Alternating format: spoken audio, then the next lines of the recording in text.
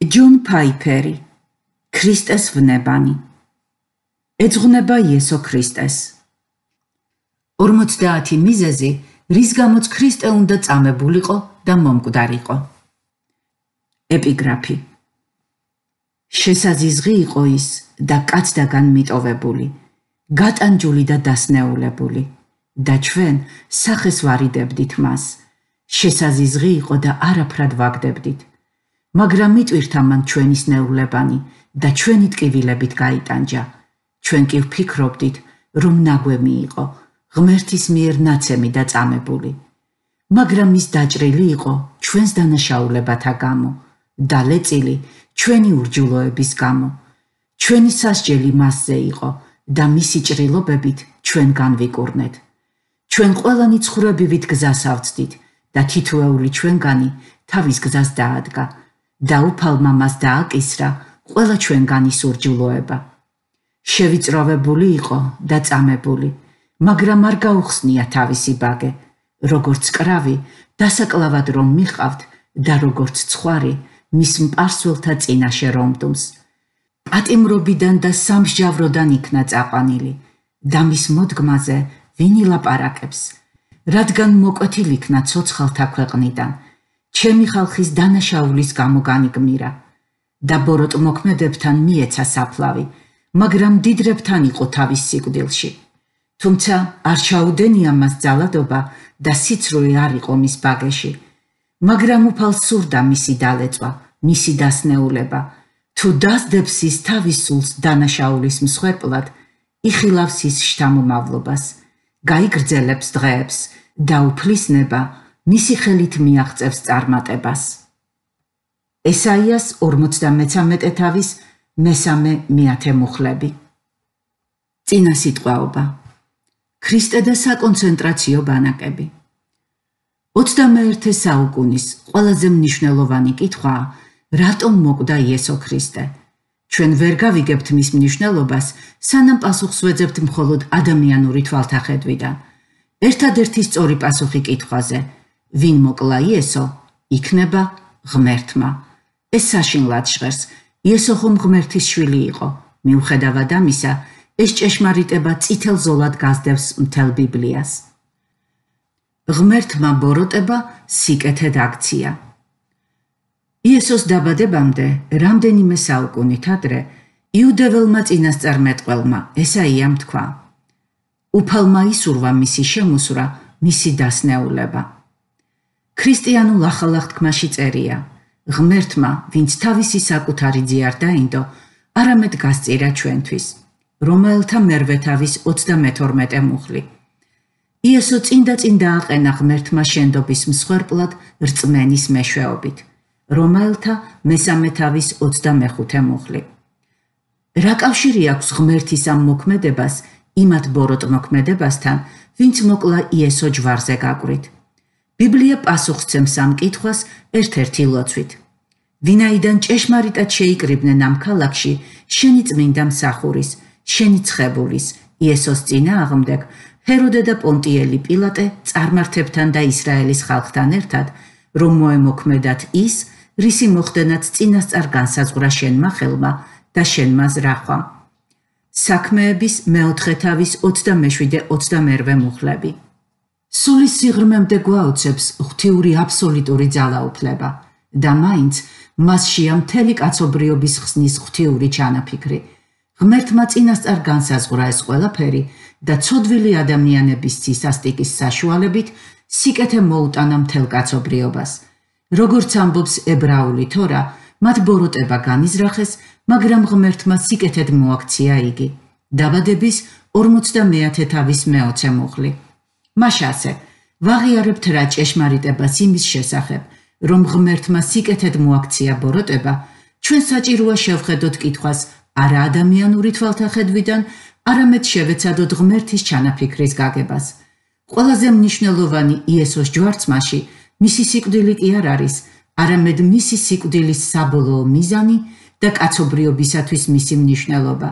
მართალია, ადამიანებს უნდათ იესოსთან ანგარიშის გასწორება, მაგრამ ღმერთმა თავიდანვე ჩაიფიქრა, ეს ბოროტება ექცია სიკეთეთ მთელი კაცობრიობისთვის. რა თქმა უნდა, შეუძლებელია ღმერთის ჩანაფიქრის ბოლომდე გაგება და ახსნა. იესოს სიკვდილის მნიშვნელობა განუზომელია.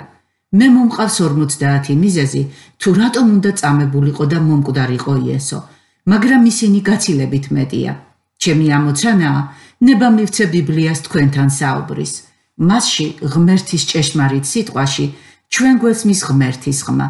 მე იმედი მაქვს, რომ ეს თავები შთაგაგონებთ, შეიცნოთ ღვთის უდიდესი ჩანაფიქრი, მიზანი, რომელიც განხორციელდა მისი ძის სიკვდილით. რას ნიშნავს სიტყვა ვნებანი? არსებობს სულ ცოტა ოთხი მნიშვნელობა. სიტყვისა ვნება. ეს არის როგორც სექსუალური ვნება, ასევე ძლიერი გატაცება რომელიმე საქმით. ასევე ის ნიშნავს რაღაც საშინელს და ასევე ნიშნავს იესო ქრისტეს ტანჯვებს. და ამ წიგნში გამოვიყენებ სწორედ ბოლო მნიშვნელობას იესო ქრისტეს ტანჯვებს და სიკვდილს. ვნება შექმნილია იმისთვის, რომ მეუღლეების სექსუალურ ცხოვრებაში სრულყოფილება შეიტანოს.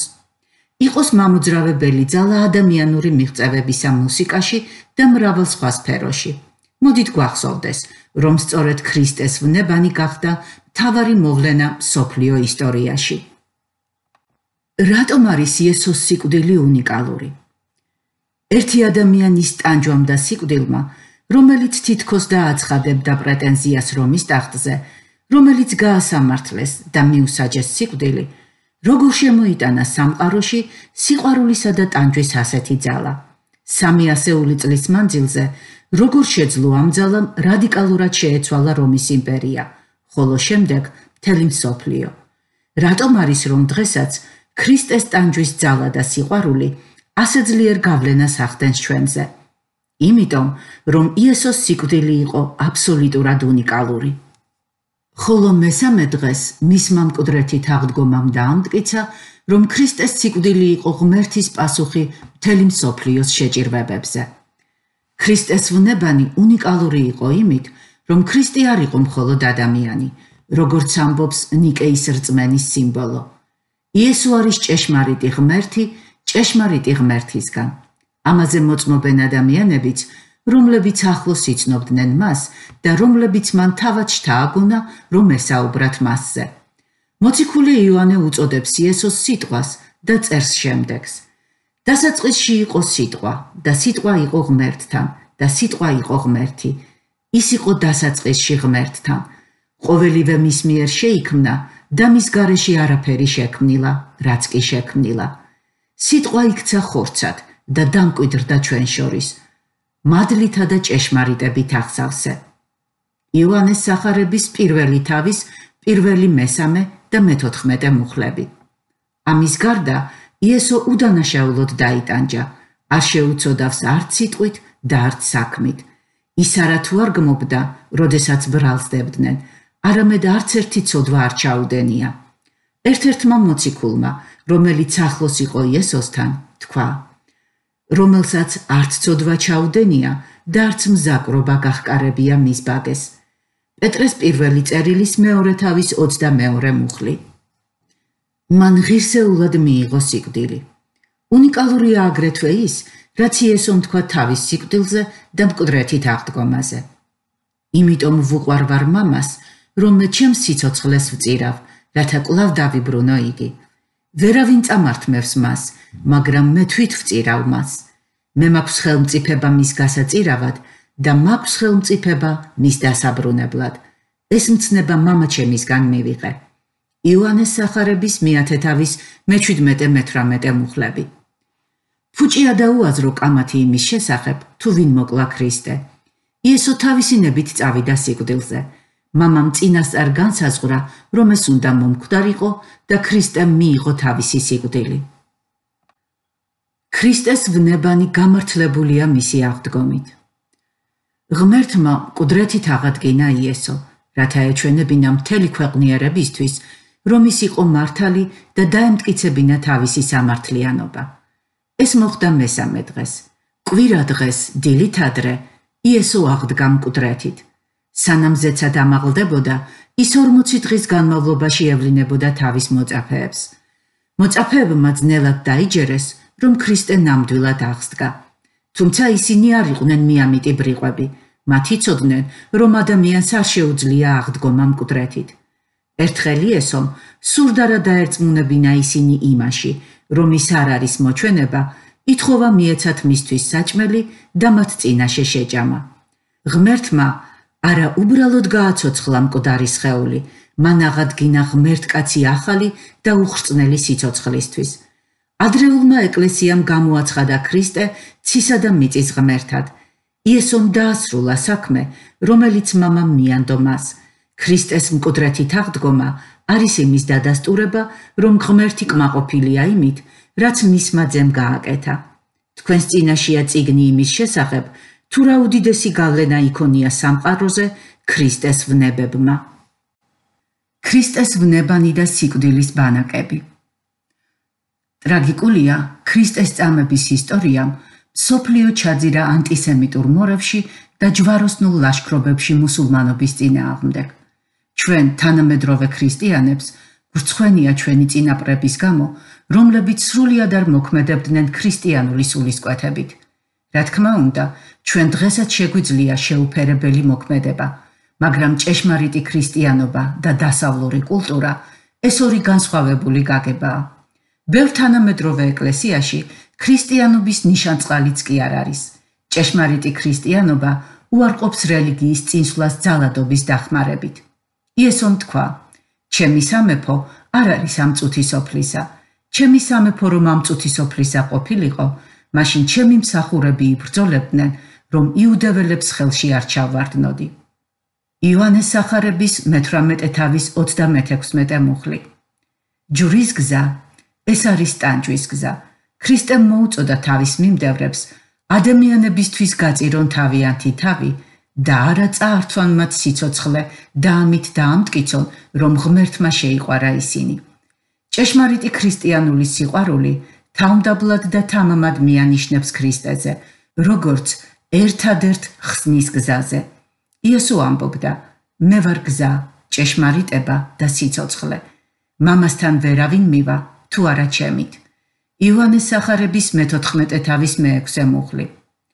ვიტყვი პირდაპირ როდესაც ჩვენ ზიზღით ვუყურებთ ადამიანს, დავცინით და ვამცირებთ მის ღირსებას, როცა ჩვენი სიამაყით ვდევნით, სასტიკად ვანადგურებთ, ვაწარმოებთ ჯვაროსნულ ლაშქრობებს, ან უფრო უარესი, ვაშენებთ საკონცენტრაციო ბანაკებს, ამ ყველაფერში არ არის ქრისტე.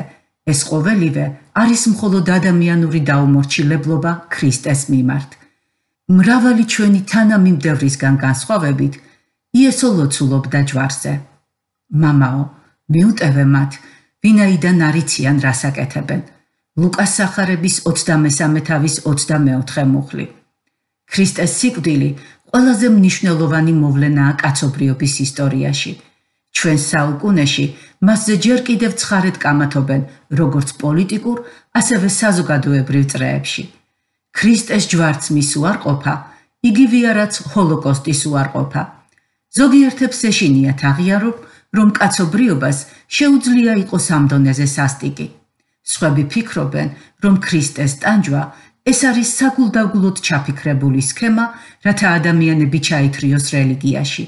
მაგრამ ისინი, ვინც უარს ამბობს დაიჯეროს ის, რომ იესო ჯვარზე გაეკრა, ცხოვრობენ ზღაპრულ სამყაროში ისტორიის გარეშე. ისტორიკოსებმა დაამოწმეს ის ფაქტი, რომ იესო ქრისტე მართლაც სასტიკად ეწამა და მოკვდა. სამწუხაროდ, ებრაელებსაც ასევე საშინლად წამება მოუწიათ, ხოლო მრავალი მათგანი დაიღუპა კიდეც. ვფიქრობ, მე არ ვიქნები პირველი, ვინც იესო ქრისტეს წამებას გოლგოთაზე შეადარებს საკონცენტრაციო ბანაკებში ებრაელების წამებას. ელი ვიზელი გვიამბობს იმის შესახებ, თუ მან და მამამისმა როგორი წამება გადაიტანეს აუშვიცის, ბუნას და ბუხენვალდის საკონცენტრაციო ბანაკებში. მისი წიგნი გვაოცებს გულახდილობით. იშორებს რა უმეცრებისა და გულუბრყვილობის საბურველს, მისი ისტორიები გმობს ადამიანურ სისასტიკეს.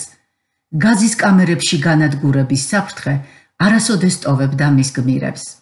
ციგნის მხოლოდ ერთ ეპიზოდში ვიზელი ავლებს პარალელს გოლგოთაზე წამებასა და სიკვდილის ბანაკებში ადამიანების ტანჯვას შორის.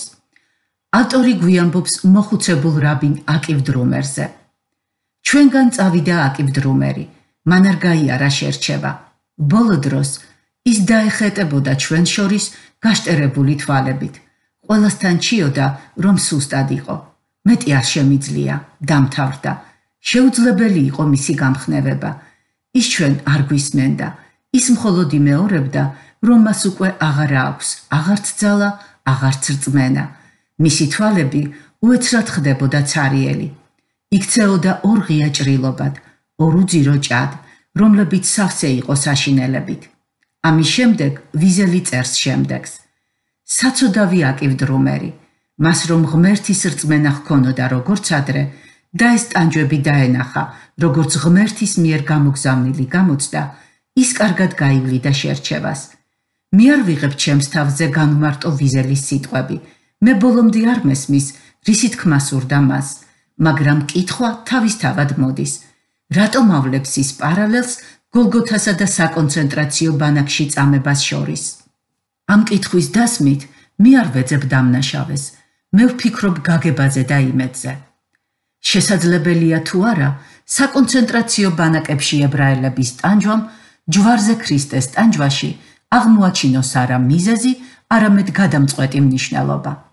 შესაძლებელია თუ არა, განვიხილოთ ტანჯვები აუშვიცში, არა როგორც იმის საზღაური, რომ ებრაელებმა ქრისტე აწამეს გოლგოთაზე, არამედ როგორც გზა ქრისტეს ტანჯვების გასაგებად.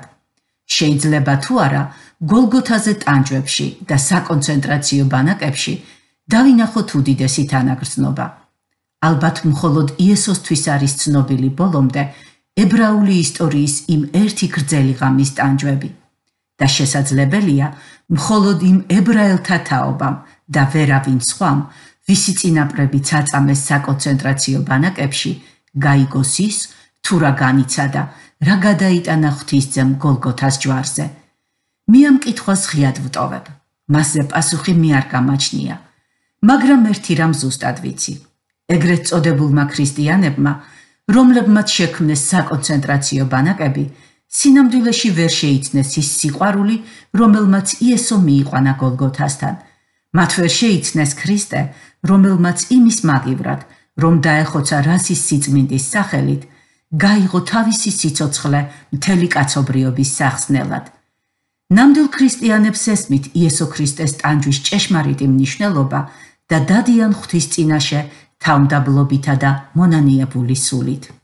შესაძლებელია, სწორედ მათ შეუძლიათ მთელი სისავსით დაინახონ ებრაელი ერის ტანჯვა. რამდენი მწარე ირონიაა იმაში, რომ ბევრი ქრისტიანი გახდა ანტისემიტი. იესო და ყველა, ვინც მისი მიმდევარი იყო, იყვნენ ებრაელები.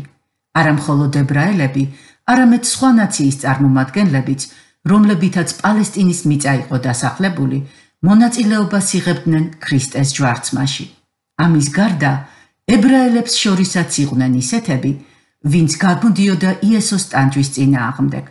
მთავარი როლი საკუთარი ძის სიკვდილში ითამაშა თავად მამაღმერთმა და ამიტომაც მთავარი კითხვა მდგომარეობს არა იმაში, თუ ვინ გააკრა ჯვარზე ქრისტე, არამედ იმაში, თუ ამ სიკვდილმა რა მოუტანა კაცობრიობას, ებრაელების, მუსულმანების, ბუდისტების, ინდუისტების, ათეისტების და ადამიანების, რომლებიც საკუთარ თავს არც ერთ რელიგიას არ აკუთვნებდნენ, ყოველას ჩათვლით. საბოლოო ჯამში გადაუჭრელ კითხვად რჩება: რატომ? რატომ ეწამა და მოკვდა ქრისტე ასე სასტიკად? მე მხედველობაში მაქვს, არა რის გამო მოკლეს, არამედ რისთვის, რა მიზნით ეწამა ის? ქრისტეს სიკვდილმა რა მისცა სამყაროს? რატომ უნდა წამებულიყო ქრისტე? რაში მდგომარეობს იმ მოვლენის სიდიადე, რომელიც მოხდა გოლგოთაზე. სწორედ ამაზეა ეს ციგნი. ახალი აღთქმიდან ამოვარჩიე 50 მიზეზი, რის გამოც ქრისტე უნდა წამებულიყო და მომკვდარიყო. მე არ ვაპირებ წარმოგიდგინოთ 50 დამადასტურებელი საბუთი იმისა, თუ ვინ და რატომ მოკლა იესო. მე ვისაუბრებ მისი ტანჯვის მუდმივ მნიშვნელობაზე, იმაზე, რაც ღმერთმა გვაჩუქა ჩვენ, ცოდვილებს, მოგცარა თავისი ძე მოსაკლავად. 50 მიზეზი, რის გამოც ქრისტე უნდა წამებულიყო და მომკვდარიყო. მიზეზი პირველი. რათა თავად მიეღო ღმერთის რისხვა. ეპიგრაფი. ქრისტემ გამოგვისყიდა რჯულის წყევლისაგან და გახდა წყეული ჩვენს ნაცვლად, ვინაიდან დაწერილია: წყეულია ყოველი დაკიდებული ძელზე. გალატელთა წერილის მესამე თავის მეცამეტე მუხლი. ქრისტე წინ და წინ დააყენა ღმერთმა შენდობის მსხვერპლად რწმენის მეშვეობით მისავე სიცხლში, რათა უწინ ჩადენილ ცოდვათა მიტევების მეოხებით გამოჩენილიყო მისი სიმართლე ღვთის სულ გრძელობაში, რომელთა მესამე თავის 25 მუხლი. ამაშია სიყვარული, რომ ჩვენ კი არ შევიყვარეთ ღმერთი, არამედ მან შეგვიყვარა და მოავლინა თავისიძე ჩვენი ცოდვების მოსატევებლად. იოანე მოციქულის პირველი წერილის მეოთხე თავის მეათე მუხლი. ღმერთი რომ სამართლიანი არ იყოს, მას არ დასჭირდებოდა სატანჯველად და მოსაკლავად გაეგზავნა თავისი ძე. ღმერთი რომ არ იყოს მოსიყვარულე, მას არ ექნებოდა იმის სურვილი, გაეგზავნა თავისი ძე სატანჯველად და მოსაკლავად. მაგრამ ღმერთი სამართლიანი და მოსიყვარულია და სწორედ ამიტომ მისმა სიყვარულმა შეძლო პასუხი გაეცა მისი სამართლიანობის მოთხოვნისთვის. ღმერთის კანონი ამბობს: შეიყვარე უფალი, ღმერთი შენი, მთელი შენი გურით, მთელი შენი ძალითა და მთელი შენი არსებით. მაგრამ ჩვენ უფრო მეტად შევიყვარეთ ცოდვა. ცოდვა ეს არის უპატივცემულო ურთიერთობა ღმერთთან. როდესაც რწმენაში და მოქმედებებში ჩვენ უპირატესობას ვანიჭებთ რაღაცას ან ვიღაც სხვას. ამიტომ ბიბლიაში ნათქვამია: ყველამ შესწოდა და მოკლებულნი არიან ღვთის დიდებას. რომაელთა მესამე თავის 23 მუხლი. ჩვენ ვადიდებთ იმას, რასაც ჩვენთვის მოაქვს ყველაზე დიდი სიამოვნება ცხოვრებაში და ეს არის ღმერთი. აქედან გამომდინარე, ცოდვა ეს არ არის წვრილმანი. მან გაბედა უდიდეს ღმერთთან დაპირისპირება. ხოლო შეურაცხყოფა მით უფრო სერიოზულია, რაც უფრო მაღალია შეურაცხყოფილის ღირსება. სამყაროს შემოქმედი ღირსია უსაცრულად პატივისცემისა, აღტაცებისა და ერთგულებისა. მაგრამ ადამიანები, რომლებმაც უარი თქვეს ბრძანების შესრულებაზე, უყვარდეთ ღმერთი, წავიდნენ ღალატზე. ღმერთის ღალატი ძალიან სერიოზულია. ადამიანი ცილს წამებს და შეურაცხყოფს ღმერთს და არ არის გასაკვირი, რომ ის უბედურია. რამდენადაც ღმერთი სამართლიანია, ის არაპირებს ადამიანური დანაშაულებების დაფარვას. სამართლიანი რისხვაა კაცობრიობაზე. რადგან ადამიანებმა დაიმსახურეს სასჯელი. ბიბლიაში გარკვევით არის ნათქვამი: ცოდვის საძღაური სიკვდილია, რომელთა მეექვსე თავის 23 მუხლი, ვინც შესწოდავს, მოკვდება. ეზეკიელის მე-18 თავის მეოთხე მუხლი. ცოდვილი კაცობრიობის თავზე წმინდა ღმერთის წყევლაა. სამართლიან ღმერთს არ შეუძლია დანაშაული დატოვოს დასჯის გარეშე. უსამართლობა ხომ მამცირებს მის ღირსებას. ღმერთს რომ უარი ეთქვა სამართლიანობაზე, ჩვენი არსებობის საფუძველი ტყუილი გახდებოდა. ღმერთმა თქვა: "წყეულია ყოველი, ვინც არ შეასრულებს ყოველივეს, რაც რჯულის წიგშია დაწერილი." ღმერთის სიყვარულს არ შეეძლო მშვიდობიანი თანაარსებობა წყევლასთან, რომელიც იყო ცოდვილი კაცობრიობის თავზე. რაც არ უნდა სამართლიანი ყოფილიყო მისი რისხვა, ღმერთს არ სურდა რისხვაში დაესაჯა ადამიანები.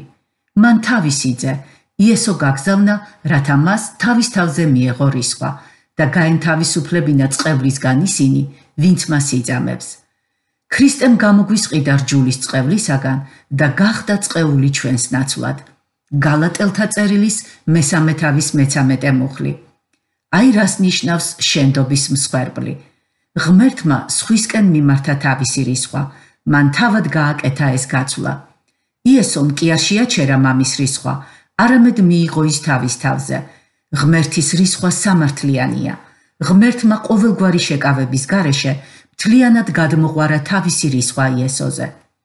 მოდით, ნუ გავეთამაშებით ღმერთს და ნუ დავამცირებთ მის სიყვარულს. მანამდე, სანამ ჩვენ სერიოზულად არ მივუდგებით ჩვენს ცოდვებს, სანამ არ გავიგებთ, რომ მისი რისხვა სამართლიანია, ჩვენ ვერ შევძლებთ ჭეშმარიტად განვიცადოთ ვერც მის მიმართ პატივისცემის გრძნობა და ვერც მისი სიყვარულის ძალა ჩვენდამი. როდესაც ღმერთი თავისი მადლითა და წყალობით გვაფხიზლებს, ჩვენ გვესმის, რომ არ ვართ მისი სიყვარულის ღირსი. როდესაც ვუყურებთ ქრისტეს ტანჯვას, ჩვენ შეგვიძლია შეგნებულად ვთქვათ: ამაშია სიყვარული, რომ ჩვენ კი არ შევიყვარეთ ღმერთი, არამედ მან შეგვიყვარა და მოავლიდან თავისი ძე ჩვენი ცოდვების მოსატევებლად. იოანეს პირველი წერილის მეოთხე თავის მეათე მუხლი. მიზეზი მეორე. რათა ეამებინა ზეციერი мама. ეპიგრაფი. უფალ სურდა მისი დალეწვა და უფლისნება მისი ხელით მიაღწევს წარმატებას. ესაიას 53 თავის მეათე მუხლი. იარეთ სიყვარულში ისევე, როგორც ქრისტემ შეგვიყვარა ჩვენ და თავისი თავი მისცა ჩვენთვის ღმერთს შესაწირავად და მსხვერპლად საამო კეთილსურნელებად. ეფესელთა მეხუთე თავის მეორე მუხლი. იესო არ ეწინააღმდეგებოდა განდრისხებულ მამას და არ გამოსტაცა მას მათრახი ხელიდან. ის არ ევედრებოდა მამას მოწყალება გამოეჩინა კაცობრეობის მიმართ. მისი სიკვდილი არ იყო ღმერთის უხალისო თანხმობა, ცოდვილების მიმართ შემწყნარებელი ყოფილიყო. პირიქით, იესოს ტანჯვა და სიკვდილი დაგეგმილი იყო თავად მამაღმერთის მიერ. ეს არის კარგად მოფიქრებული სტრატეგიული გეგმა, დამტკიცებული ღმერთის მიერ, ჯერ კიდევ დროის დასაწყისიდან.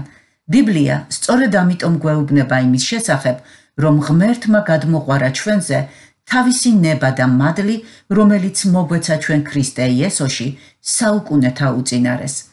ტიმოთეს მეორე წერილის პირველი თავის მეცხრე მუხლი. ჯერ კიდევ ძველ აღთქმაში ღმერთი გვიხსნის თავის თავდაპირველ ჩანაფიქრს. წინასწარმეტყველმა ესაია მიწინასწარმეტყველა, რომ მესიას მოუწევდა ტანჯვა და ის გახდებოდა ჩასანაცვლებელი მსხვერპლი კაცობრიობის ცოდვებისთვის. მაგრამ იტვირთა მან ჩვენის ნეულებანი და ჩვენი ტკივილებით გაიტანჯა. ჩვენ კი ვფიქრობდით, რომ ნაგვემი იყო. ღმერთის მიერ ნაცემი და წამებული. მაგრამ ის დაჭრილი იყო ჩვენს დანაშაულთა გამო, დალეწილი ჩვენი ურჯულოების გამო. ჩვენი სასჯელი მასზე იყო და მისი ჭრილობებით ჩვენ განვიკურნეთ.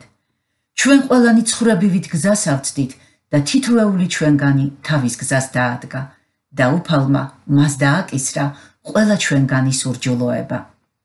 ესაიას 53 თავის მეოთხე მეექვსე მუხლები.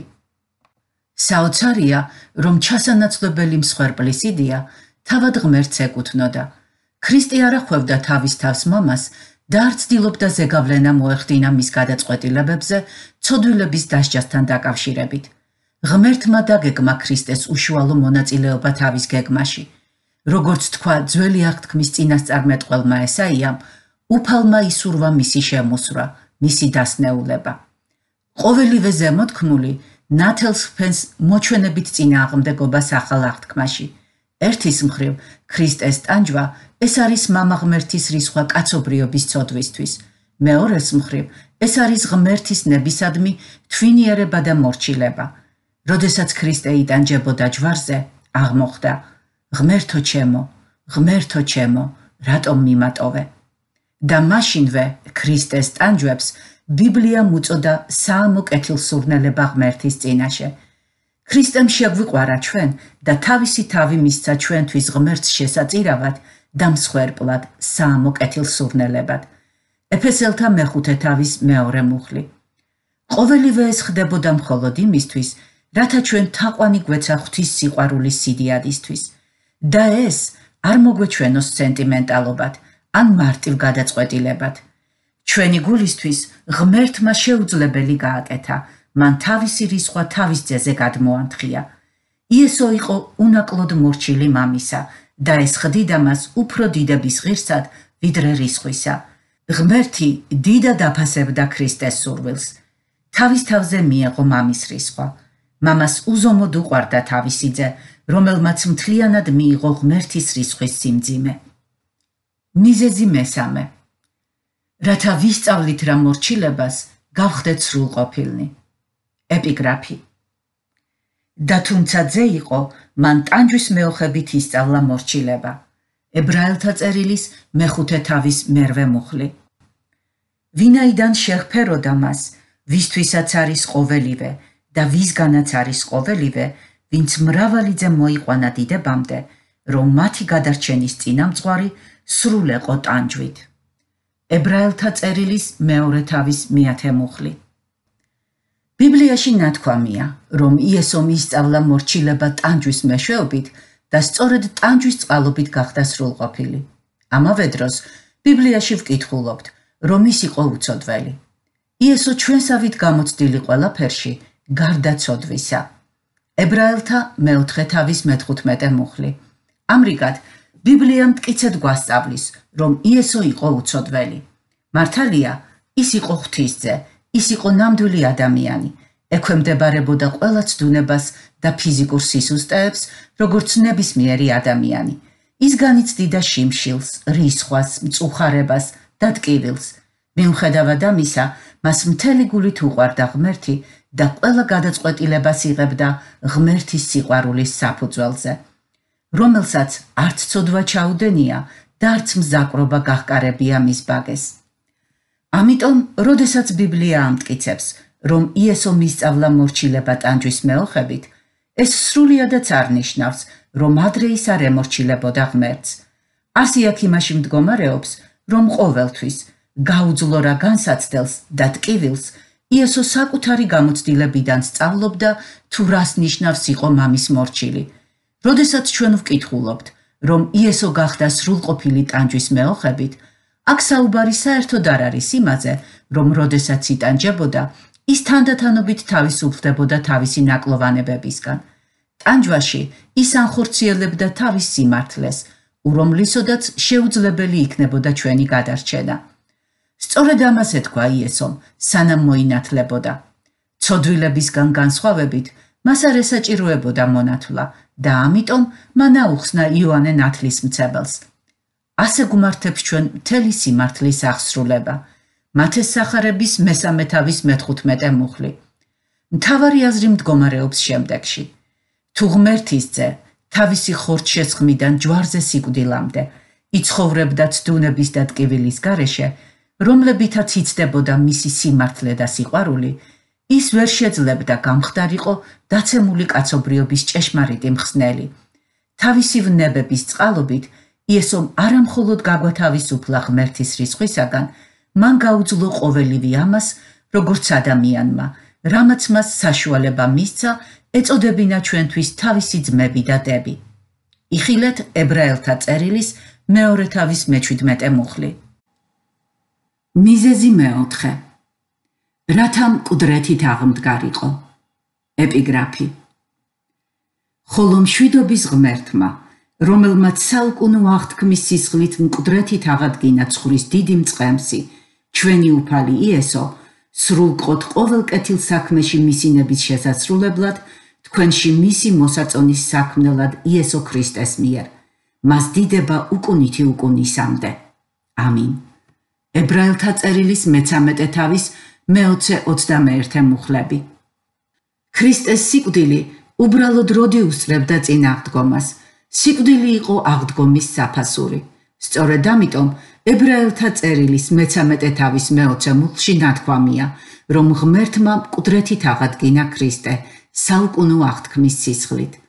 საუკუნო აღთქმა ეს არის ქრისტეს სისხლი. მან თქვა: ეს არის ჩემი სისხლი ახალი აღთქმისა.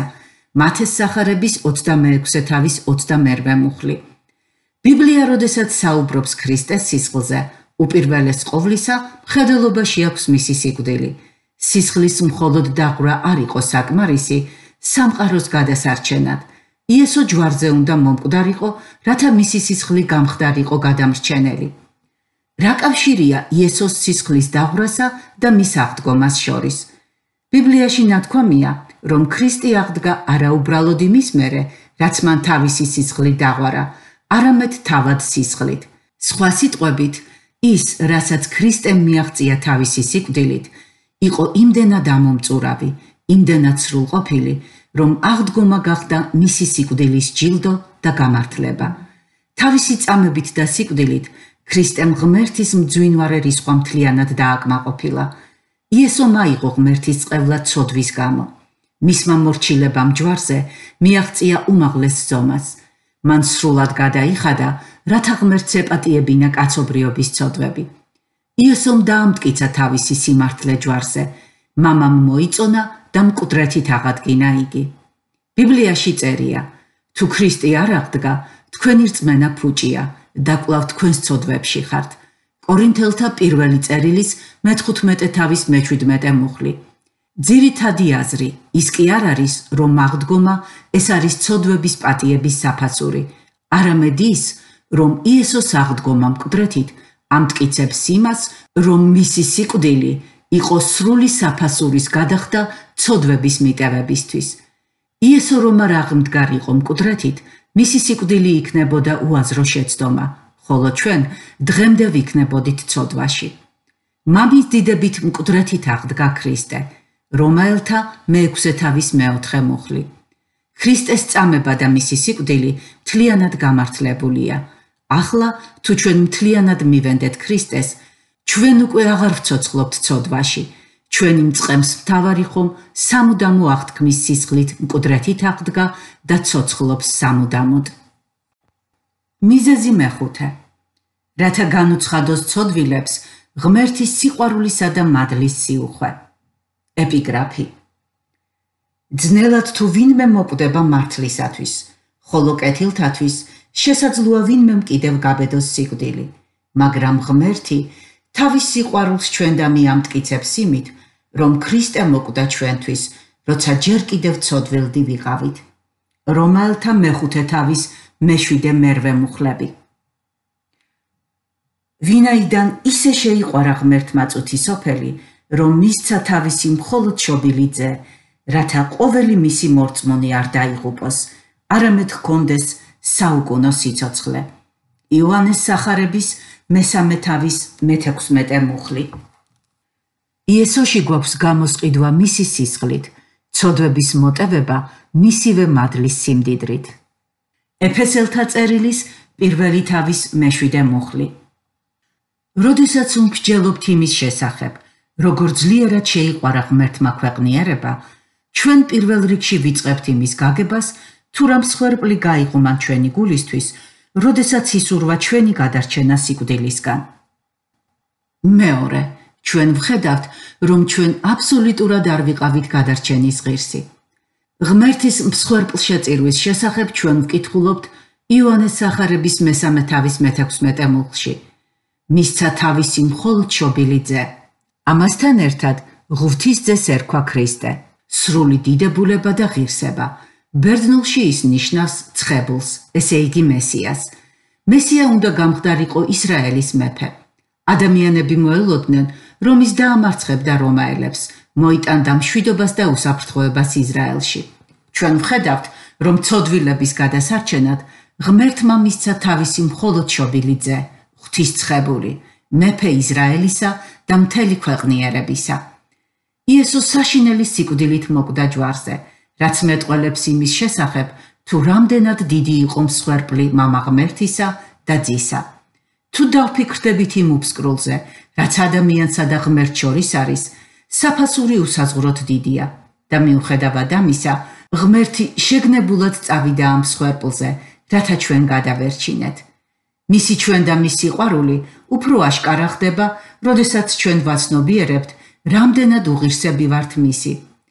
ძნელად თუ ვინმე მოკვდება მართლისათვის, ხოლო კეთილთათვის შესაძლოა ვინმე კიდევ გაბედოს სიკვდილი, მაგრამ ღმერთი თავის სიყვარულს ჩვენდამი ამტკიცებს იმით, რომ ქრისტე მოკვდა ჩვენთვის, როცა ჯერ კიდევ ცოდვილნი ვიყავით.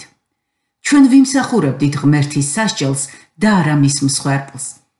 ერთხელ მოვისმინე ასეთი სიტყვები: ღმერთი არ მომკვდარა ცხოველებისთვის, ის მოკვდა ადამიანებისთვის იმიტომ, რომ დიდად აფასებდა მათ. ეს არის წყალობის, მადლის სრული გაუგებრობა. ჩვენ ცხოველებზე გაცილებით უარესნი ვართ. ყოველ შემთხვევაში ისინი არ წოდავდნენ ღმერთის მიმართ. ისინი არ ჯანყდებოდნენ და არ ეპყრობოდნენ ღმერთს ისე, თითქოს ის მათ ცხოვრებაში არანაირ როლს არ თამაშობს. აი რატომ არ მოუწია მას ცხოველებისთვის სიკვდილი? მათ ღმერთის წინაშე არანაირი დანაშაული არ მიუძღვით. ჩვენი დანაშაული კი იმდენად დიდია, რომ მხოლოდ ღმერთის ჩანაცვლებით სიკვდილს შეეძლო მისი გამოსყიდვა მთლიანად. ერთადერთი ახსნა იმისა, რომ ღმერთმა ჩვენი გულისთვის საკუთარი თავი შესწირა, მდგომარეობს არა ჩვენში, არამედ მისი მადლის სიმდიდრეში. ეფესელთა პირველი თავის მეშვიდე მუხლი. მადლი ეს არის საჩუქარი. ჩვენ მივიღეთ ის არა იმიტომ, რომ ღირსნი ვიყავით, არამედ იმიტომ, რომ ღმერთი მდიდარია მადლით. ამაში გამოიხატება ღმერთის სიყვარული. დაუჯერებელი საფასურით მან გაგვიხსნა ჩვენ უღირს ცოდვილებს ის, რაც ჩვენ გულებს ავსებს უსაზღრო სამუდამო სიხარულით და ეს არის შემოქმედის განუზომელი ბრწყინვალება. მიზეზი მეექვსე. რათა განგვიცხადოს თავისი სიყვარული. ეპიგრაფი. ქრისტემ შეგვიყვარა ჩვენ და თავისი თავი მისცა ჩვენთვის ღმერთ შესაწირავად და მსხვერპლად სამ უკეთილ სურნელებად. ეფესელთა 5:2 ქრისტემ შეიყვარა ეკლესია და თავი გასწირა მისთვის. ეფესელთა 5:25 რწმენით ვцоცხლობ ღვთისძეში, რომელმაც შემიყვარა და თავი მისცა ჩემთვის. გალატელთა 2:20. ქრისტეს სიკვდილი ეს არის არამხოლოდ მამაღმერთის სიყვარულის გამოვლინება ჩვენდამი, ასევე ქრისტეს სიყვარულის უმაღლესი გამოხატულება ყველას მიმართ, ვინც იღებს მის სიყვარულს როგორც ძვირფას საჩუქარს. პირველმა ქრისტიანებმა, რომლებმაც განიცადეს სასტიკი დევნა, იცოდნენ. იესომ შემიყვარა და თავი მისცა ჩემთვის. მათ ძალიან პირადულად მიიღეს იესოს მსხვერპლი, რომელმაც შემიყვარა მე და საკუთარი თავი მისცა ჩემთვის. ჩვენც ასე გუმართებს ჭეშმარიტების გაგება ქრისტეს ტანჯვაზე და სიკვდილზე. იესო ეწამა და მოკვდა ჩემი გულისთვის. თავისი წამებით და სიკვდილით მან დამანახა თავისი სიყვარული ჩემდამი. მე უნდა მესმოდეს, რომ არა უბრალოდ ვიღაცის წოდვები, არამედ ჩემი წოდვები მაშორებს ღმერთთან. ჩემი გულის სისასტიკე და სულიერი გულგრილობა ამცირებს ქრისტეს ღირსებას. მე გზაბნეული წოდვილი და ჩემს გზას მივყავარ დაღუპვამდე.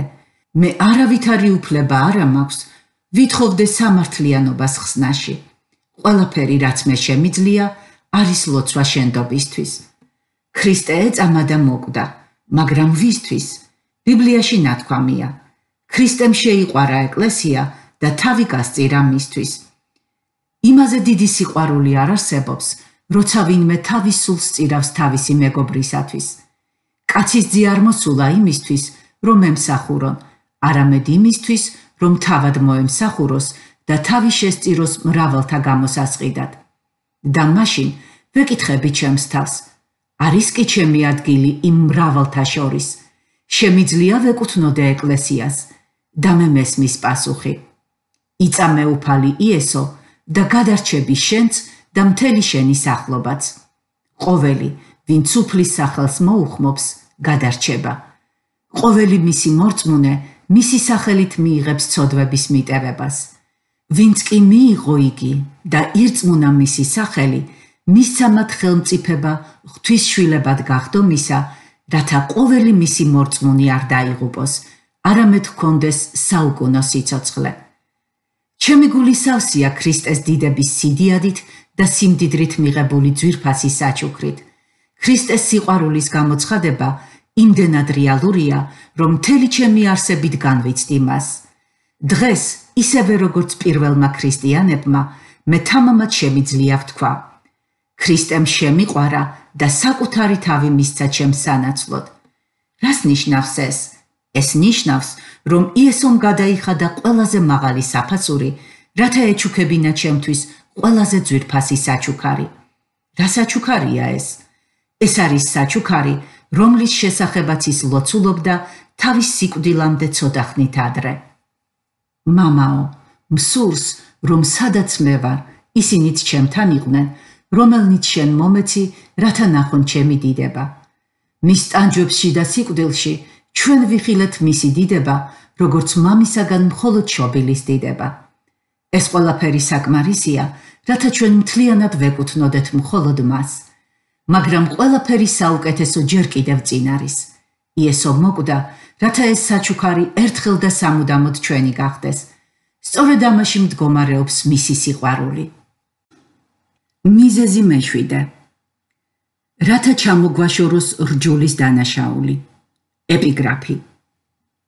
თქვენც მკვდრების შეცოდებებში და თქვენი ხორცის წინა დაუცვეთლობაში გაგაცოცხლად მასთან ერთად და მოგვიტევა ყველა შეცოდება. განჩინებებით წაშალა თანანადებთა ხელწერილი, რომელიც ჩვენს წინა აღმდეგ იყო. აიღო იგი შუაგულიდან და ჯვარს მიამსჭვალა. კოლასელთა მეორე თავის მე-13-მე-14 მუხლები. სისულელე იქნება ვიფიქროთ, რომ ერთხელაც ჩვენი კარგი საქმეები გადაწონის ჩვენ ცუდ საქმეებს. საამისოდ ორი მიზეზი არსებობს. პირველ რიგში, ეს არასოდეს არ მოხდება.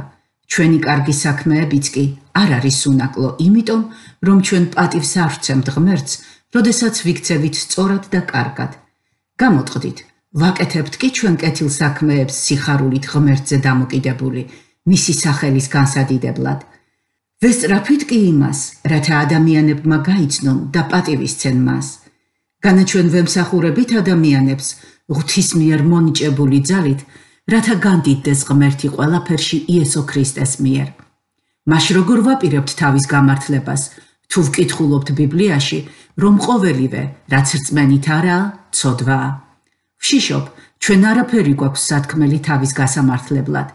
ჩვენ ვიცით, რომ რასაც რჯული ამბობს, რჯულის ქვეშ მყოფთათვის ამბობს, რათა დაიხშოს ყოველი ბაგე. ამიტომ მოდით ნუ გავიმართლებთ თავს.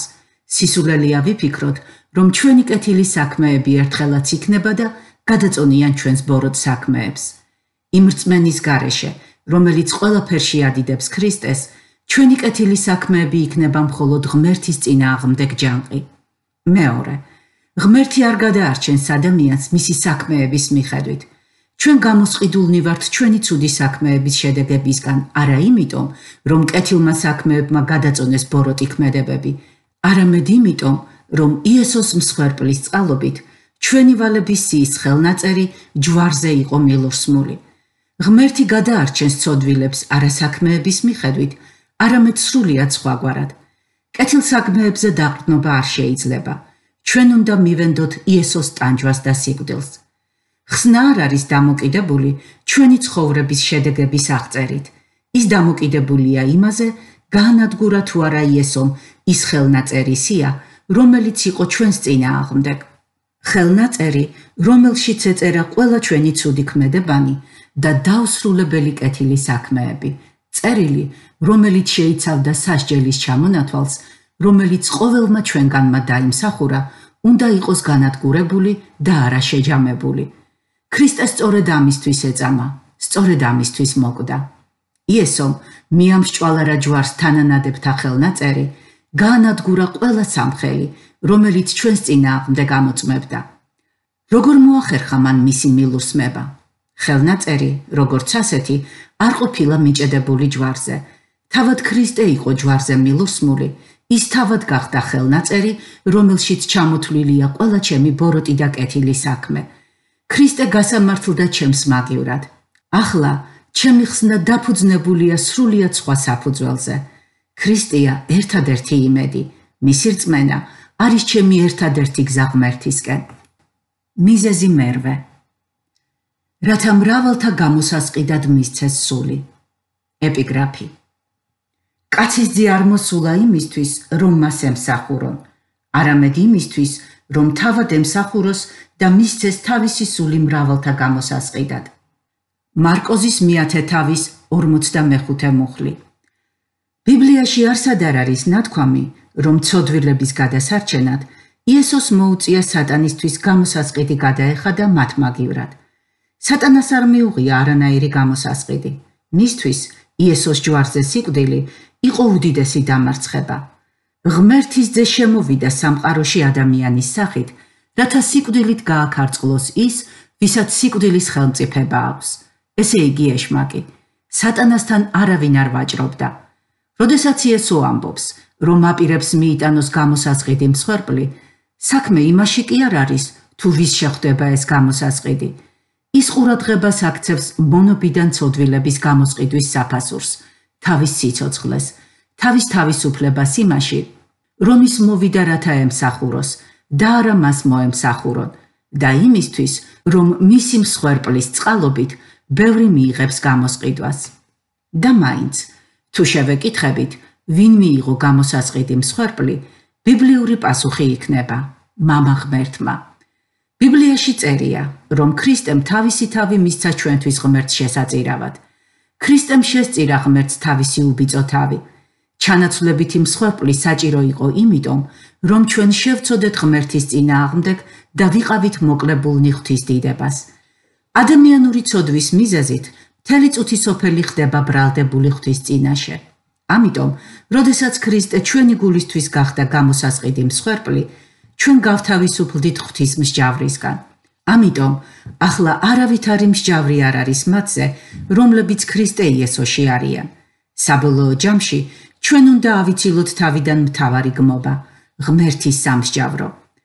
ქრისტემ გამოგვისყიდა თავისი სიცოცხლით, რათა ჩვენ, მისი მორწმუნენი, არ მივიდეთ ღმერთის სამსჯავროზე. იესომ სიცოცხლე გაწირა ჩვენთვის, როცა ჯვარზე გაეკრა და მოკვდა. უფალი ყოველთვის ეუბნებოდა თავის მოწაფეებს.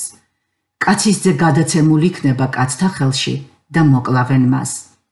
ერთ-ერთი მიზეზი, რისთვისაც იესო საკუთარ თავს ყოველთვის უწოდებდა კაცისძეს, და რაც ევანგელიაში 65-ზე მეტჯერ არის ნათქვამი, მდგომარეობს იმაში, რომ ადამიანი მოკვდავია. სწორედ ამიტომ იესო გახდა ერთ-ერთი ჩვენთაგანი. გამოსასყიდი მსხვერპლი შეეძლო მიეტანა მხოლოდ ადამიანის ძეს, იმიტომ რომ გამოსყიდვის საფასური იყო სასიკვდილოდ გადაცემული სიცოცხლე. იესომ თავად ისურვა ჩვენს მაგივრად საფასურის გადახდა. ეს აზრია გაჟღერებული მის შემდეგ სიტყვებში.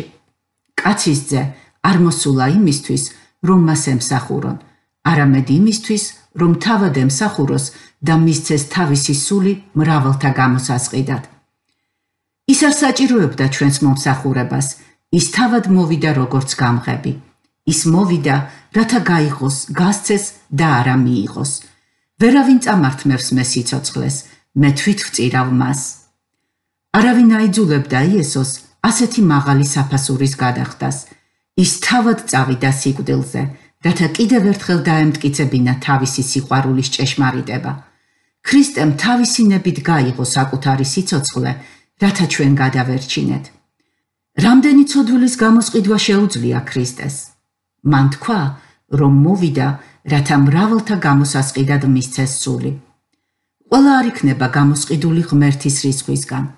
თუმცა ის თავაზობს ხსნას ყველას და თითოეულს, ვინაიდან ერთია ღმერთი და ერთია ღმერთსა და კაცთა შორის შუამავალი, კაცი ქრისტე იესო, რომელმაც თავი გასწირა ყველას გამოსახსნელად.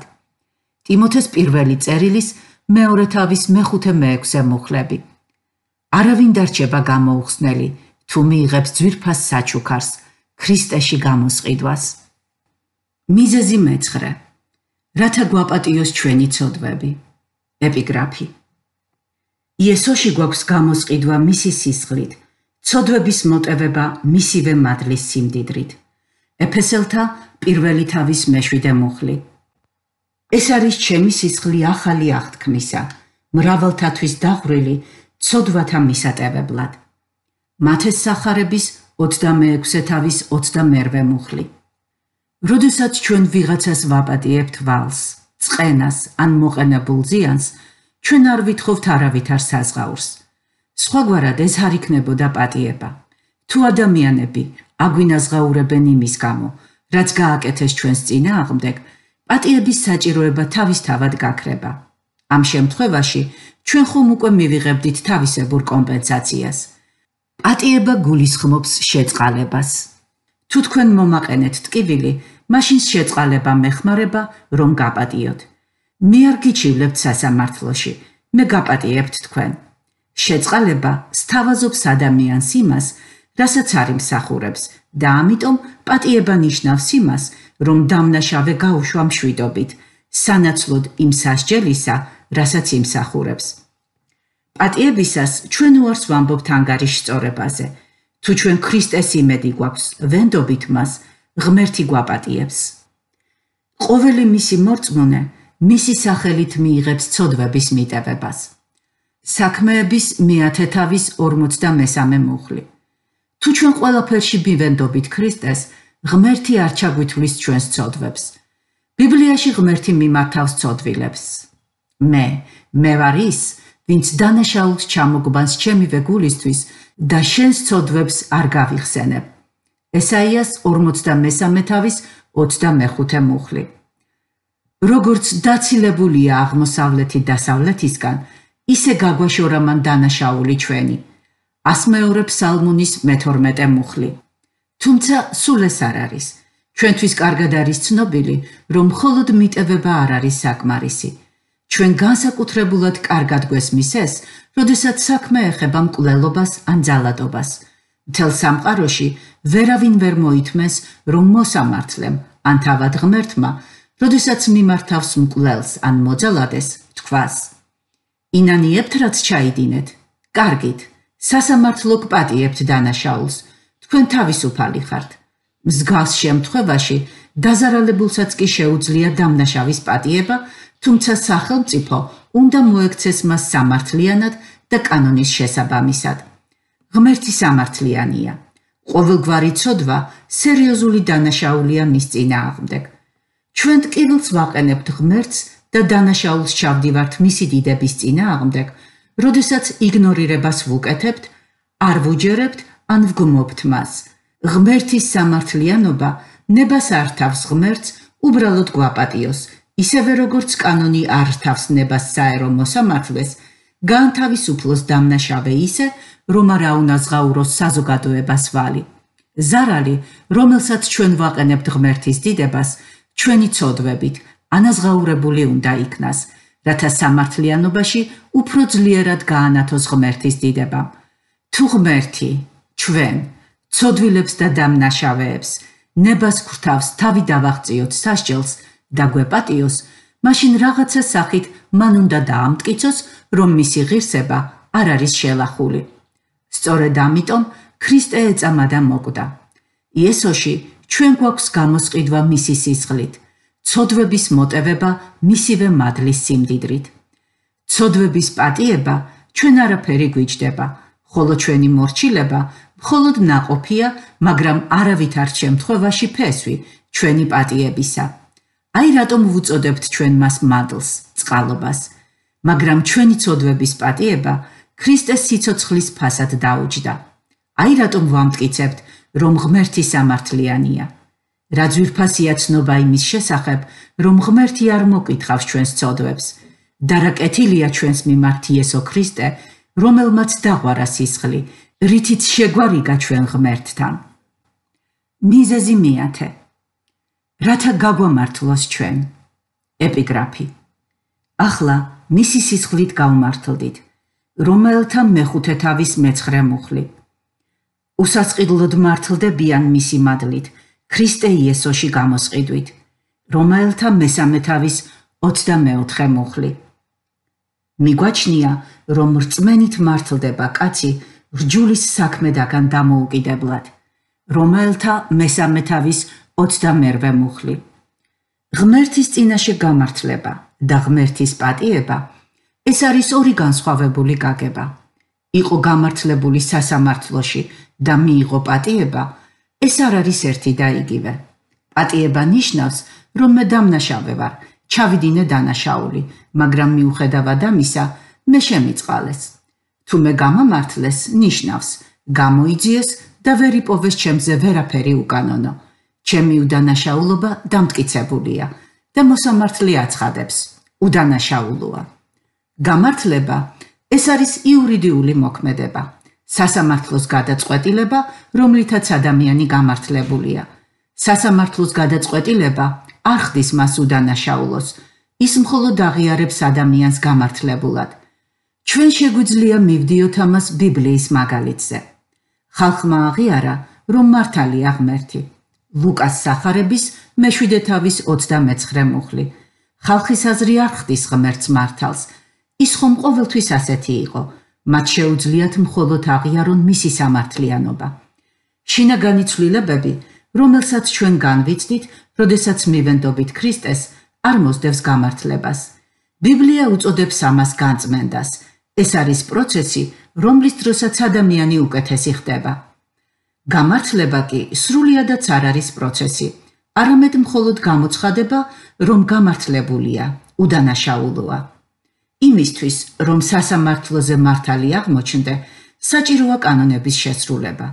თუ ადამიანმა არ დაარღვია კანონი, მაშინ მოსამართლე და ნაფიცი მსაჯულები აღიარებენ მას უდანაშაულოდ. თუმცა ღმერთის სასამართლოზე არც ერთი ჩვენგანი არ იქნება აღიარებული უდანაშაულოდ. ჩვენ არ შეგვიძლია ღმერთის კანონების შესრულება და ამიტომ ჩვენ არ გვაქვს გამართლება. ბიბლია იმასაც კი აცხადებს, რომ ბოროტის გამართლებელი სისაძაგლია უფლის თვალში. იგავების მე-17 თავის მე-15 მუხლი. თუმცა ქრისტეს წყალობით წმინდა წერილი ასევე ამბობს, რომ ღმერთი ამართლებს უკეთურს, ვინც იწამა მისი მადლის. რომაელთა მე-4 თავის მე-5 მუხლი. ღმერთი აკეთებს იმას, რაც ერთი შეხედვით საძაგლობად გვეჩვენება. მაშინ რატომ არის, რომ უწმინდურთა პატიება, ვინც იწამა იესო ქრისტე, არ არის საძაგლობა? როგორ შეიძლება ბიბლიამ უწოდოს ღმერთს მართალი და იესოს მორწმუნეთა გამართლებელი? რომაელთა მესამე თავის 26-ე მუხლი. ღმერთი ორი მიზეზით ართვლის სისაძაგლეთ მისი მორწმუნეების გამართლებას. პირველი მიზეზი ეს არის, რომ ქრისტემ თავისი სისხლი დაღვარა, რათა მოეხსნა ჩვენთვის ჩვენი დანაშაულის ბრალდება. ამიტომ ბიბლია ამტკიცებს, რომ ჩვენ ახლა მისი სისხლით გავმართლდით. რომაელთა მეხუთე თავის მეცხრე მუხლი.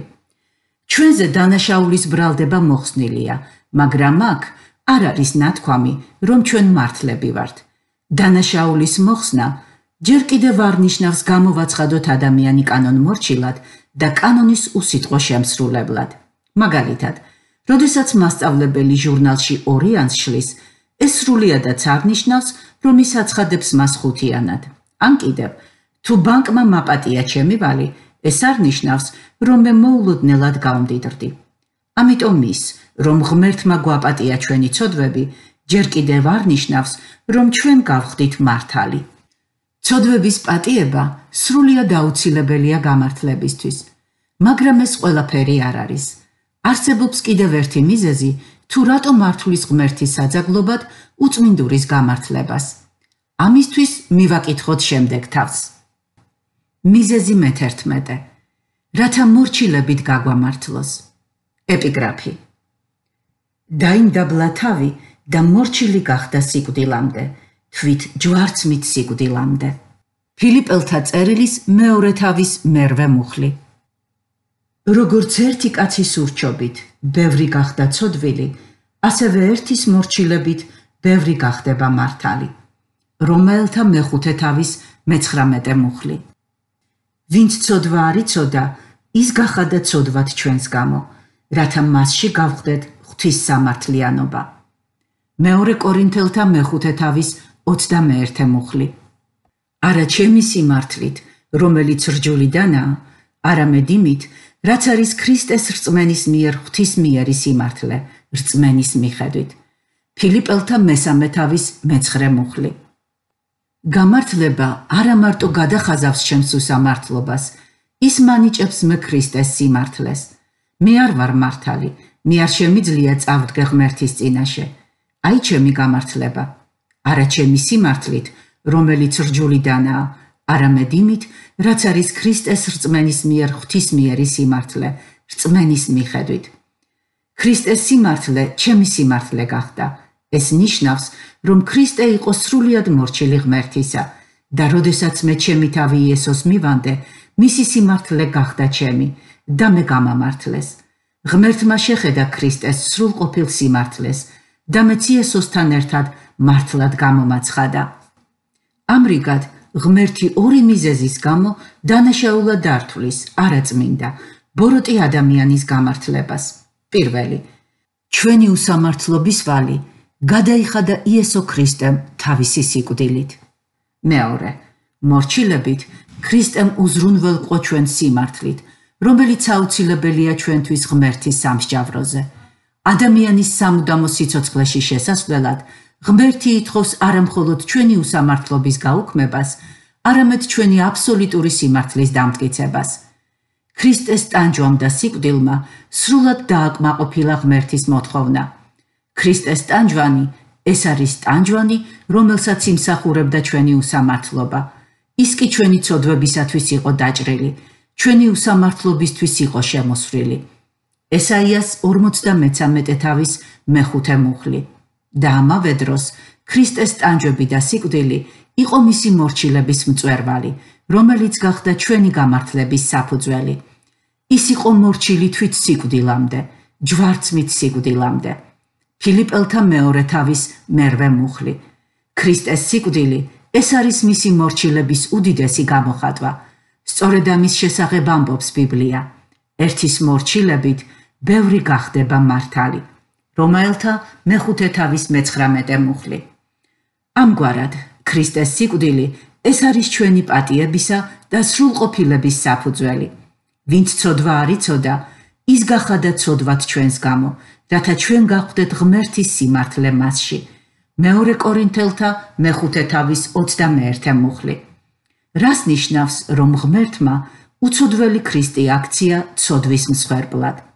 იმას, რომ ჩვენი ცოდვები გადაეცა მას და ამიტომ ჩვენ გვებადია.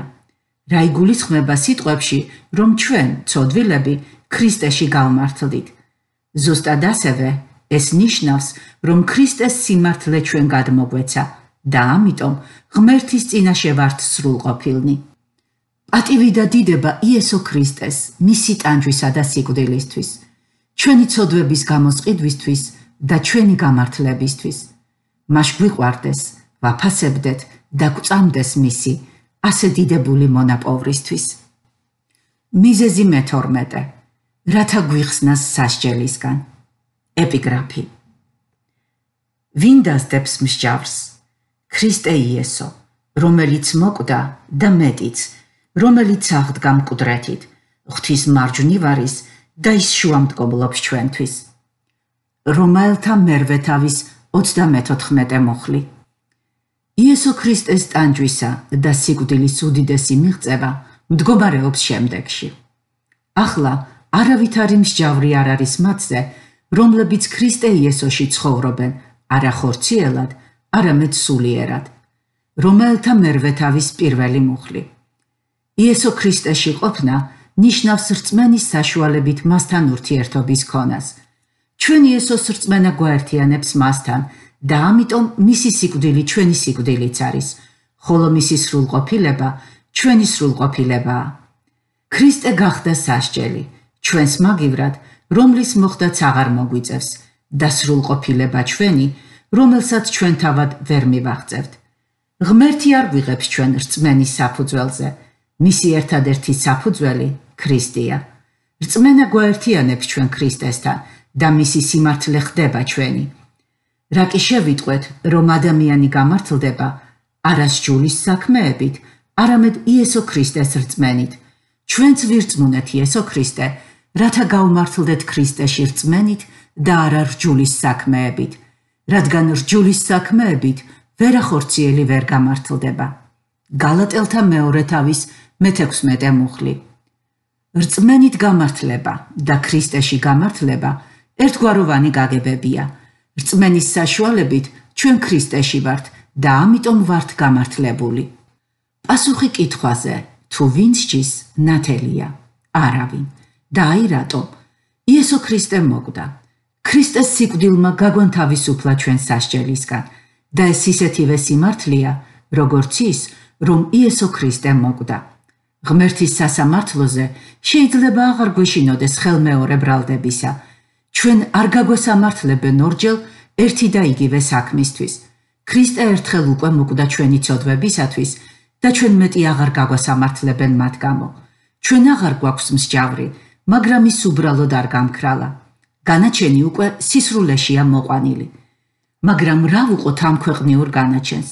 აქ ხომ არ ვიპოვით პასუხს ამ კითხვაზე? ვინ ასამართლებს?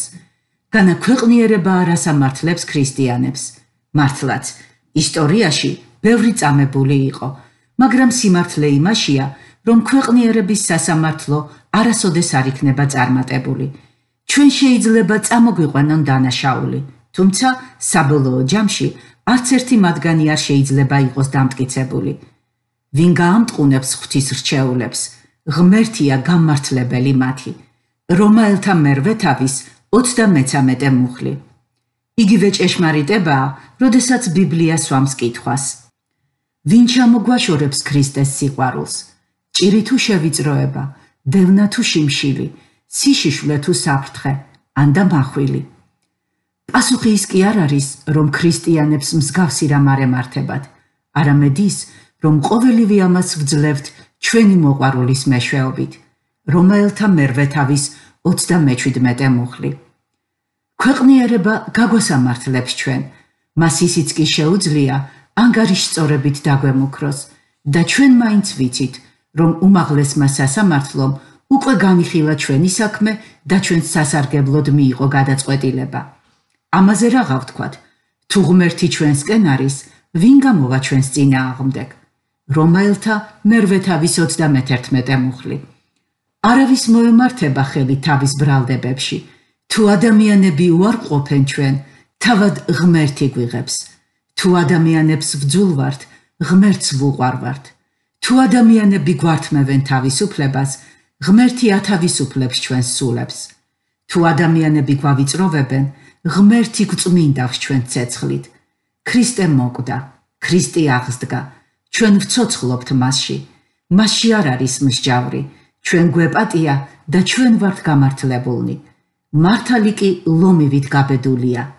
იგავების 28 თავის პირველი მუხლი. მიზეზი მე-13 რათა გააუქმოს წინა დაცვეთა და ყოველგვარი რიტუალი, როგორც ხსნის პირობა. ეპიგრაფი. ძმებო, თუ კლავ ქადაგებ წინა დაცვეთას, მაშინ ჯვრის ცუნება შეწყდებოდა. გალატელთა მეხუთე თავის მე-11 მუხლი.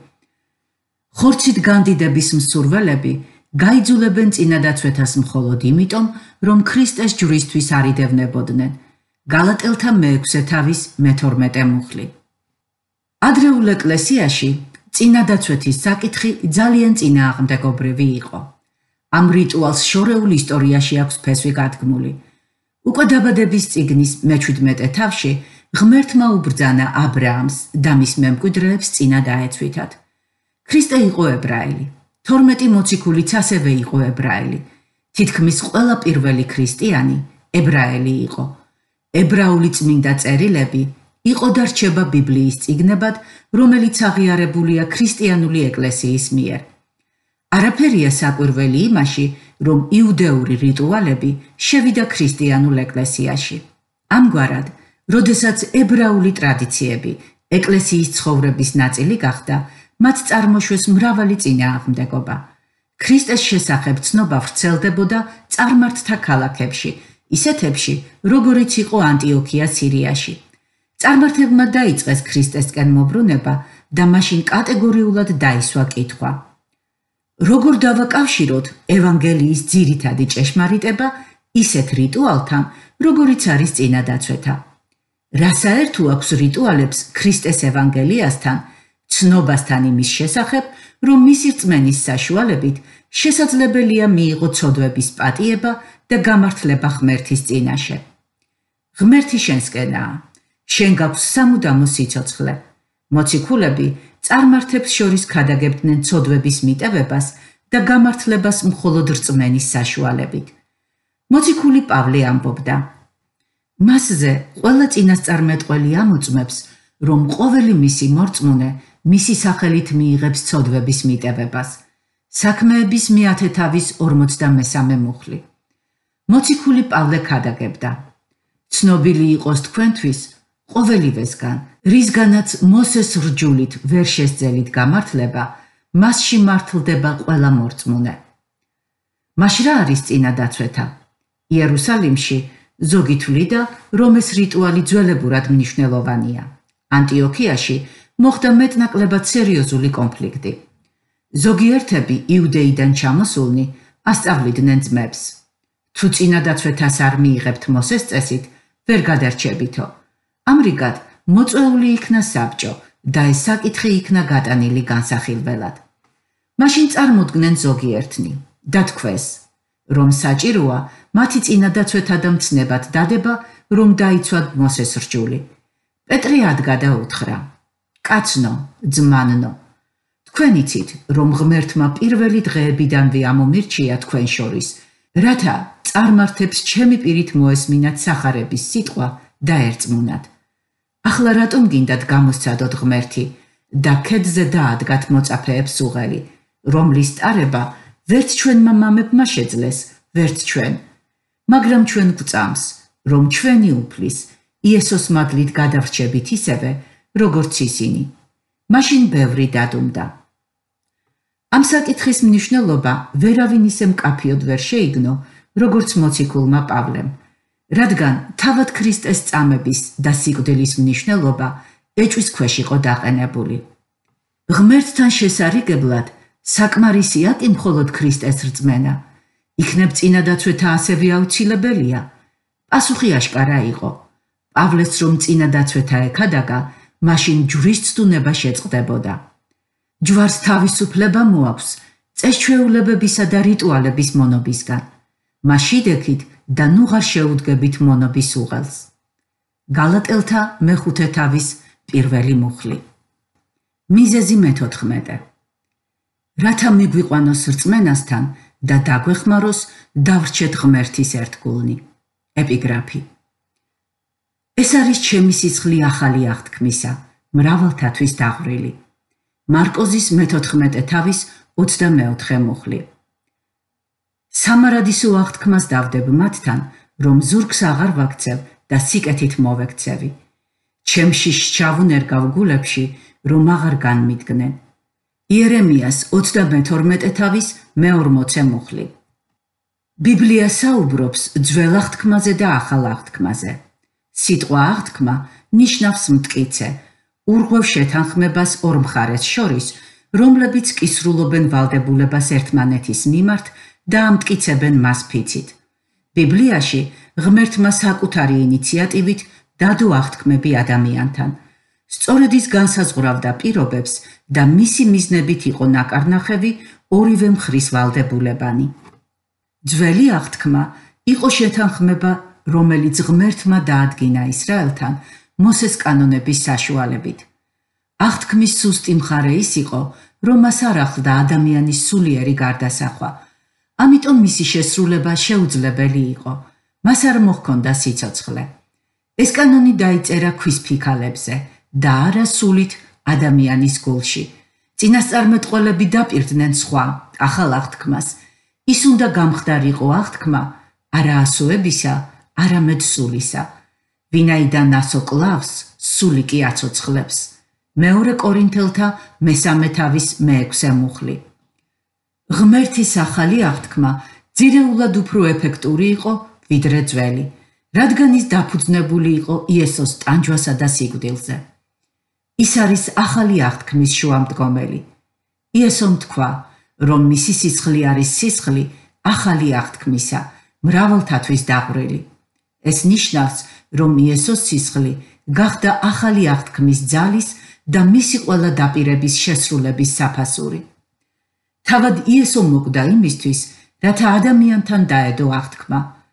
ახალი აღთქმის მოქმედება დასრულებულია. მაშ როგორია აღთქმის პირობები, რომელიც ქრისტემ საიმედოდ განამტკიცა თავისი სიკვდილით?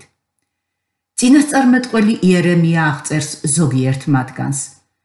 ასეთ აღთქმას დავუდებ ისრაელის სახლს. შინაგანში ჩავუდებ მათ ჩემს რჯულს და გულებზე დავუწერ, რადგან ვაპატიებ მათ ურჩულოებას და აღარ გავიხსენებ მათ ცოდვებს. იერემიას 31 თავის 33-34 მუხლები. ქრისტეს ტანჯვა და სიკვდილი მისი ხალხის გულებში შინაგანი ცვლილებებისა და მათი ცოდვების მიტევების გარანტიაა, რადგან ახლა მათ გულებში კანონია ჩაწერილი. ამ აღთქმის უცოდველობის გარანტიის მიზნით ქრისტე დებს თავისი ხალხის გულებში რწმენას და ეხმარება მათ ყოველთვის დარჩნენ ღმერთის ერთგულნი. არსებითად, ის ქმნის ახალი აღთქმის ადამიანებს. თავის კანონს წერს უკვე არა ქვაზე, არამედ მათ გულებში. ასოების მაგივრად, რომელიც იყო ქვაზე ამოკვეთილი, ის შუქნის ადამიანს მასოცხლებელ სულს. ჩვენ დანაშაულთა გამო მკვდრები გაგვაცოცხლა ქრისტესთან ერთად. ეფესელთა წერილის მეორე თავის მეხუთე მუხლი. სულით მოცემული სიцоცხლე გვაძლევს ნებას დავინახოთ იესო ქრისტეს დიდება და ვირწმუნოთ მისი. ეს სასწაული ქმნის ახალი აღთქმის ადამიანებს. ეს აღთქმა ჭეშმარიტი და ურღვევია, რადგან თავად ქრისტემ გაიღო საფასური მისთვის საკუთარი სისხლით. სასწაული არამხოლოდ იმაში მდგომარეობს, რომ ღმერთი ჩვენს გულებში ქმნის რწმენას, ის ასევე ქმნის ჩვენში მისი აღთქმის ერთგულებას. სამარადისო აღთქმას დავდებ მასთან და ჩემში შავუნერ გავგულებში, რომ აღარ განმიდგნენ. იერემიას 32 თავის მეორმოცე მუხლი. როდესაც ქრისტე მოკვდა, მან თავის ერს მისცა არამხოლოდ ახალი გული, ასევე მან უზრუნველყო ისინი ყველაფრით, რათა დარჩენილიყვნენ ღმერთის ერთგულნი. ღმერთი არ მისცემს მათი მისნებას, ზურგი აქციონ მას. ის შეინარჩუნებს მათ, ისინი მткиცენი იქნებიან ბოლომდე. და ახალი აღთქმის სისხლი ამის სამუდამო ბეჭედია. მიზეზი მე-15. რათა გაგვაწმინდაოს, გაგხვადოს უცოდველი და სრულყოფილი. ეპიგრაფი. მან ერთი შეწირვით სამუდამოდ სრულყო განსაწმენდელნი. ებრაელთა მეათე თავის მე-14 მუხლი. ახლა შეგირიგათ მისი ხორცის სხეულში, მისი სიკვდილის მეოხებით, რათა წარგადგინოთ თქვენ თავის წინაშე წმიდები, უბიწონი და უბრალონი. კოლასელთა პირველი თავის 22 მუხლი. განწმინდეთ ძველი საფუარი, რათა იყოთ ახალი ცომი, რამდენადაც ხმიადები ხართ, ვინაიდან ჩვენი პასექი ქრისტე ჩვენთვის შეეწირა. პირველი კორინთელთა მეხუთე თავის მეშვიდე მუხლი. ქრისტიანულ ცხოვრებაში ბევრ ტკივილს განვიცდით იმის გამო, რომ ცვლილებები ჩვენს გულში ძალიან ნელა ხდება. ჩვენ გვესმის ღმერთის მოწოდება, გვიყვარდეს ის მთელი გულით, მთელი სულით, მთელი გონებით და მთელი ძალით. მაგრამ რომელ ჩვენგანმა მიაღწია ღმერთის სიყვარულს ასეთი სიღრმით. ჩვენ ყოველ დღე ვღაღადებთ. უბადრო კი ადამიანი ვარ, ვინ დამიხსნის ამ სიკვდილის სხეულისგან. ჩვენ ვოხრავთ და ვკვნესით მაშინაც კი, როდესაც მткиცად მევდივართ წინ. არა იმიტომ, რომ უკვე მივაღწიე ან სრულქმნილი გავხდი, არამედ ვისწრაფვი, ვინც ლომ მივაღწიო, როგორც ჩემამდე მოაღწია ქრისტე იესო. ეს ბოლო მოწმობა ავსებს ჩვენს გულებს სიხარულით და მოთმინებით. იესო ქრისტე მოაღწია ჩემთან. მე ვცდილობ და წინ მივისწრაფი არა იმისთვის, რომ მივაღწიო ქრისტესთან. ის თავად მოვიდა ჩემთან. მე უკვე მას ვეკუთვნი. მე მინდა მივბაძო მას და გავაკეთო ყველაფერი, რათა ვიყო მისი მსგავსი. ქრისტიანებისთვის სიხარულის და მოთმინების ერთ-ერთი უდიდესი წყარო არის იმის ცოდნა, რომ მიუხედავად ჩვენი არასრულყოფილი მცდელობისა, იესომ თავისი ტანჯვებით და სიკვდილით უკვე გაგხვდა ჩვენ სრულყოფილნი. ვინაიდან მან ერთი შეწირვით სამუდამოდ სრულყო განსაწმენდელნი. გასაოცარია, ერთ წინადადებაშია ნათქვამი, რომ ქრისტე კვლავ წმენდს ჩვენ და რომ ჩვენ უკვე ვართ სრულყოფილნი. განწმენდის აუცილებლობა იმაზე მეტყველებს, რომ ჩვენ ჯერ არ ვართ სრულყოფილნი. ჩვენ სიწმინდის გზაზე ვართ, მაგრამ ჯერ კიდევ არ ვართ მთლიანად გაწმენდილი. ამასთანავე, სწორედ ასეთები და მხოლოდ ასეთები იესომ უკვე სრულყო. ავსორა ჩვენი გულების სიხარულით ის გვარწმუნებს. ღმერთის წინაშე ამოწმებს არა იმას, რომ ჩვენ უკვე საკუთარ თავს ვგრძნობთ სრულყოფილებად, არამედ იმას, რომ დავადექით განწმენდის გზას. ამ გზით სიარული იმის დასტურია, რომ მივაღწევთ მიზანს. ბიბლია ამაზრს ილუსტრაციას უკეთებს ცომის და საფუარის მაგალითზე. აქ საფუარი ეს არის ბოროტება, ჩვენ კი ცომი. გაწმინდეთ ძველი საფუარი, რათა იყოთ ახალი ცომი. რამდენადაც ხმიადები ხართ, ვინაიდან ჩვენი პასექი ქრისტე ჩვენთვის შეეწირა. პირველი კორინთელთა მეხუთე თავის მეშვიდე მუხლი. ქრისტიანები არ არიან საფურის გარეშე. თუ არ არის საფუარი, ბოროტებაც არ არის. ჩვენ გავხდით სრულყოფილნი და ამიტომ უნდა ვიყოთ უსაფუარონი საქმეში. სხვა სიტყვებით, ჩვენ უნდა გავხდეთ ისეთები, როგორებიც სინამდვილეში უკვე ვართ. ამგვარად, რაზეა დაფუძნებული ჩვენი იმედი? რამე თუ ჩვენი პასექი ქრისტე ჩვენთვის მოკვდა. ქრისტემ საკუთარი ტანჯვის ფასად მოიპოვა ჩვენი სრულყოფილება და ის იმდენად ურყევია, რომ ახლა უკვე გახდა რეალური. ჩვენ ვებრძვით ჩვენს ცოდვას არა იმიტომ, რომ სრულყოფილი გავხდეთ, არამედ იმიტომ, რომ ჩვენ უკვე ვართ სრულყოფილნი. ქრისტეს სიკვდილი გარანტიაა ჩვენს არასრულყოფილებასთან ბრძოლაში გამარჯვებისა. ჩვენ ხომ ვიცით, რომ უკვე სრულყოფილნი ვართ. ბიზეზი მე-16 რათა გვაჩუქოს სუფთა სინდისი. ეპიგრაფი. სისხლი ქრისტესი რომელმაც საუკუნო სულით შესწირა ღმერთს თავისი უბიწო თავი განწმეთს ჩვენ სინდის მკვდარი საქმეებისგან ცოცხალი ღვთის სამსახურისთვის. ზოგიერთი რამ არასოდეს არ იცვლება. შელახული სინდისის პრობლემა გაჩნდა ადამისა და ევას ცოდვასთან ერთად. როგორც კი მათ შესწოდეს, მათი სინდისი გაისვარა. დანაშაულის გრძნობამ დაანგრია მათი ურთიერთობა ღმერთთან და აიძულა ისინი დამალულიყვნენ მისგან. მან გააფუჭა ასევე მათი ურთიერთობა ერთმანეთთან. დანაშაულის გრძნობამ ასევე დაუსვა წერტილი მათი სულების სიმშვიდეს.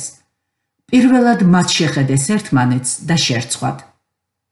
შელახული სინდისის პრობლემა მწვავედ დგას მთელ ძველ აღთქმაში. მსხვერპლ შეწირვებს არ შეეძლო ადამიანის სინდისის გასუფთავება. როდესაც წირავენ მსხვერპლთა და ძღვენთ, რასაც არ შეუძლია შემწირველის სინდისის სრულყოფა, რაც საჭმელ სასმელითა და სხვადასხვა გამბანებით და ხორციელი წესებით დადგენილი იყო მხოლოდ გამოსწორების დრომდე. ებრაელთა წერილის მეცხრე თავის მეცხრე მიათე მუხლები. ცხოველების სისხლი იყო მხოლოდ ქრისტეს მიერ დაღვრილი სისხლის მომასწავებელი ნიშანი და ღმერთმა საკმარისად ჩათვალა ის მხოლოდ ხორცის განსაცმენდად, მაგრამ არა სინდისისა. ებრაელებმა იცოდნენ, რომ შესაწირავი ცხოველების სისხლი არ წმენდა მათ სინდის. და ეს ჩვენც ვიცით. ამიტომაც მოვიდა ახალი მღვდელმთავარი, იესო, ღვთისძე. ის მოვიდა საუკეთესო მსხვერპლით, მან საკურთხეველზე მიიტანა საკუთარი თავი.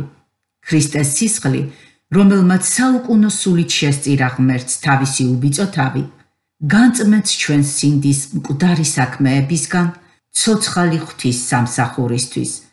ებრაელთა მეცხრე თავის მე-14 მუხლი. ცხოველების მსხვერპლ შეწირვა წინასახე იყო ღმერთის დის სრულყოფილი მსხვერპლისა, რომლის სიკვდილიც ფარავს ღმერთის ხალხის ყველა ცოდვას. ჩადენილს როგორც царსულში, ასევე მომავალშიც. ჩვენ ცხოვრობთ სრულყოფილ სამყაროში, მეცნიერების, ინტერნეტის, შინაგანი ორგანოების გადანერგვის და მობილური კავშირის სამყაროში. და მიუხედავად ამისა, ჩვენი პრობლემები არ შეცვლილა. ჩვენი სინდისი ძველებურად გგმობს ჩვენ. ჩვენ საკმარისად კარგებად არ ვთვლით ჩვენ თავს, რათა მივიდეთ ღმერთთან და მნიშვნელობა არ აქვს, თუ რა დოზით არის დაბინძურებული ჩვენი სინდისი. ჭეშმარიტება ასეთია: ჩვენ არასაკმარისად კარგები ვართ, რათა მივიდეთ მასთან. ჩვენ შეგვიძლია დანით დავისეროთ თავი, განვბანოთ ჩვენი შვილები წმინდა მდინარეში. შევწიროთ მილიონობით დოლარი გაერთიანებული ერების განათლების, მეცნიერებისა და კულტურის ორგანიზაციაში. ვიმსახუროთ საქველმოქმედო სამზარეულოში ღარიბებისთვის ან მოვიგონოთ ასობით სხვა მცდელობა, რათა განთავისუფლდეთ საკუთარი მსჯავრდებისგან და მოვიპოვოთ პატიება. შედეგი ერთი და იგივე იქნება. ჩვენი სინდისი არ განიწმინდება, ხოლო შიში სიკვდილისა მუდამ იქნება ჩვენი თანამგზავრი. ჩვენ ვიცით, რომ ჩვენი სინდისი არ არის სუფთა და ამაში დამნაშავე სულაც არ არის გარეშე შეცდომები. ისეთები, როგორიც არის მკვდარი სხეულის შეხება ან საკვებში ღორის ხორცის შერევა. იესომ თქვა: ადამიანს ბილწავს არა ის, რაც შედის მასში გარედან, არამედ ის, რაც მისგან გამოდის. მარკოზის მე-7 თავის მე-15-23 მუხლები. ჩვენ გვბილწავს სიამაყე, საკუთარი თავის სიბრალული, მწუხარება, ავხორცობა, შური, აპათია, შიში და შიშით გამოწვეული მოქმედებები. ეს ყველაფერი სიკვდილის საქმეებია. ისინი გამოდიან არა ახალი სიცოცხლისგან, არამედ სიკვდილისგან და სიკვდილისგან მივყავართ. აი რატომ მოაქვთ მათ ჩვენთან სრული უმწეობის განცდა და აწამებენ ჩვენ სინდის. ერთადერთი პასუხი თანამედროვე სამყაროსთვის, ისევე როგორც ყველა დროისთვის, ეს არის ქრისტეს სისხლი. მაშ რა უნდა გავაკეთოთ, როდესაც სინდისი გვასამართლებს, განგვიკითხავს, გმობს. ჩვენ მივმართავთ იესო ქრისტეს. ჩვენ გვწამს ქრისტეს ტანჯვის, სიკვდილის და სისხლის. მისი სისხლი მთელ სამყაროში ერთადერთი საშუალებაა, რომელსაც შეუძლია გაასუფთავოს ჩვენი სინდისი, გვაჩუქოს ნუგეში ამ ცხოვრებაში და აგვავსოს სიმშვიდით სიკვდილის პირას. მიზეზი მე-17 რათა გვაჩუქოს ყველაფერი, რაც ხელს უწყობს ჩვენს კეთილდღეობას. ეპიგრაფი. ის, ვინც საკუთარი ძე არ დაინდო, არამედ გასწირა ჩვენთვის, განა მასთან ერთად ყოველივეს არ გვაჩუქებს, რომელთა მერვე თავის 32 მუხლი. მე მომწონს ამ მუხლის ლოგიკა და არა იმიტომ, რომ მე თავისთავად მიზიდავს ლოგიკა, არამედ იმიტომ, რომ მომწონს, როდესაც ჩემი საჭიროებები დაკმაყოფილებულია. ამ მუხლის ორ ნაწილს შორის არის კოლოსალური მნიშვნელობის ლოგიკური კავშირი. ჩვენ შესაძლოა უცბად ვერც კი შევნიშნოთ, რამდენადაც მუხლის მეორე ნაწილი მოიცავს კითხვას. განა მასთან ერთად ყოველივეს არ გვაჩუქებს, თუმცა თუ ჩვენ კითხვას შევცვლით იმ მტკიცებულებითი ფორმით, რომელიც მასშია ჩადებული, მივიღებთ შემდეგს. მან რომელმაც საკუთარი ძე არ დაინდო, არამედ გადასცა ის ყველა ჩვენგანის მაგივრად, მასთან ერთად გულუხვად გჩუქნის ჩვენ ყველაფერს. სხვა სიტყვებით, ამ მუხლის ნაწილები ისეა დაკავშირებული, რომ მისი მეორე ნაწილის აზრი ჟღერდეს აბსოლუტურად დამაჯერებლად. თუ ღმერთი წავიდა იმაზე, რომ გადაეხადა უმაღლესი საფასური, მიეცა საკუთარი ძე ტანჯვისთვის და სიკვდილისთვის, მაშინ სავსებით ნათელია, რომ დანარჩენი არ წარმოადგენს მისთვის დიდ სირთულეს. ღმერთმა გადაწყვიტა მოგცეს ყველაფერი, რაც გვჭირდება. მან ხომ ყველაზე, ყველაზე ძვირფასი უკვე მოგცა. გასცა საკუთარი ძე ყველა ჩვენგანისთვის. დაფიქრდით, შეჩერდება კი ის რამის წინააღმდეგ. ეს იქნებოდა არალოგიკური. რას ნიშნავს? განა არ გჩუქნის ყველაფერს. ღმერთი არ გვპირდება იო და კომფორტულ ცხოვრებას. ის ასევე არ გვპირდება დაგვიფაროს ყველა მტრისგან. ეს ნათელი ხდება, როდესაც 4 მუხლის შემდეგ ვკითხულობთ. რადგან შენს გამო გხოცავენ ყოველ დღე, დასაკლავ ცხოვრებად ვართ შერაცხილნი, რომელთა მერვე თავის 36 მუხლი. ჩვენს დროშიც კი მრავალი ქრისტიანი იტანჯება მსგავსი დევნისგან, როდესაც ბიბლია კითხვას ვამს. ვინ ჩამოგვაშორებს ქრისტეს სიყვარულს? ჭირი თუ შევიწროება, დევნა თუ შიმშილი, სიშიშვლე თუ საფრთხე, ანდა מחვილი. რომელთა მერვე თავის 35 მუხლი. პასუხი ასეთია: ვერავინ. და არა იმიტომ, რომ მსგავსი რამ არ ხდება ქრისტიანებთან, არამედ იმიტომ, რომ ყოველივე ამას ვძლევთ ჩვენი მოყვარულის მეშვეობით. რომელთა მერვე თავის 37 მუხლი. მაშ რა იგულისხმება სიტყვების ქვეშ, რომ ქრისტეს მსხვერპლთან ერთად ღმერთი აუცილებლად გჩუქნის ყველაფერს. ეს ნიშნავს, რომ ის მოგცემს ყველაფერს, რაც ხელს უწყობს ჩვენს სიკეთეს, ყველაფერს, რაც საჭიროა იმისთვის, რათა გავხდეთ მისი ძის მსგავსი. ყველაფერი, რაც ჩვენ გვესაჭიროება იმისთვის, რათა გქონდეს სამუდამო სიხარული. გვახსენდება ღმერთის კიდევ ერთი აღთქმა: ჩემი ღმერთი აღავსებს თქვენს ყოველ საჭიროებას თავისი სიუხვისამებრ დიდებით ქრისტე იესოში. ფილიპელთა მეოთხე თავის მე-19 მუხლი. ეს სიტყვები უფრო ნათლად ჟღერს იმავე თავში ადრე ნათქვამის ფონზე. ვიცი ხელმოკლეობაში ცხოვრება და ვიცი სიუხვეში ცხოვრებაც.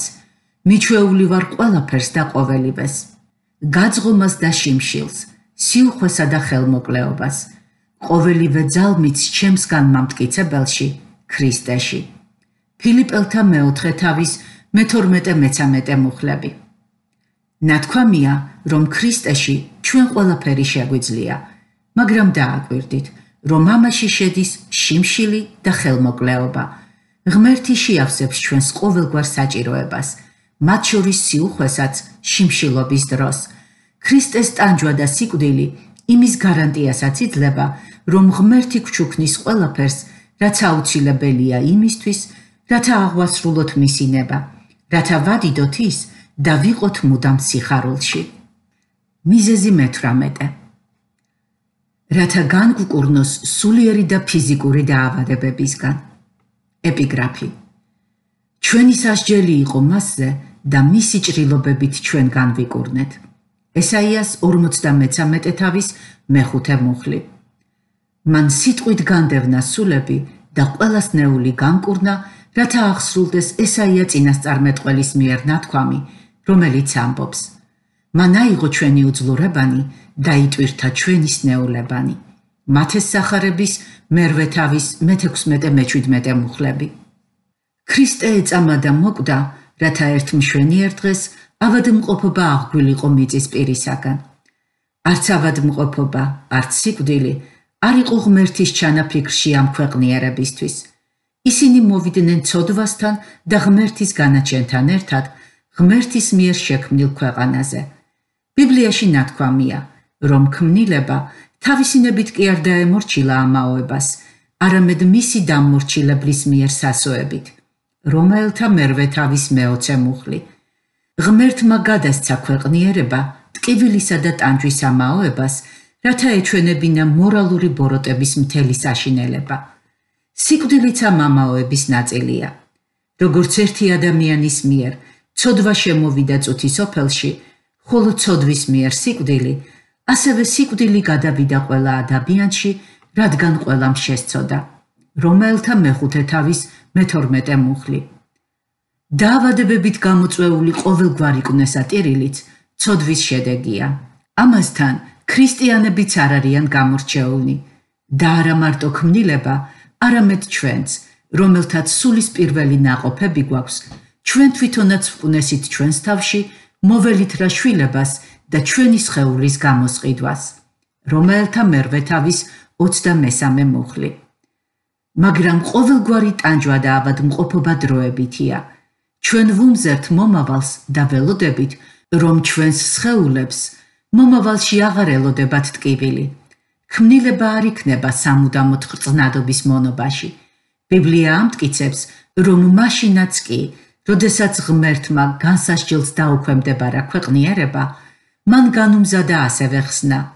მისი საბოლოო მიზანი რომ თვით ქმნილებაც გათავისუფლდება ხრწნილების მონობისგან ღვთის შვილთა დიდების თავისუფლებისათვის რომელთა მერვე თავის 21 მუხლი ქრისტე მოვიდა ამ ქვეყნიერებაზე რათა აღესრულებინა კაცობრიობის სრული გამოსყიდვა.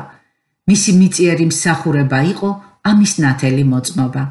მის ირგვლივ მრავალჯერ შეიკრიბა უდიდესი ბრბო და ის კურნავდა ყველა ავადმყოფს მათეს სახარების მერვე თავის მე-16 მუხლი და ლუკას სახარების მე-6 თავის მე-19 მუხლი. და ეს იყო მხოლოდ იმის პრელუდია, რაც უნდა მომხდარიყო დროის დასასრულს, როდესაც მოსწმენს ყველა ცრემლს მათი თვალებიდან და აღარ იქნება სიკვდილი, გლოვა, გოდება და ტკივილიც აღარ იქნება. აი როგორ დაამარცხა ქრისტემ სიკვდილი და ავადმყოფობა. მთელი მათი ტვირთი მიიღო თავის თავზე, და თან წაიღო სამარეში. ღმერთის განაჩენმა ცოდვაზე, რომელმაც მოიტანა ავადმყოფობა, დაეკისრა იესოს, როდესაც ის იტანჯებოდა და მოკვდა. აი როგორ აღწერა წინასწარმეტყველმა ესაიამ ქრისტეს სიკვდილი. ის კი ჩვენი ცოდვებისთვის იყო დაჭრილი, ჩვენი ურჯულოებისთვის იყო შემოსვლილი, ჩვენი სასჯელი იყო მასზე და მისი ჭრილობებით ჩვენ განვიკურნეთ.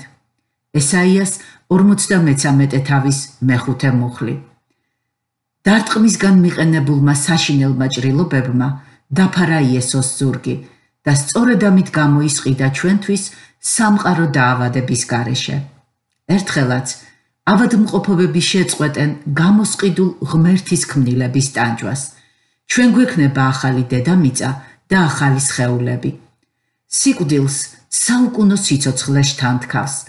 მგელი და კრავი ერთად იბალახებენ, ლომი ხარივით შეჭამს თივას და ქრისტეს ყველა მოყარული იმღერებს კრავის სამადლობელ სიმღერას, რომელიც იყო დაკლული, რათა გამოვესყიდეთ ცოდვისგან, სიკვდილისგან და ავადმყოფობებისგან. მიზეზი მე-19 რათა აჩუქოს სამუდამო სიცოცხლე ყველას, ვისაც მისის წამს. ეპიგრაფი ვინაიდან ისე შეიყვარა ღმერთმა წუთი სოფელი, რომ მისცა თავისი მხოლოდ შობილი ძე, რათა ყოველი მისი მორწმუნე არ დაიღუპოს, არამედ ჰქონდეს საუკუნო სიცოცხლე. იოანეს სახარების მესამე თავის მე-16 მუხლი. როდესაც ცხოვრებაში ბედნიერი დღეები დგება, ჩვენ არ გვინდა სიკვდილი. სიკვდილის სურვილი მხოლოდ მაშინ გვეუფლება, როდესაც ვიტანჯებით და ტკივილი გავსაძლისია, მაგრამ ყველაზე რთულ მომენტშიც კი ჩვენ არსებითად ვსურს არა სიკვდილი, არამედ შემსუბუქება. ჩვენ გვსურს, რომ კარგი დრო კვლავ დაბრუნდეს. გვსურს, რომ გაიაროს ტკივილმა. გვსურს დავიბრუნოთ ჩვენი გარდაცვლილი ახლობლები. ჩვენი გული მიისწრაფის ჩვეულებრივი ადამიანური ბედნიერებისკენ და კარგი ცხოვრებისკენ. ვუყურებთ რა სიკვდილს რომანტიკულად, ჩვენ ვატყუებთ საკუთარ თავს. სიკვდილი ეს მტერია, ის გვაშორებს ყველაფერს, რაც მშვენიერია ამ ქვეყნად. ჩვენ ვარქმევთ სიკვდილს ლამას სახელებს და გვავიწყდება იმის შესახებ, რომ ის ბოროტებაა. სიკვდილი არის ჯალათი, რომელიც აყენებს გადამწყვეტ დარტყმას ტანჯვის დასასრულებლად. ამას სულაც არაკეთებს გულმოწყალების გამო და არასრულებს სანუკვარ სურვილებს. ის ადამიანს ართმევს იმედს. ადამიანის სურვილი ხომ არის სიცოცხლე და ბედნიერება. ღმერთმა ასეთებად შეგუქმნა. მარადიულობა ჩადო ადამიანთა გულებში სამუდამოდ. ჩვენ შექმნილი ვართ ღმერთის ხატად. ღმერთს კი უყვარს სიცოცხლე და ცოცხლობს მარად. ჩვენც ასე ვართ შექმნილი, რათა სამუდამოდ ვიცოცხლოთ. და ჩვენ ვიცოცხლებთ მუდამ. მარადიული სიცოცხლის საპირისპირო კი არის არაარსებობის გაუქმება, არამედ ჯოჯოხეთი. არავის იმდენი არ უსაუბრია სიკვდილზე, რამდენიც იესოს. მან გარკვევით თქვა, რომ სამუდამო სიცოცხლის უარყოფას, რომელსაც ის გვთავაზობს, მივყავართ არაუბრალოდ ფიზიკურ სიკვდილამდე, არამედ ტანჯვებთან, რომელსაც იწევს ღვთის რისხვა. ვისაც ძეს წამს საუკუნო სიცოცხლე აქვს, ხოლო ურჩი ძისა ვერ ხილავს სიცოცხლეს, არამედ ღვთის რისხვა დარჩება მასზე. იოანეს სახარების მესამე თავის 36 მუხლი. ვინც ქრისტე უარყო, ღმერთის სამუდამო რისხვა ამათზე. იესომ თქვა: და წავლენ ისინი საუკუნო სატანჯველში, ხოლო მართალნი საუკუნო სიცოცხლეში. მათეს სახარების 25 თავის 46 მუხლი. ეს რეალობა არ აღიწერება სიტყვებით. აი რამდენად საშინელია შედეგები, თუ ჩვენ ვართ ღმერთის მიმართ გულგრილნი და უგულვებელ ყოფთ მას. ამიტომაც იესო გვაფრთხილებს. თუ გაცდუნებს შენი თვალი, ამოითხარე იგი. გიჯობს ცალი თვალით შეხვიდე ღვთის სასუფეველში, ვიდრე ორი თვალი გქონდეს და ჩაგაგდონ ჯოჯოხეთში. სადაც მატლი მათი არ ყვდება და ცეცხლი არ ნელდება. მარკოზის სახარების მეცხრე თავის 47-48 მუხლები. ამრიგად, სამუდამო სიცოცხლე ეს არ არის მიწიერი ცხოვრების გაგრძელება, რომელშიც არის როგორც ტკივილი, ასევე სიამოვნებანი. ჯოჯოხეთი ეს არის ამ ცხოვრების ყველაზე ცუდი დასასრული. მაშინ, როდესაც სამუდამო სიცოცხლე ეს არის მისი უდიდესი ნეტარების გაგრძელება. სამუდამო სიცოცხლე ეს არის მუდმივად მზარდი ბედნიერება, რომელშიც ადგილი არ აქვს არც ცოდვას, არც ნაღველს.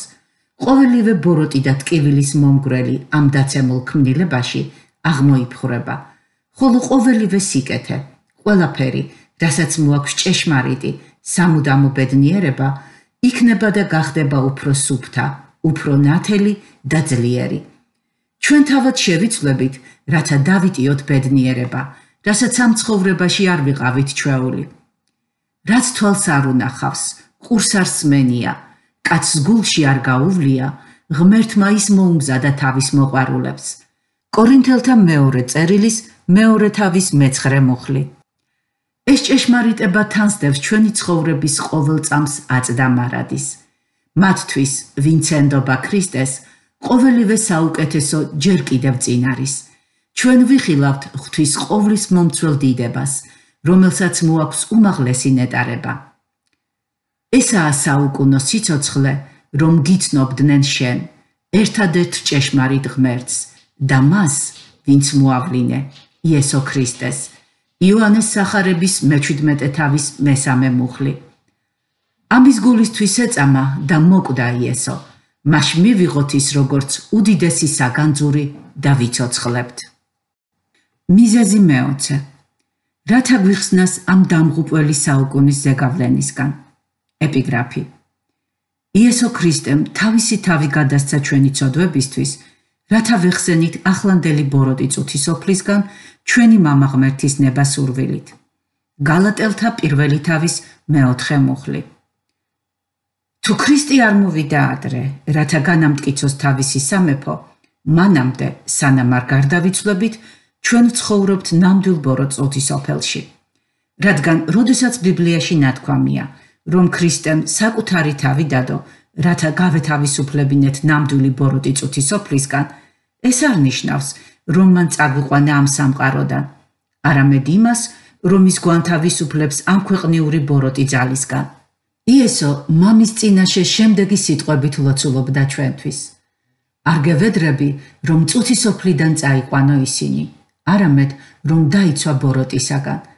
იოანეს სახარების მე-17 თავის მე-15 მუხლი.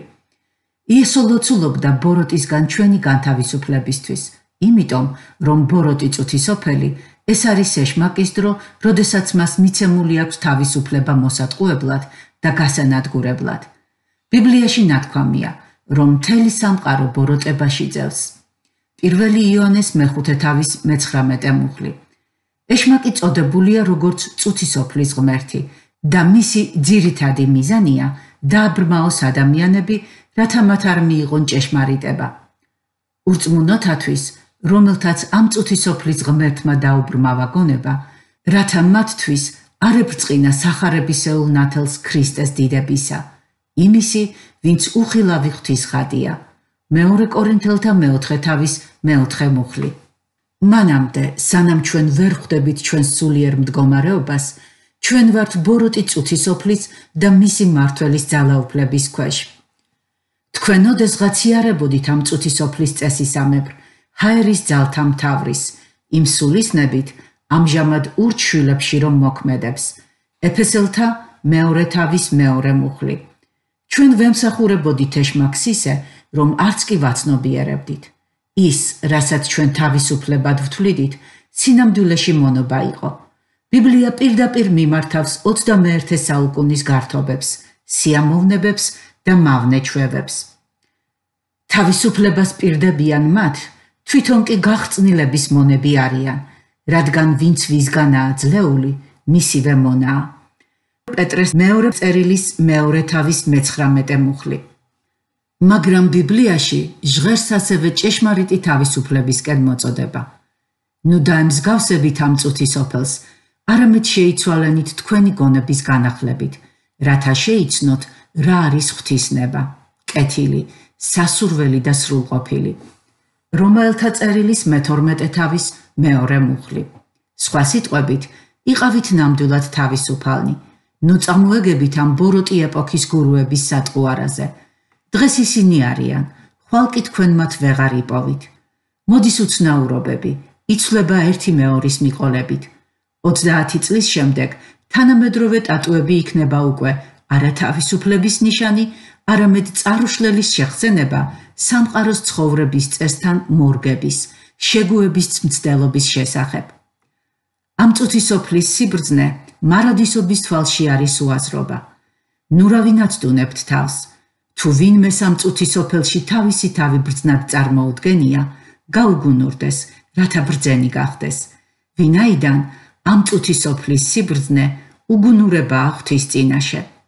ვინაიდან სიტყვა ჯვრის შესახებ სისულელია მათთვის, რომელნიც იღუპებიან. მაშ რაშია ღმერთის სიბრძნე ამ წუთი სოფელში? იესო ქრისტეს განმათავისუფლებელ სიკვდილში. ქრისტეს პირველი მიმდევრები ამბობდნენ: ჩვენ ვქადაგებთ ჯვარცმულ ქრისტეს, ღვთის ძალას და ღვთის სიბრძნეს. პირველი კორინთელთა წერილის პირველი თავის 23-24 მუხლები. როდესაც ქრისტე ჯვარზე გაეკრა, მან მილიონობით ტყვე გაანთავისუფლა. მან ამხილა ეშმაკი სიცრუეში და წაართვა მას ძალა. სწორედ ეს ქონდა იესოს მხედველობაში, როდესაც ჯვარზე გაკვრამდე თქვა: ახლა ამ წუთი სოფლის მთავარი გარეთ გაიდევნება. იოანეს მე-12 თავის 31 მუხლი. ნუ გაყვებით დამარცხებულ მოწინააღმდეგეს, გახევით ქრისტეს. ეს გზა დაგიჯდებათ. ამ წუთი სოფელში თქვენ იქნებით გარიყული, მაგრამ თქვენ იქნებით თავისუფალი. მიზეზი 21. რათა შეგვარიგოს ღმერთთან. ეპიგრაფი. ვინაიდან თუ მისი ძის სიკვდილით შევურიგდით ღმერთს, როცა მტრები ვიყავით, მით უმეტეს შერიგებულნი გადავრჩებით მისი სიცოცხლით. რომელთა მეხუთე თავის მეათე მუხლი. შერიგება ცოდვილ ადამიანსა და წმინდა ღმერთ შორის უნდა იყოს ორმხრივი. ღმერთთან ჩვენი დაუმორჩილებლობა უნდა შეიცვალოს რწმენით, ხოლო ღმერთის რისხვა წყალობით. თუმცა ჩვენ შორის არის სერიოზული განსხვავებანი. მე მჭირდება ღმერთის დახმარება, რათა შევიცვალო, ხოლო ღმერთი დახმარებას არ საჭიროებს. ცვლილებები ჩემში შემოდის გარედან, ღმერთი კი იცვლება თავისით. უფრო სწორად, ღმერთი საერთოდ არ იცვლება, ის უბრალოდ გადაწყვეტს, იყოს არა ჩემს წინააღმდეგ, არამედ ჩემს მხარეს. მიაქციეთ ყურადღება სიტყვებს, როცა მტრები ვიყავით, ჯერ კიდევ მაშინ ჩვენ მისი ძის სიკვდილით შევურიგდით ღმერთს, რომელთა მეხუთე თავის მეათე მუხლი.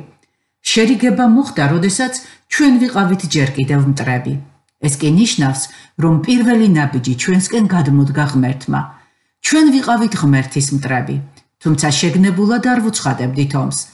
ადამიანების უმრავლესობა ვერაცნობიერებს თავის მტრულ განწყობილებას ღმერთთან, მაგრამ ის მშღამდება მის დაუმორჩილებლობაში ან უბრალო გულგრილობაში. აი რას ამბობს ბიბლია ამის თაობაზე. ხორციელი ფიქრები ღვთისმტრობაა, ვინაიდან არ ემორჩილება ღვთის რჯულს და არ შეუძლია. რომაელთა მერვე თავის მეშვიდე მუხლი. როდესაც ღმერთის მტრები ვიყავით, მან გამოაგზავნა ქრისტე, რათა მას თავის თავზე აეღო კაცობრიობის ცოდვები, რომლებიც ღმერთს ანრისხებდა. მხოლოდ მაშინ შეეძლო ღმერთს ჩვენი შეწყალება. ღმერთის პირველი ნაბიჯი შერიგებისკენ იყო იმ წინააღმდეგობის მოშორება, რომელიც ჩვენთან მშვიდობას შეუძლებელს ხდიდა. ეს იყო ჩვენი ცოდვები, რომელიც შეურაცხყოფდა მის სახელს. ღმერთმა ქრისტეში შეირიგა წუთი სოფელი და არ ჩაუთვალა მათ მათი დანაშაულებანი. მეორე კორინთელთა წერილის მეხუთე თავის მე-19 მუხლი. როდესაც ქრისტეს წარგზავნილები ამ ცნობას ავრცელებენ ქვეყნიერებაზე, ისინი ამბობენ: ქრისტეს სახელით გთხოვთ, შეურიგდით ღმერთს. მათ მხედველობაში მხოლოდ ის აქვთ, რომ ადამიანებმა უნდა შეცვალონ თავისი დამოკიდებულება ღმერთთან. არა, ისინი ასევე დაჟინებით მოითხოვენ: მიიღეთ ის, რაც ღმერთმა უკვე მოიმოქმედა ქრისტეში. ის შეგირიგდათ თქვენ. დაფიქრდით იმაზე, თუ ადამიანები ჩვეულებრივად როგორ ურიგდებიან ერთმანეთს. იესომ თქვა: თუ მიიტანს შენს ძღვენს სამსხვერპლოზე, და იქ გაგახსენდება, რომ შენს ძმას რაიმე აქვს შენს წინააღმდეგ, მიატოვე იქ შენი ძღვენი სამსხვერპლოსთან და წადი, შენს ძმას შეურიგდი.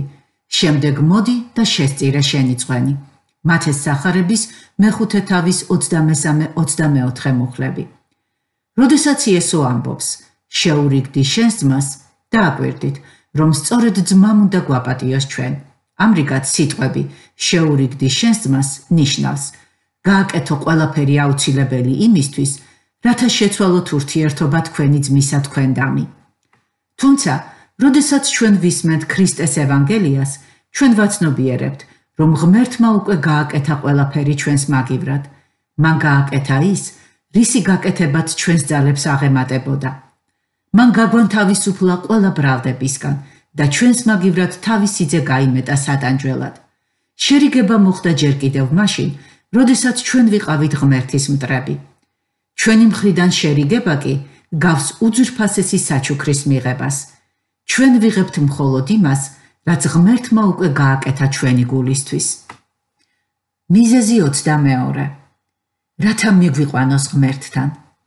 ეპიგრაფი. ქრისტე მოკვდა ერთხელ ჩვენი ცოდვების გამო, მართალი უსამართლოთა გამო, რათა მივეყვანეთ ღმერთთან. პეტრეს პირველი წერილის მესამე თავის მე-18 მუხლი. ახლა კი თქვენი ესო ქრისტეში ოდესღაც შორს მყოფნი ახლობლები გახდით ქრისტეს სისხლით. ეფესელთა მეორე თავის მე-13 მუხლი. თავად ღმერთია ევანგელიე. სიტყვა ევანგელიე ნიშნავს კარგ ამბავს. ამგვარად, ქრისტიანობა ეს უპირველეს ყოვლისა არ არის ღვთისმეტყველება, არამედ ეს არის ახალი ამბავი. ის გავს რადიო რეპორტაჟს იმის შესახებ, რომ მოკავშირეთა ძალებმა გადმოსვეს თავისი დესანტი. ეს იატაკქვეშა რადიოს საშუალებით მოისმინეს სამხედრო ტყვეებმა და გაიგეს, რომ ამ წუთიდან მოყოლებული მათი ხსნა მხოლოდ დროის საქმეა. ცველები კი გაოცებულნი არიან, ყველა ტყვე რატომ არის ასე გახარებული. მაგრამ რასაკეთებს ევანგელია ამ კარგი ამბით? ევანგელიეს მივყავართ ღმერთთან. სხვაგვარად ის უკვე არ იქნებოდა ევანგელიე. მაგალითად, გადარჩენა არ იქნება კარგი ამბავი, თუ ის მხოლოდ ჯოჯოხეთის განგვიხსნის, მაგრამ არ მივყავართ ღმერთთან. პატიება არ იქნება კარგი ამბავი, თუ გვათავისუფლებს დანაშაულის გრძნობისგან, მაგრამ ამასთან ერთად არ მიგვითითებს ღმერთისკენ მიმავალი გზისკენ. პატიება არ იქნება კარგი ამბავი, თუ აცხადებს, რომ ამიერიდან ღმერთი გვიღებს ჩვენ, მაგრამ არ გვპირდება თავად მასთან ყოფნას. გამოსყიდვა არ იქნება კარგი ამბავი, თუ გვათავისუფლებს მონობისგან, მაგრამ არ მივყავართ ღმერთთან. ჩვენი შვილად მიღება არ იქნება კარგი ამბავი, თუ გაგხვდის ჩვენ მამის ოჯახის წევრებად, მაგრამ არ მოგვათავსებს მის ხელებში. ეს ძალიან მნიშვნელოვანია. ბევრი ადამიანი მზად არის მიიღოს ევანგელიე და ამასთან ერთად არ სურს ღმერთის მიღება. ჯოჯოხეთიდან თავის დაღწევის სურვილი ჯერ კიდევ არ ნიშნავს იმას, რომ ახალი გული წგერს. ეს აბსოლუტურად ბუნებრივი ადამიანური სურვილია. მასში არ არის არაფერი ზებუნებრივი. ახალი გული არ არის საჭირო იმისთვის, რათა გსურდეს პატიებისგან ფსიქოლოგიური განთავისუფლება, შემსუბუქება, ღმერთის რისკვის განხსნა ან ღმერთის მემკვიდრეობაში მონაწილეობის მიღება. ეს სურვილები სავსებით გასაგებია სულიერი ცვლილებების გარეშეც. ზემოდან დაბადება სრულიადაც არ არის აუცილებელი, რათა გსურდეს ყოველივე ამის მიღება. ეშმაკებსაც სურთ, რომ ამას ყოველივეს ფლობდნენ. არ არის არავითარი შეცდომა იმაში, რათა გსურდეს ღმერთის კურთხევა.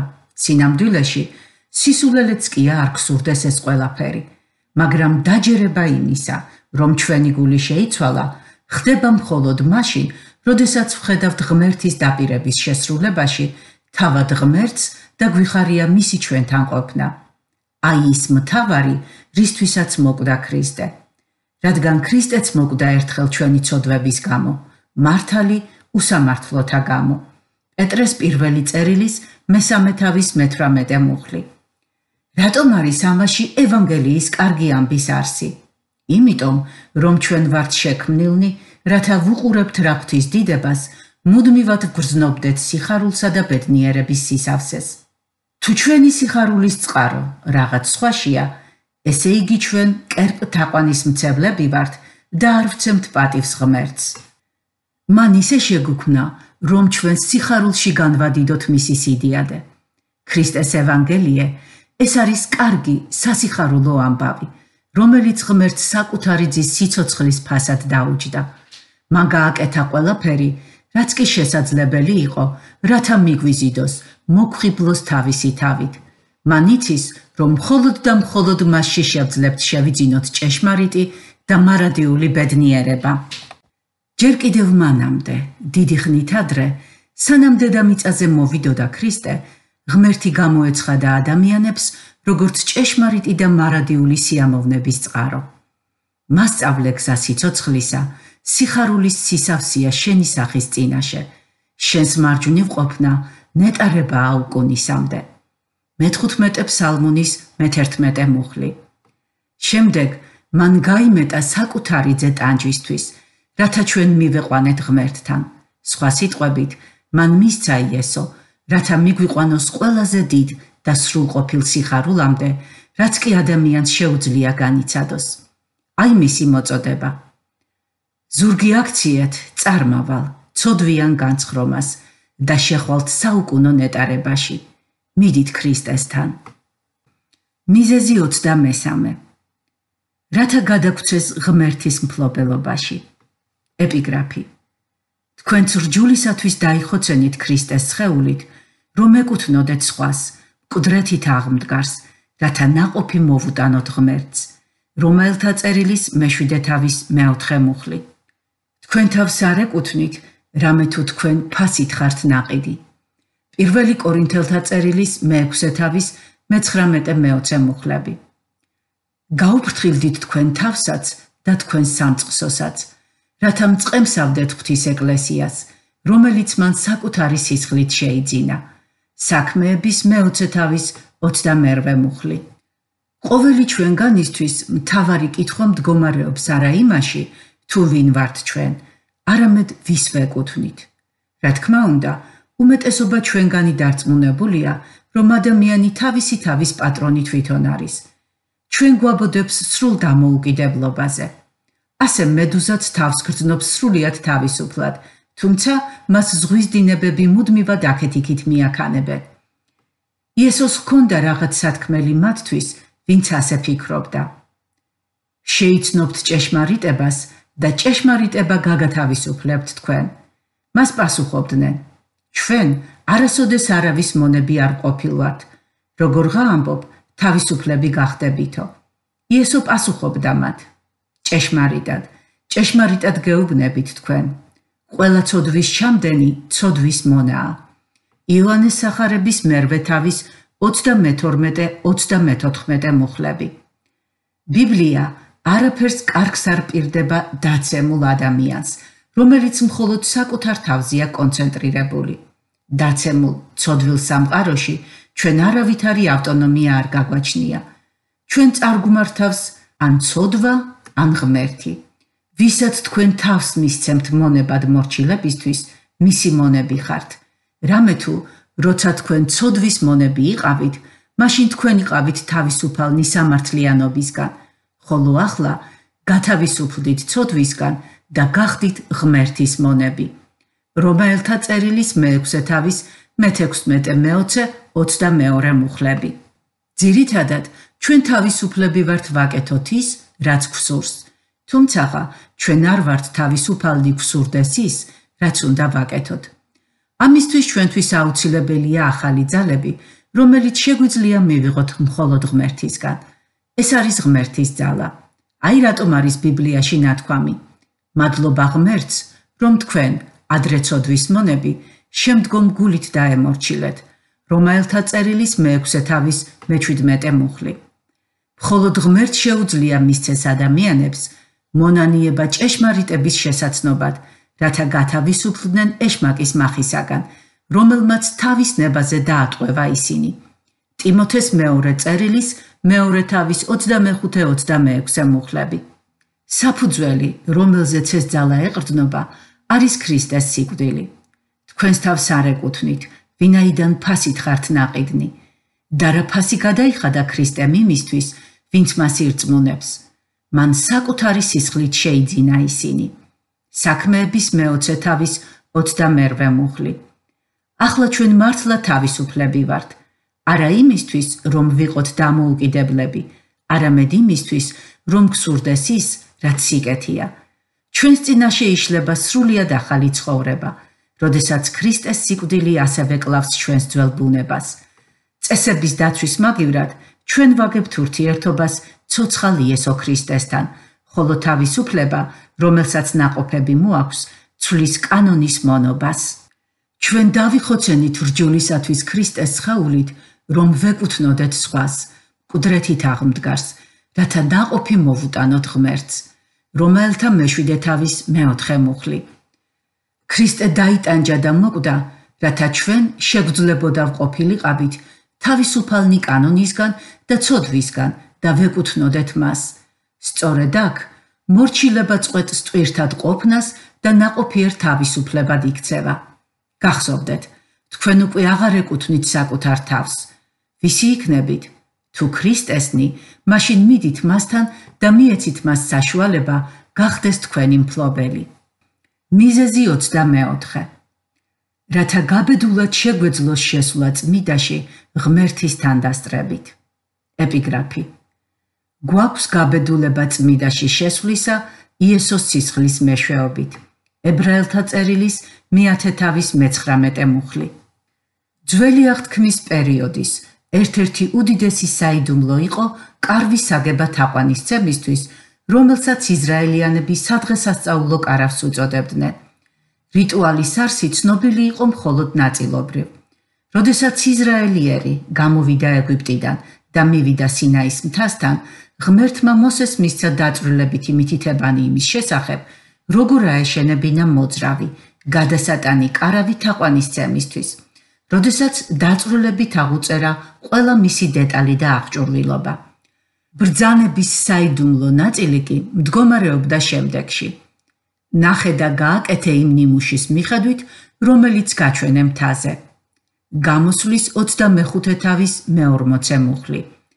1400 წლის შემდეგ, როდესაც იესო მოვიდა ამ წუთის ოფელში, აღნიშნული რიტუალი გახდა უფრო ნათელი.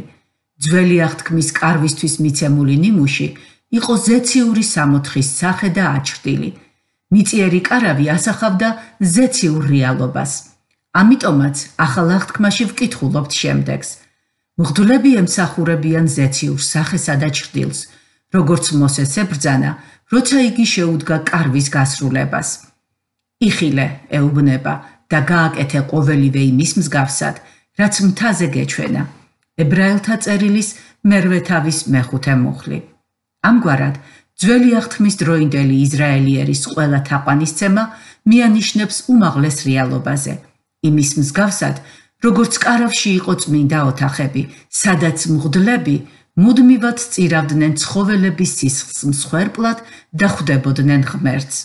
იესო შევიდა თავისი სისხლით ზეციურ საკურთხეველში, რომელიც უსაზღვროდ აღემატებოდა მიწიერს და მიიტანა ერთადერთი მსხვერპლი, ერთხელ და სამუდამოდ. ხოლო ქრისტე, კეთილი მომავლის მღვდელმთავარი, მოვიდა დიდი და უფრო სრულყოფილი, ხელთუქმნელი კარვით. ესე იგი, არა ამნაირად შექმნილი, არა ვაცთა და ზვარაკთა სისხლით, არამედ საკუთარი სისხლით შევიდა ერთხელ წმიდაში და მოგვიპოვა საუკუნო გამოსყიდვა. ებრაელთა წერილის მეცხრე თავის მე-11-მე-12 მუხლები. ახლა ჩვენთვის გახსნილია გზა, რომლითაც ჩვენ ქრისტესთან ერთად შეგვიძლია შესვლა წმიდათა წმიდაში ღმერთთან. ადრე მხოლოდ იუდეველი მღვდლებისთვის იყო ნებადართული შესვლა საწმიდარში, რომელიც მხოლოდ ზეციური საჩრდილი და სახე იყო და მხოლოდ მღვდელმთავარს შეეძლო წმიდათა წმიდაში შესვლა და ისიც წელიწადში ერთხელ, სადაც ჩამოდიოდა ღმერთის დიდება. ებრაელთა წერილის მეცხრე თავის მეშვიდე მუხლი. ღმერთის დიდების ეს ადგილი დაფარული იყო ფარდის მიღმა და ნებისმიერ სხვას მკაცრად ეკრძალებოდა ფარდის იქით შესვლა. ბიბლიაში ნათქვამია, რომ როდესაც ჯვარზე ქრისტეს უკანასკნელი სუნთქვა აღმოხდა, ტაძრის კრეთ საბმელი გაიხაორად ზემოდან ქვემოთ და შეიძრა დედამიწა და კლდეები დასკდა. მათეს სახარების 27 თავის 51 მუხლი. რას ნიშნავს ეს? ბიბლია თავად იძლევა ამ სიტყვების განმარტებას. რა კი გვაქვს გაბედულება წმიდაში შესვლისა იესოს სისხლის მეშვეობით, ახალი და ცოცხალი გზით, რომელიც გაგვიხსნა მან ფარდით. ესე იგი, თავისი ხორცით. ებრაელთა წერილის მეათე თავის მე-19 მე-20 მუხლები. ქრისტეს გარეშე ღმერთის სიწმინდეს ჩვენ ვერ ვიხილავდით, რადგან ჩვენი ცოდვებით ღმერთი შეიბღალებოდა, ხოლო ჩვენ ჩვენი ცოდვების გამო დავიხოცებოდით. მაგრამ ახლა ქრისტეს წყალობით ჩვენ შეგვიძლია მიუახლოვდეთ ღმერთს და აღვავსოთ ჩვენი გულები ღმერთის საოცარი სიწმინდით. ის არ იქნება შებრალული და ჩვენ არ დავიხოცებით მის წინაშე. ქრისტეს წყალობით, რომელიც ჩვენ გვიფარავს, ღმერთი განდიდდება, ხოლო ჩვენ კი მუდამ პატივს მივაგებთ მას. ამიტომ ნუ შეგეშინდებათ მასთან მისვლის. ოღონდ მიდით იესო ქრისტეში. მიზეზი 25. რათა მასში ჩვენ შევძლოთ შეხვედრა მამა ღმერთთან. ეპიგრაფი. იესო მუთხრა მათ: დაანგრიეთ ეს ტაძარი და სამ დღეში აღვადგენ მას. ამაზე იუდაველებმა უთხრეს: ეს ტაძარი 46 წელიწად შენდებოდა და შენ სამ დღეში აღადგენ მას. ის კი თავისი სხეულის ტაძარზე ლაპარაკობდა. იოანეს სახარების მეორე თავის მე-19 მე-20 21 მუხლები. მომკალით და მე გავხდები შეხვედრის ადგილი ღმერთისა და ადამიანისა სოფლიოს რომელ კუთხეშიც არ უნდა ცხოვრობდეს. ასე შეიძლება იმ სიტყვების პერეფრაზირება, რომელიც იოანეს სახარების მეორე თავის მე-19-21 მუხლებშია. ადამიანები ფიქრობდნენ, რომ იესო ამბობდა ტაძარზე იერუსალიმში. დაანგრიეთ ეს ტაძარი და სამ დღეში აღვადგენ მასო. მაგრამ მას საკუთარი სხეული ჰქონდა მხედველობაში. მაშ რატომ ადარებდა იესო საკუთარ სხეულს იუდაველების ტაძარს? იმიტომ, რომ ის მოვიდა, რათა დაიკავოს ამ ტაძრის ადგილი, სადაც ადამიანები შეძლებდნენ ღმერთთან შეხვედრას. ადამიანის ძის ხორცში მოსვლასთან ერთად ძველი აღთქმის რიტუალებმა და თაყვანის მცემლობამ განიცადა გასაოცარი ცვლილებები. თავად ქრისტე გახდა უკანასკნელი საპასექო ბატკანი, უკანასკნელი მღვდელმთავარი და უკანასკნელი ტაძარი. ყველაფერი გადაივლის, ის კი დარჩება. ის, რაც დარჩება, იქნება შეუდარებლად უკეთესი. იესომ თავის თავზე თქვა: თქვენ გეუბნებით, რომ აქ არის ის, ვინც ტაძარზე მეტია. მათეს სახარების მე-12 თავის მე-6 მუხლი. ტაძარში იშვიათად მიდიოდა ღმერთი. ეს ხდებოდა მხოლოდ მაშინ, როდესაც ღმერთის დიდება ავსებდა წმიდათა წმიდას. მაგრამ ქრისტე იესოში დამკვიდრებულია ხორციელად ღვთაების მთელი სისავსე. ქრისტეში ღმერთის ყოფნა არ მიდის და არ მოდის. იესოა თავად ღმერთი და როდესაც ხვდებით მას, ჩვენ ხვდებით თავად ღმერთს. ღმერთი ხვდებოდა ადამიანებს ტაძარში, ბევრი არასრულყოფილი შუამავლის საშუალებით. მაგრამ ახლა ქრისტეზე ნათქვამია, რომ ერთია ღმერთი და ერთია ღმერთსა და კაცთა შორის შუამავალი, კაცი ქრისტე იესო. ქრისტიანობაში არ არის გეოგრაფიული ცენტრები, როგორც ისლამსა და იუდაიზმში. ღმერთთან მისვლა და თაყვანისცემა ჩვენ შეგვიძლია მხოლოდ ერთი გზით და ეს გზა არის იესო ქრისტეში. ერთხელ იესო ჭასთან შეხვდა ქალს და უთხრა მას, რომ იცის მისი მრუშობის შესახებ. იმ ქალმა კი კვეთრად შეცვალა საუბრის თემა და უთხრა: ჩვენი მამები ამ თაზე სცემდნენ თაყვანს, თქვენ კი ამბობთ: იერუსალიმშია ადგილი, სადაც უნდა სცემდნენო თაყვანს. იესო მუპასუხა: მერწმუნე, დგება ჟამი, როცა არც მთაზე და არც იერუსალიმში თაყვანს აღარ სცემს მამას. გეოგრაფიას არ აქვს მნიშვნელობა. მაშ რაშია საქმე? იესომ გააგრძელა. დგება ჟამი და უკვე აქ არის, როდესაც ჭეშმარიტი თაყვანის მცემელი თაყვანს ცემენ მამას სულითა და ჭეშმარიტებით. იოანეს სახარების მეოთხე თავის მე-20-21 23 მუხლები. იესომ მთლიანად შეცვალა ყველა შეფარდებითი კატეგორიები. ამ თაზე კი არა და იმ ქალაქში, არამედ მან შეცვალა სულითა და ჭეშმარიტებით. ის მოვიდა ამ წუთი სოფელში, რათა გაანადგუროს გეოგრაფიული შეზღუდვები. ახლა არ არის ტაძარი. იერუსალიმი აღარ არის ცენტრი. ცენტრი ეს ქრისტია. გვინდა რომ დავინახოთ ღმერთი. იესომ თქვა: ვინც მე მიხილა, мама იხილა. გვინდა მივიღოთ ღმერთი. იესომ თქვა: ვინც მე მღებულობს, ჩემს მომავლინებელს ღებულობს. გვინდა ვეთაყვანოთ ღმერთს. ბიბლიაში ნათქვამია: ვინც აღიარებს ძეს, მამაც ყავს. გვინდა მამის პატივისცემა. იესო ამბობს: ვინც ძეს არ სცემს პატივს, ის არც მამას სცემს პატივს, რომელმაც იგი მოავლინა. როდესაც ქრისტემ მოკვდა და აღსდგა, ძველი ტაძარი შეიცვალა ახლით, ქრისტეთი, რომელიც ახლა ხელმისაწვდომია ყოველი ადამიანისთვის, სადაც არ უნდა ცხოვრობდეს ის. თქვენ შეგიძლიათ მიხვიდეთ მასთან ისე, რომ არც ერთი თქვენი კუნთი არ გაინძრეს. ის ისევე ახლოს არის თქვენთან, როგორც თქვენი რწმენა. მიზეზი 26-ე. რათა დაასრულოს ძველი აღთქმის მღვდლობის მსახურება და გახდეს მარადიული მღვდელმთავარი. ეპიგრაფი. მღვდლები სიკვდილის გამო ვერ რჩებოდნენ სამსახურში. მას კი უკუნისამდე დარჩენით გარდუვალი მღვდლობა აქვს. ამიტომაც ძალოც სრულად გადაარჩინოს ყველა, ვინც მისი შუამდგომლობით მიახლება ღმერთს, ვინაიდან ცოცხალია მუდამ, რათა უშუამდგომლოს მათ. მას არ სჭირდება როგორც იმ მღვდელმთავრებს, ყოველდღე ჯერ თავისი ცოდვებისათვის შესწირონ მსხვერპლი და შემდეგ ხალხის ცოდვებისათვის, ვინაიდან ეს მან ერთხელ მოიმოქმედა, როცა თავი შესწირა. ებრაელთა წერილის მეშვიდე თავის 23, 25, 27 მუხლები. ქრისტე შევიდა თვით цаში, რათა წარდგეს ახლა ჩვენთვის ღვთის წინაშე და რა იმისთვის, რომ მრავალგზის შეეწიროს, როგორც შედის მღვდელმთავარი ყოველწლიურად წმიდაში სხვისი სისხლით. მაშინ მას წუთისოფლის დასაბამიდან მრავალგზის მოუხდებოდა ტანჯვა.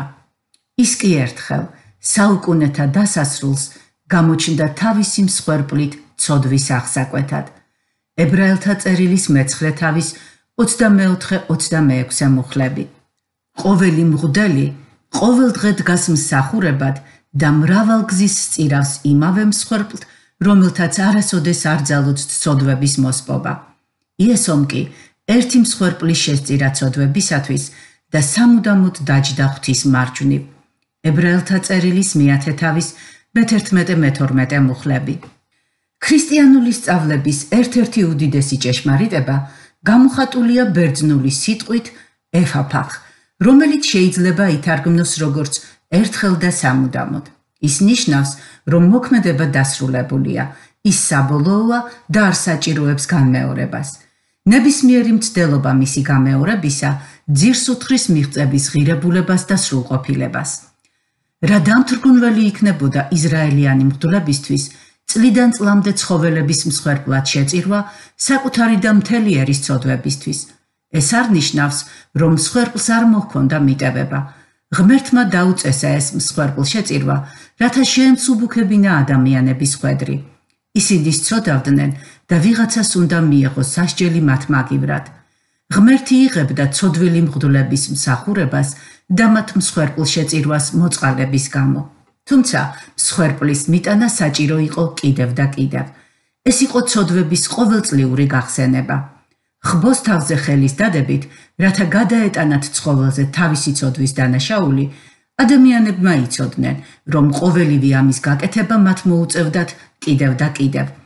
არც ერთ ცხოველურ ტანჯვას არ შეუძლია ცოდვის საფასურის გადახდა. ცოდვილ მღვდლებს მიჰქონდათ მსხვერპლი თავისი საკუთარი ცოდვებისთვის. როდესაც ისინი კვდებოდნენ, მათ ახლები ცვლიდნენ. ცხოველებს არ გააჩნიათ არც მორალის შეგრძნება, არც ადამიანური ურჯულოების დანაშაულის ტარების უნარი. ვინაიდან ვაცთა და კუროთა სისხლით ცოდვების მოსპობა შეუძლებელია. ებრაელთა წერილის მეათე თავის მეოთხე მუხლი. მაგრამ მღვდლობის არასრულყოფილებაში ჩვენ ვხედავთ მედლის მეორე მხარესაც. თუ ღმერთი ამარა საკმარის მსხვერპლს თვლიდა აუცილებლად გარკვეულ დრომდე, ეს ნიშნავდა, რომ ერთხელაც ის გამოაგზავნიდა ქვეყანაზე მღვდელს, ესე იგი განწმელდელს, რომელიც შეძლებდა იმის შესრულებას, რაც მიწიერმა მღვდლებმა ვერ შეძლეს. განადგურებდა ცოდვას ერთხელ და სამუდამოდ. სწორედ ასეთი განწმენდელი გახდა ჩვენთვის იესო ქრისტე. ის გახდა ბოლო განწმენდელი და ბოლო მსხვერპლი. ის იყო უცოდველი და ამიტომაც არ იყო ვალდებული მიეტანა მსხვერპლი თავისი თავისთვის. ის იყო უკვდავი და ამიტომ მისი ჩანაცვლება სხვა მღვდლით არ იყო საჭირო. ის იყო ადამიანი და ამიტომაც შეძლო თვითონ აეღო დანაშაული ადამიანური ცოდვებისთვის.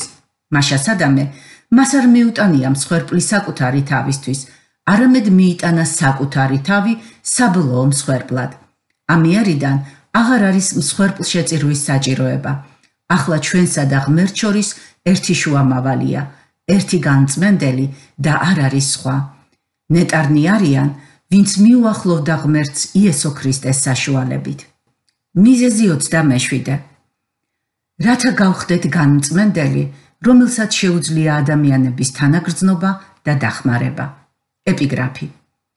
ვინაიდან ისეთი მღვდელმთავარი როდი ყავს, რომ ვერ შეძლოს თანაგვიგრძნოს ჩვენს უძლურებაში, არამედ ჩვენსავით გამოცდილი ყველაფერში, გარდა ცოდვისა. მას თამამად მივიახლოთ მადლის ტახტს, რომ მივიღოთ წყალობა და ვპოვოთ მადლი დროული შემწეობისთვის. ებრაელთა წერილის მეოთხე თავის მე-15-მე-16 მუხლები. თავისი მსხვერპლით ჯვარზე იესო გახდა ჩვენი გამწმენდელი. ამიერიდან ის არის შუამავალი ჩვენსა და ღმერთ შორის. მისი მორჩილება იმდენად სრულყოფილი იყო, ხოლო ტანჯვა იმდენად დიდი, რომ ღმერთს არ შეეძლო მისი უარყოფა. ამიტომ, თუ ჩვენ მივდივართ მასთან ქრისტეს საშუალებით, ღმერთი არც ჩვენ უარყოფს. მაგრამ ეს არ არის ყველაფერი. მიწიერი ცხოვრების მთელი 30 წლის განმავლობაში ჯვრისკენ მიმავალ გზაზე ის განიცდი და ისეთივე ცდუნებებს, როგორც ნებისმიერი სხვა ადამიანი. და მიუხედავად ამისა, მას არც ერთხელ არ შეუწოდავს. ეს კი ნიშნავს, რომ მისი ცდუნებები იყო უფრო ძლიერი ვიდრე ჩვენი, მაგრამ არანაირად სუსტი. როდესაც ადამიანი ცდუნებას ნებდება, ცდუნება არ არის ისეთი ძლიერი, რამდენადაც მას შეუძლია რომ იყოს. როგორც წესი, ჩვენ ვნებდებით მაშინ, როდესაც ჩვენზე წნეხი იწებს ზრდას. იესო კი არც ერთხელ არ დაექვემდება რაც დუნებას. ეს ნიშნავს, რომ მან მთელი სიძლიერით გადაიტანა მისი დაწოლა და ბოლომდე გაუძლო დანებების გარეშე. ახლა მან იცის, რას ნიშნავს უდიდესი ცდუნებების გამოვლა. უძლიერეს ცდუნებებთან მუდმივ ბრძოლაში ცხოვრებამ, განსაკუთრებით ძალადობასთან და ჩაგვრასთან, იესოს მისცა უდიდესი ცდუნების წინაშე მდგარი და ტანჯული ადამიანების თანაგრძნობის წარმოუდგენელი უნარი. არავის და არასოდეს არ უტანჯია უფრო მეტად, ვიდრე მას. არავის და არასოდეს არ განუცდია საკუთარ თავზე მასზე მეტი ძალადობა და არავის ქონია მასზე მეტი უფლება დამნაშავე მოძალადეებისთვის სამაგიეროს გადახდისა. მაგრამ მოციქული პეტრე ამბობს: არც ცოდვა ჩაუდენია და არც მზაკრობა დასდენია მის ბაგეს. რომელსაც ლანძღავდნენ და ლანძღვით არ უპასუხებდა, იტანჯებოდა და არ იმუქრებოდა, არამედ მიენდო სიმართლით გამკითხველს. პეტრეს პირველი წერილის მეორე თავის 22-23 მუხლები. ამიტომაც არის ბიბლიაში ნათქვამი: მას უნარი აქვს თანაგვიგრძნოს ჩვენს უძლურებებში. საოცარია, აღმდგარ ღვთისძეს, ჯდომარეს ცათა სასუფეველში მამის მარჯვნივ და მფლობელს მთელი ძალაუფლების ამთელ სამყაროში შეუძლია გაიგოს, რას ვგრძნობთ ჩვენ, როდესაც მივდივართ მასთან, წუხარებითა და ტკივილით სავსენი, ან ვეწინააღმდეგებით ცდუნებებს, რომლებიც გვპირდებიან ცოდვილ სიამოვნებებს. რას ნიშნავს ეს პირადად ჩვენთვის?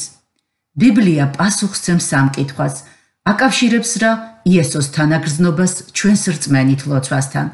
ნათქვამია, რომ მას შეუძლია თანაგრძნობა ჩვენს უძლურებებში. მას თავამად მივიახლოთ მადლის ტახტს, რომ მივიღოთ წყალობა და ვპოვოთ მადლი დროული შემწეობისთვის. ებრაელთა წერილის მეოთხე თავის მე-15-მე-16 მუხლები. აი როგორ შეიძლება ამაზრის გავრცობა. ჩვეულებრივად, როდესაც მივმართავთ ღმერთს ჩვენი პრობლემებით და ცდუნებებით, უხერხულად ვგრძნობთ თავს. ჩვენ შევიგრძნობთ ღმერთის სიწმინდეს და სრულყოფილებას ისე ძლიერად, რომ უფრო მძაფრად ვაცნობიერებთ საკუთარ ცოდვილობას მის წინაშე, მისი თანდასწრებისას. თუმცა, შემდეგ ვიხსენებთ, რომ იესო გვითანა გრძნობს ჩვენ. ის ჩვენთან ერთად განიცდის, ის ჩვენთან არის და არა ჩვენს წინააღმდეგ.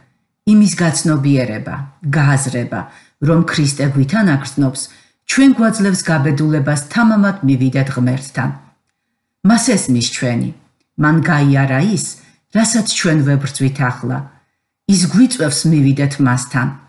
დარწმუნებული და ვთხოვოთ ყველაფერი, რაც გვჭირდება. როგორც წერდა ინგლისელი პოეტი ჯონ ნიუტონი.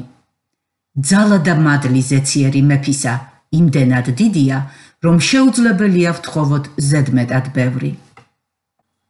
მიზეზი 21. რათა გამოგვისყიდოს ამაო ცხოვრებისგან, რომელიც გადმოგვეცა მამებისგან. ეპიგრაფი. არახრწნადი ვერცხლით ან ოქროთი იქნებით გამოსყიდულნი, მამებისგან გადმოცემული ამაო გზიდან, არამედ ქრისტეს ძვირფასი სისხლით, როგორც უბიწო და უმანკო კრავისა. პეტრეს პირველი წერილის პირველი თავის 18-19 მუხლები. დასავლეთის სამყაროს ურწმუნო წარმომადგენლებსა და ანიმისტური გაერთიანების პრიმიტიულ მაცხოვრებლებს შორის არის რაღაც საერთო. ერთსაც და მეორესაც სჯერათ მემკვიდრეობითი მონობის ძალისა, თუმცა კი სხვადასხვა სახელებს უწოდებენ. ანიმისტებს წამთ წინაპრების სულებთან კავშირისა და ადამიანიდან ადამიანზე წყევლის გადასვლისა. თანამედროვე ზეპურ საზოგადოებაში კი საუბრობენ გენეტიკურ მემკვიდრეობაზე ან სულიერ ტრავმებზე, რომლებიც მიყენებულია სასტიკი, თანადამოკიდებული და ემოციურად ცივი მშობლების მიერ. მაგრამ ერთსაც და მეორესაც აერთიანებს მიდრეკილება ფატალიზმისკენ. ისინი დარწმუნებულნი არიან იმაში, რომ ჩვენ იძულებულნი ვართ მთელი ჩვენი ცხოვრების მანძილზე დავიტანჯოთ მონობის წყევლისგან ან ტრავმებისგან, რომლებიც მემკვიდრეობით გადმოგვეცა წინაპრებისგან. მომავალი გვეჩვენება ფუჭი და უბედური. ბიბლიური სიტყვები: გამოსყიდული ხართ თქვენ ამაო ცხოვრებისგან, რომელიც გადმოგეცათ თქვენი მამებისგან, მეტყოლებენ цаრიელი და უაზრო ცხოვრების წესიდან განთავისუფლებაზე, რომელსაც მივყავართ დაშლამდე. არ არის ნათქვამი, თუ ეს ამაო ცხოვრება რა კავშირშია ჩვენს წინაპრებთან. მთავარი სხვა რამეა. მთავარია ის, თუ ზუსტად როგორ ვართ განთავისუფლებული ამაო ცხოვრებისგან. ჩვენს მიერ შეძენილი თავისუფლების ზომას მთლიანად განსაზღვრავს ჩვენი განმანთავისუფლებლის ძალა. მემკვიდრეობითი მონობისგან განთავისუფლებისთვის გადახდილია არახრწნადი ვერცხლითა და ოქროთი. ვერცხლი და ოქრო თავისთავად წარმოადგენს ყველაზე ძვირფას, რისი გადახდაც ადამიანებს შეუძლიათ გამოსაწყიდად. თუმცა ჩვენ კარგად ვიცით, რომ მოცემულ კონკრეტულ შემთხვევაში ოქრო და ვერცხლი ვერ გვიშველის. არც თუ ისე იშვიათად, ყველაზე მდიდარი ადამიანები დედამიწაზე ყველაზე ხშირად ექვემდებარებიან მემკვიდრეობითი წყევლის მონობას. რომელიღაც ტომის მდიდარი ბელადი შეიძლება იტანჯებოდეს შიშისგან, წუხდეს, რომ მისი ცხოვრება ბოროტი ჯადოქრობის ქვეშაა, რომელიც მას მისმა წინაპრებმა გადასცეს. წარმატებული კომპანიის პრეზიდენტი, რომელიც ურწმუნოა, შეიძლება აღმოჩნდეს არაკონტროლირებადი ძალების გავლენის ქვეშ, რომლებიც მოდიან მისი წარსულიდან, რათა დაანგრიონ მისი ქორწინება და მისი შვილების ცხოვრება. ვერცხლი და ოქრო ამ შემთხვევაში გამოუსადეგარია. ჩვენი თავისუფლებისთვის საზღაური გადახდილია ქრისტეს ტანჯვით და სიკვდილით. არა ვერცხლით და ოქროთი, არამედ ქრისტეს ძვირფასი სისხლით, როგორც უბიწო და უმანკო კრავისა. როდესაც ქრისტე მოკვდა, ჩვენი ურთიერთობა წინაპრებთან შეიცვალა. ღმერთმა გაგონთავისუფლა ამაო ფუჭი ცხოვრებისგან, რომელიც გადმოგვეცა მემკვიდრეობით მათგან. ეს არის ერთ-ერთი უდიდესი მიზეზი იმ მიზეზებიდან, რის გამოც იესო მოკვდა. არანაირ წყევლას არ შეუძლია თქვენი შეკავება, თუ თქვენი ცოდვები ნაპატიებია, თუ თქვენ შემოსილნი ხართ ქრისტეს სიმართლით, ხართ გამოსყიდულნი და საყვარელნი სამყაროს შემოქმედის მიერ. სწორედ იესო ქრისტეს ტანჯვების და სიკვდილის წყალობით ბიბლია აკეთებს შემდეგ განცხადებას ღმერთის ერზე. არაა შელოცვა იაკობის წინააღმდეგ და ჯადოქრობა ისრაელის წინააღმდეგ. რიცხვთა წიგნის 23 თავის 23 მუხლი. როდესაც იესო მოკვდა, თელიციური საგანძური გადაეცა იმათ, ვინც იწამებს მას. როდესაც ღმერთი ლოცავს, არავის შეუძლია დაწყევლა. არ არსებობს მშობლებისგან მიღებული ისეთი ჭრილობა, რომელსაც იესო ვერ განკურნავს. გამოსასყიდი, რომელიც კურნავს ჩვენს სულებს, გადახდილია ქრისტეს ძვირფასი სისხლით. მისი მსხვერპლის ფასი არ ექვემდებარება აღწერას. ის უსაზღვროდ დიდია, ისევე როგორც უსაზღვროა ჩვენი განთავისუფლება. ვერავითარი მონობა ვერ აღუდგება მას წინ. მაშნო ვიქნებით დაიმედებულნი ვერცხლისა და ოქროს ძალაზე და მთელი გულით მივიღოთ ღმერთის საჩუქარი. მიზეზი 29. რათა გაგვანთავისუფლოს ცოდვის მონობისგან. ეპიგრაფი. მას რომელმაც შეგვიყვარა და საუკუნო სისხლით გვიხსნა ჩვენი ცოდვებისაგან და გაგხვდა ჩვენ სუფევად, მღვდლებად ღვთისა და თავისი მამისათვის, მას დიდება და ძლიერება უკუნითი უკუნისამდე. გამოცხადების პირველი თავის მეხუთე მეექვსე მუხლები. იესომ, რათა განეწმინდა ხალხი თავისი სისხლით, კარიბჭის გარეთ იტანჯა. ებრაელთა წერილის მე-13 თავის მე-12 მუხლი. ჩვენი ცოდვა დამღუპველია ორი მიზეზით. ის დამნაშავეს ხუდის ღმერთის წინაშე, ასე რომ ჩვენ სამართლიანად ვექვემდებარებით მის მსჯავრს. ამის გარდა, ის ამახინჯებს ჩვენს მოქმედებას ისე, რომ ჩვენ ვყვნით ღმერთის ხატს, რომელსაც მისი ჩანაფიქრით ჩვენ უნდა ავსახავდეთ.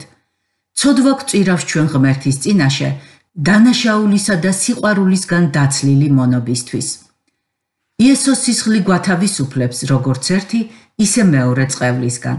ის აკმაყოფილებს ღმერთის სამართალს და ამიტომ ჩვენი ცოდვები შეიძლება იყოს სამართლიანად დაპატიები. და თანაც ის უკარგავს ცოდვას შესაძლებლობას გაგხადოს თავისი მონები. ჩვენ უკვე ვისაუბრეთ იმის შესახებ, რომ ქრისტემ თვითონ აიღო როგორც ღმერთის რისხვა, ასევე ჩვენი დანაშაული.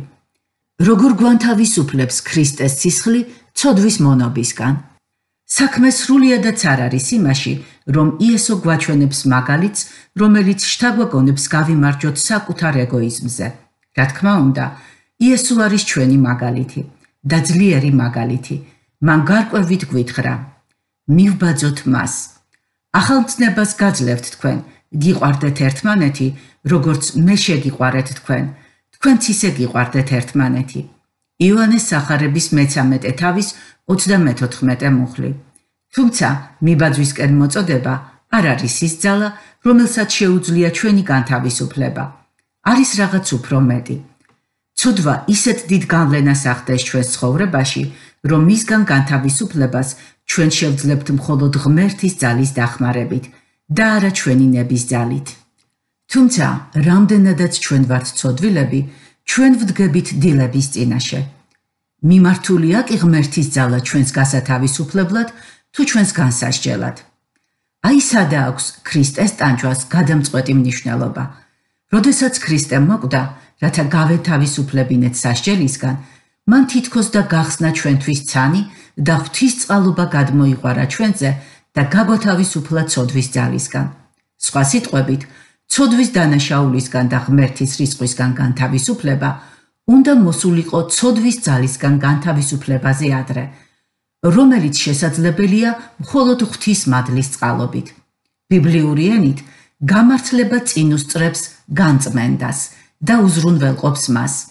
ეს არის ორი აბსოლუტურად განსხვავებული გაგება. ერთი აცხადებს უდანაშაულოა, რაც წამიერად ამართლებს ადამიანს ღმერთის წინაშე. მეორე ნიშნავს ხანგრძლივ გარდაქმნას. იმისათვის, ვინც ენდობა ქრისტეს, ღმერთის ძალა ემსახურება არა მის რისხვას, არამედ მის განმათავისუფლებელ შეწყალებას. სულიწმინდის წყალობით ჩვენ ღმერთისგან მივიღეთ ძალა ჩვენს შესაძლებლად. აი რატომაა სიყვარულს, სიხარულს, მშვიდობას, სულგრძელობას, სახიერებას, სიკეთეს, ერთგულებას, სიმშვიდეს, თავშეკავებას უწოდებენ სულის ناقოფებს. გალატელთა მეხუთე თავის 22-23 მუხლები. აი რატომ არის ბიბლიაში დაპირება. ცოდვა ვეღარ იმეფებს თქვენზე, რადგან თქვენ რჯულის ქვეშ კი არა, მადლის ქვეშ ხართ. რომელთა წერილის მეექვსე თავის მე-14 მუხლი. მადლის ქვეშ ყოფნა, ესე იგი, ეს ნიშნავს მივიღოთ ძლევამოსილი ღმერთის ძალა ჩვენი ეგოიზმის გასანადგურებლად. მაშინვე კი არა, არამედ თანდათან. ჩვენ არ ვამბობ თუ არს ვებრძოლოთ საკუთარ ეგოიზმს, თუმცა გვესმის, რომ არ შეგვიძლია მისგან დამოუკიდებლად განთავისუფლება. ეს ღმერთის მადლის საქმეა, როგორც პავლემ თქვა, მაგრამ ღვთის მადლით ვარ, რაცა ვარ, და მისი მადლი არ იყო ჩემს მიმართ ფუჭი, არამედ მათზე ყველაზე მეც შრომობდი. არა მე, არამედ ღვთის მადლი, რომელიც ჩემთანაა.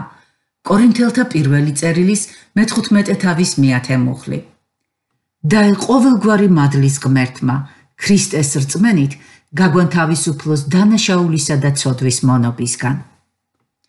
მიზეზი 20-ათე. რათა მოვკვდეთ ცოდვისთვის და ვიცოცხლოთ სიმართლისთვის. ეპიგრაფი. მან თავად თავისი საკუთარი სხეულით ჩვენი ცოდვები აზიდა ჯვარზე, რათა ჩვენ მოვკვდეთ ცოდვებისთვის და ვიცხოვროთ სიმართლისთვის. პეტრეს პირველი წერილის მეორე თავის 24 მუხლის თავისუფალი ინტერპრეტაცია. რა უცნაურადაც არ უნდა ჟღერდეს, ქრისტეს სიკვდილი ჯვარზე ჩვენს მაგივრად ნიშნავს, რომ ჩვენც მასთან ერთად მოვკვდით. თითქოს და თუ ვინმე ჩვენს მაგივრად მოკვდა, ესე იგი ჩვენ გადავურჩით სიკვდილს და რა თქმა უნდა, ეს ასია. ჩვენ გადავურჩით სიკვდილს. ეს ნიშნავს გადავურჩით სამუდამო სიკვდილს. ესე იგი ღმერთისგან მთლიანად დაშორებულ ტანჯვას, რომელიც არასოდეს არ მთავრდება. იესომ თქვა: მე მათ საუკუნო სიცოცხლეს ვაძლევ და არ დაიღუპებიან საუკუნოდ. იოანეს სახარების მეათე თავის 20-მერვე მუხლი. ყველა, ვინც ცოცხლობს ჩემში და სწამს ჩემი, არ მოკვდება უკუნისამდე. იოანეს სახარების მე-11 თავის 26-ე მუხლი. იესოს სიკვდილმა ჭეშმარიტად აღასრულა ყველაფერი, რაც აუცილებელი იყო, რათა ყოველი მისი მორწმუნე არ დაიღუპოს. არამედ ჰქონდეს საუკუნო სიცოცხლე. იოანეს სახარების მესამე თავის მე-16 მუხლი. მაგრამ ამავე დროს ჩვენ მოვკვდით და ეს მოხდა სწორედ იმიტომ, რომ ქრისტე მოკვდა ჩვენთვის და ჩვენი ცოდვებისთვის. მან თავად თავისი სხეულით აიტანა ჩვენი ცოდვები ჯვარზე, რათა ჩვენ მომკვდარიყავით. დიახ, ის მოკვდა, რათა ჩვენ გვეცოცხლა, მაგრამ ის აგრეთვე იმიტომ მოკვდა, რათა ჩვენც შეგვძლებოდა სიკვდილი. როდესაც ქრისტე მოკვდა, მე, როგორც მისი მორწმუნე, მოვკვდი მასთან ერთად. ბიბლია საუბრობს ამაზე უკიდურესად ნათლად. დავენერგეთ მას სიკვდილის მსგავსებაში, რომელთა წერილის მეექვსე თავის მეხუთე მუხლი. თუ ერთი მოკვდა ყველასთვის, ყველანი დაიხოცნენ. კორინთელთა მეორე წერილის მეხუთე თავის მე-14 მუხლი. რწმენა მეტყველებს იმის შესახებ, რომ ჩვენ საოცრად ვართ დაკავშირებული ქრისტესთან. მორწმუნეები ქრისტესთან ერთად ვართ ჯვარცმული. გალატელთა მეორე თავის მე-19 მუხლი. ვიხედებით რა უკან, ვუყურებთ ქრისტეს სიკვდილს და გვესმის, რომ ღმერთის თვალში ჩვენც იქ ვიყავით. ჩვენი ცოდვები იესოზე იყო და სიკვდილი, რომელიც ჩვენ ყველამ დავიმსახურეთ, ჩვენც მოგვეწია მასში. წყლით ნათლობა ასევე ასახავს ჩვენს სიკვდილს იესოსთან. ამიტომ დავიმარხეთ მასთან ერთად სიკვდილში ნათლისღებით, რომელთა მეექვსე თავის მეოთხე მუხლი. წყალი ეს არის საფლავის სახე. წყალში ჩაყურყუმელავება სიკვდილის სახე. წყლიდან ამოსვლა ახალი სიცოცხლის დასაწყისი. ეს ყველაფერი ერთად არის იმის სახე, თუ რასაკეთებს ღმერთი ჩვენი რწმენის საშუალებით. მასთან ნათლისღებით დამარხულები, მასთანვე აღდექით ღვთის ძალისადმი რწმენით, რომელმაც აღადგინა იგი მკვდრეთით. კოლოსელთა წერილის მეორე თავის მე-12 მუხლი. ის, რომ მე მოვკვდი ქრისტესთან ერთად, პირდაპირ კავშირშია მიზანთან, რის გამოც ის მოკვდა, რათა მიეტანა მსხვერპლი ჩემი ცოდვებისთვის. მან თავად დაიტანა ჩვენი ცოდვები ჯვარზე, რათა მომკვდარიყავით. ეს ნიშნავს, რომ ვიღებ რა იესო ქრისტეს ჩემს ღმერთად და მხსნელად მეც თანახმავარ მოვკვდე ცოდვისთვის. ჩემმა ცოდვებმა მიიყვანა იესოს აფლავში და მასთან ერთად მეც იქ აღმოჩნდი. რწმენა უყურებს ცოდვას როგორც მკვლელს ჯალათს ცოდვა მოკლა იესო და მან მომკლა მე. ამიტომ ქრისტიანად გახდომა ნიშნავს ცოდვისთვის სიკვდილს. ჩემი ძველი მე რომელსაც ასე უყვარდა ცოდვა მოკვდა იესოსთან ერთად. ცოდვა ახლა ამას რზენია, საძულველია, როგორც მეძავი, რომელმაც დაკარგა თავისი მიმზიდველობა. მან მოკლა ჩემი მეფე და თავად მეც. ამიტომ მორწმუნე მკვდარია ცოდვისთვის. მასზე უკვე მეძავის ვერც ერთი ხრიკი ვეღარ ბატონობს. არა აქვს გამართლება იმ მეძავის ცოდვას, რომელმაც მოკლა ჩემი მეგობარი. ის სამუდამოდ გახდა ჩემი მტერი. ჩემს ახალ სიცოცხლეზე ახლა ბატონობს სამართალი. მან თავად თავისი საკუთარი შეეულით ჩვენი წოდვები აზი და ჯვარზე, რათა ჩვენ ვიცხოვროთ სიმართლისთვის. ჩემს სულს წყურია ქრისტეს სილამაზე, რომელმაც შემიყვარა და საკუთარი თავი გაიღო ჩემი გულისთვის. მისი სილამაზე მის სრულყოფილ სიმართლეშია. ეს არის კანონი, რომლის მორჩილიც ახლა მსურს რომ გავხდე და მე გეპატიჟებით თქვენც, რომ შემომიერთდეთ. ნუ მისცემთ თქვენ სასოებს ცოდვას უსამართლობის იარაღად. არამედ მიართვით ღმერთს თქვენი თავი როგორც მკვდრეთით გაცოცხლებულნი და თქვენი ასოები სიმართლის იარაღად ღმერთს. რომაელთა მეექვსე თავის მეცამეტე მუხლი. მიზეზი 31 რათა ჩვენ მოვკვდეთ რჯულისთვის და ღმერთისთვის გამოვიღოთ ناقოფი ეპიგრაფი. ამრიგად ჩემო ძმებო თქვენც რჯულისთვის დაიხოცენით ქრისტეს სხეულით, რომ ეკუთვნოდეთ სხვას, მკვდრეთით აღმდგარს, რათა ناყოფი მოვუტანოთ ღმერთს. რომელთა წერილის მეშვიდე თავის მეოთხე მუხლი. როდესაც იესო მოკვდა ჩვენი გულისთვის, ჩვენ მოვკვდით მასთან ერთად. ღმერთი უყურებს მორწმუნეებს, როგორც ქრისტესთან გაერთიანებულ ადამიანებს. მისი სიკვდილი ჩვენი ცოდვისთვის გახდა ჩვენი სიკვდილი მასში. მაგრამ მხოლოდ ცოდვას არ მოუკლავს იესო და ჩვენც მასთან ერთად. იგივე გააკეთა ღვთის სჯულმა. როდესაც ჩვენ დავარღვიეთ სჯული და შევწოდეთ, სჯულმა მოგვისაჯა სიკვდილი. რომ არ ყოფილიყო სჯული, ანუ კანონი, არც სასჯელი იქნებოდა. რამე თუ სადაც რჯული არ არის, იქ არც დანაშაულია. რადგან რასაც რჯული ამბობს, რჯულის ქვეშ მყოფთათვის ამბობს, რათა დაიხშოს ყოველი ბაგე და მთელი წუთი სოფელი ბრალდებული გახდეს ღვთის წინაშე. ვერავინ შეძლო რჯულის წყევლისგან თავის დაღწევა. რჯული სამართლიანი იყო, ჩვენ დამნაშავენი ვიყავით. არსებობდა მხოლოდ განთავისუფლების ერთი გზა. ვიღაც უნდა დასჯილიყო. სწორედ ამიტომ მოვიდა იესო. ქრისტემ გაგვათავისუფლა რჯულის წყევლისგან, როდესაც ჩვენს მაგივრად თავის თავზე აიღო წყევლა. ამრიგად, ღმერთის რჯულს უკვე აღარ შეუძლია განსაჯოს ისინი, ვინც ქრისტეშია. ჩვენზე მისი ბატონობის ძალა დამსხრეულია ორმაგად. ერთის მხრივ, რჯულის ყველა მოთხოვნა აღსრულებული იქნა ჩვენს მაგივრად ქრისტეს მიერ. მისი აბსოლუტური მორჩილება ჩვენ ჩაგვეთვალა. მეორეს მხრივ, მან იტვირთა სასჯელი, რომელსაც ითხოვდა რჯული და გადაიხადა ამისთვის საკუთარი სისხლით. აი რატომ გვასწავლის ბიბლია ასე ნათლად იმის შესახებ, რომ ღმერთთან სწორი ურთიერთობანი ეფუძნება რჯულის შესრულებას. რჯულის საქმეებით ვერავითარი ხორციელი ვერ გამართლდება მის წინაშე, ვინაიდან რჯულით შეიცნობა ცოდვა. რომელთა მესამე თავის მეოცე მუხლი. ადამიანი გამართლდება არარჯულის საქმეებით, არამედ მხოლოდ იესო ქრისტეში რწმენით. გალატელთა წერილის მეორე თავის მე-16 მუხლი. ღმერთთან სწორი ურთიერთობის აგება, როდესაც ვეღრდნობით რჯულის დაცვას, არ არის საიმედო. ერთადერთი იმედი მდგომარეობს ქრისტეს სისხლში და სიმართლეში და ჩვენ შევიძენთ მას რწმენის საშუალებით. რადგან ჩვენ ვაღიარებთ, რომ რწმენით მართლდება კაცი რჯულის საქმეთაგან დამოუკიდებლად. რომელთა წერილის მესამე თავის 21-ვე მუხლი. მაშ როგორ შევძლებთ ვასიამოვნოთ ღმერთს, თუ რჯულისთვის მოვკვდით და ის მეტი აღარ ბატონობს ჩვენზე. განაღმერთის რჯული არასახავს მის წმინდა და კეთილნებას. ბიბლიური პასუხი იმაში მდგომარეობს, რომ ჩვენ უკვე აღარ ვეკუთვნით რჯულს. მთელი მისი მოთხოვნილებით და ბრალდებებით ჩვენ ვეკუთვნით ქრისტეს, რომელიც ითხოვს ბევრს, მაგრამ ამასთანავე იძლევა შესაძლებლობასაც შევასრულოთ მისი ნება. ადრე ჩვენ მოგვეთხოვებოდა სამართლიანობის დაცვა გარეგნულად, რჯულის მორჩილება, რომელიც ქვის ფიქალებზე იყო დაწერილი. ახლა კი სიმართლე თავად გულიდან მოდის, როგორც ქრისტესთან სწორი ურთიერთობის სურვილი.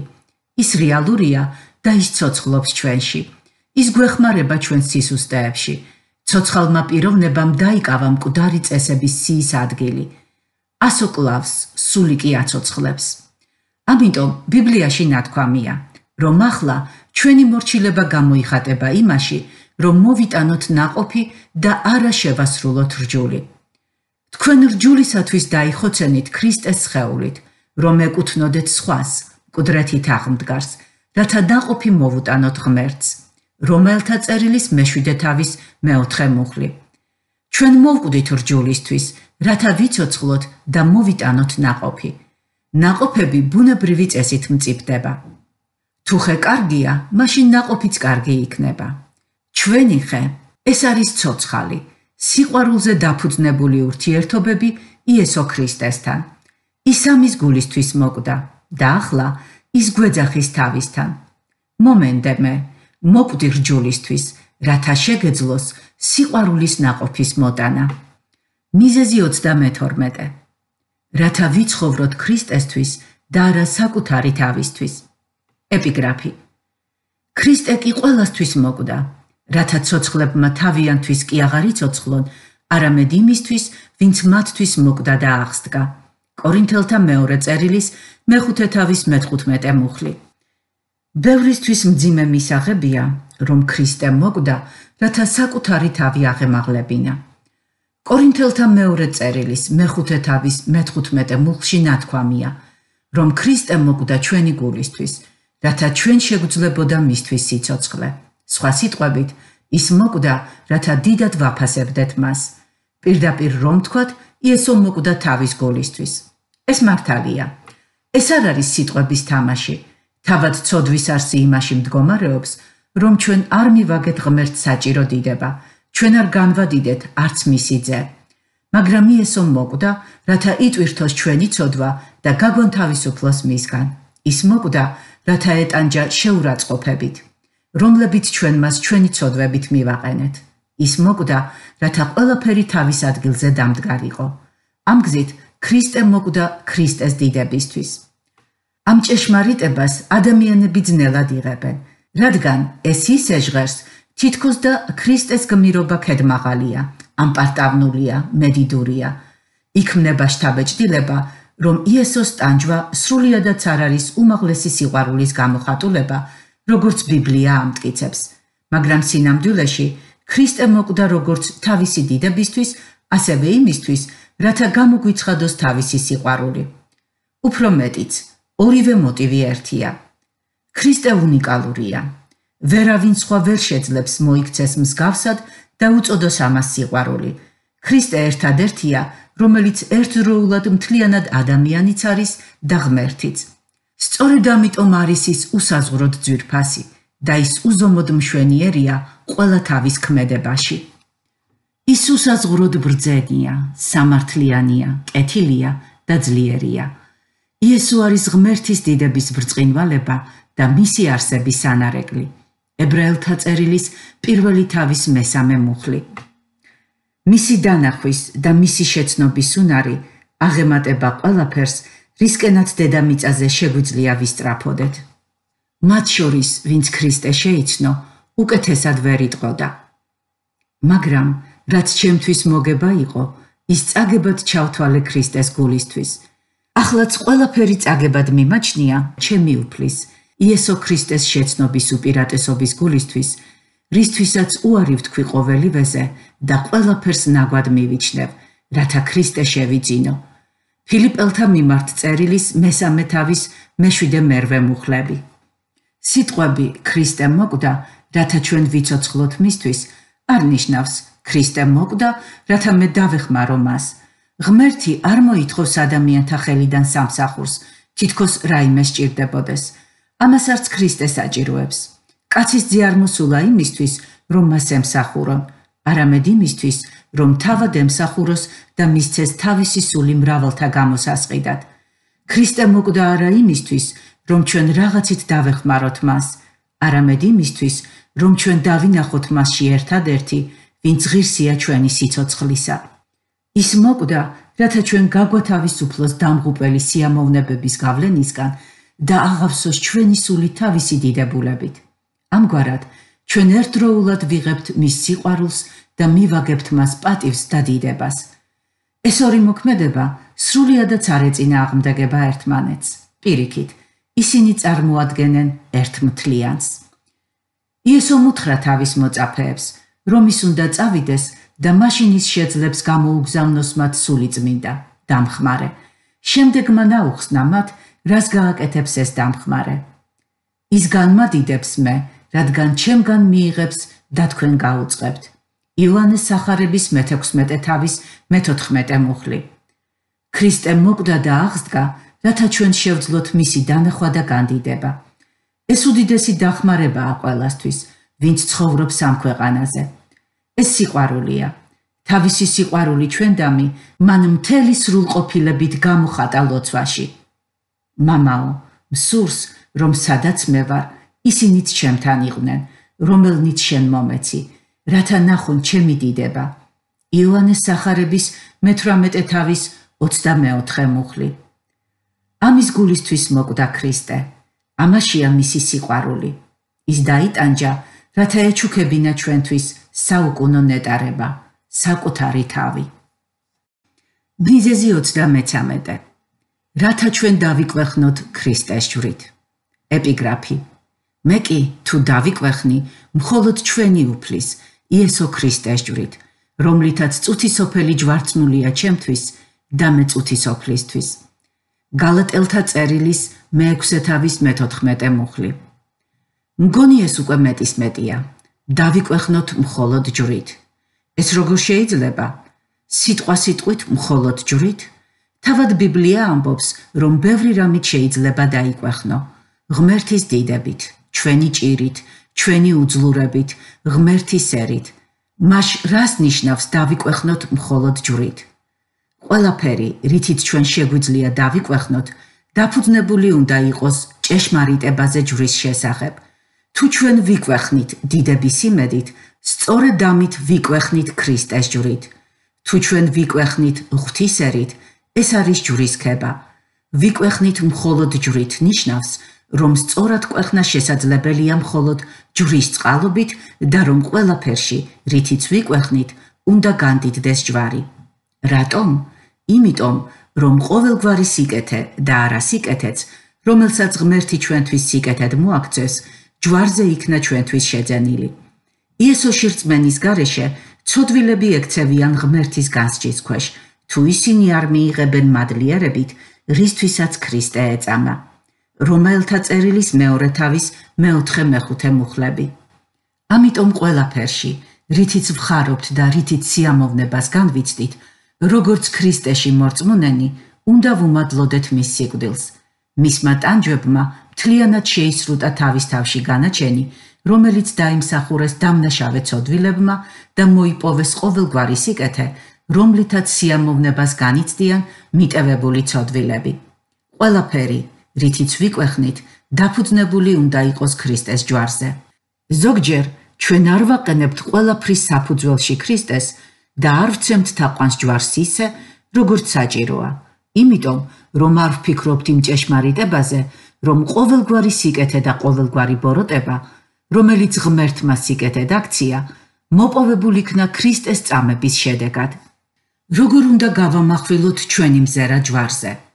ჩვენ უნდა მივიღოთ ჭეშმარიტება იმის შესახებ, რომ როდესაც ქრისტე მოკვდა ჯვარზე, ჩვენც მოვკვდით მასში.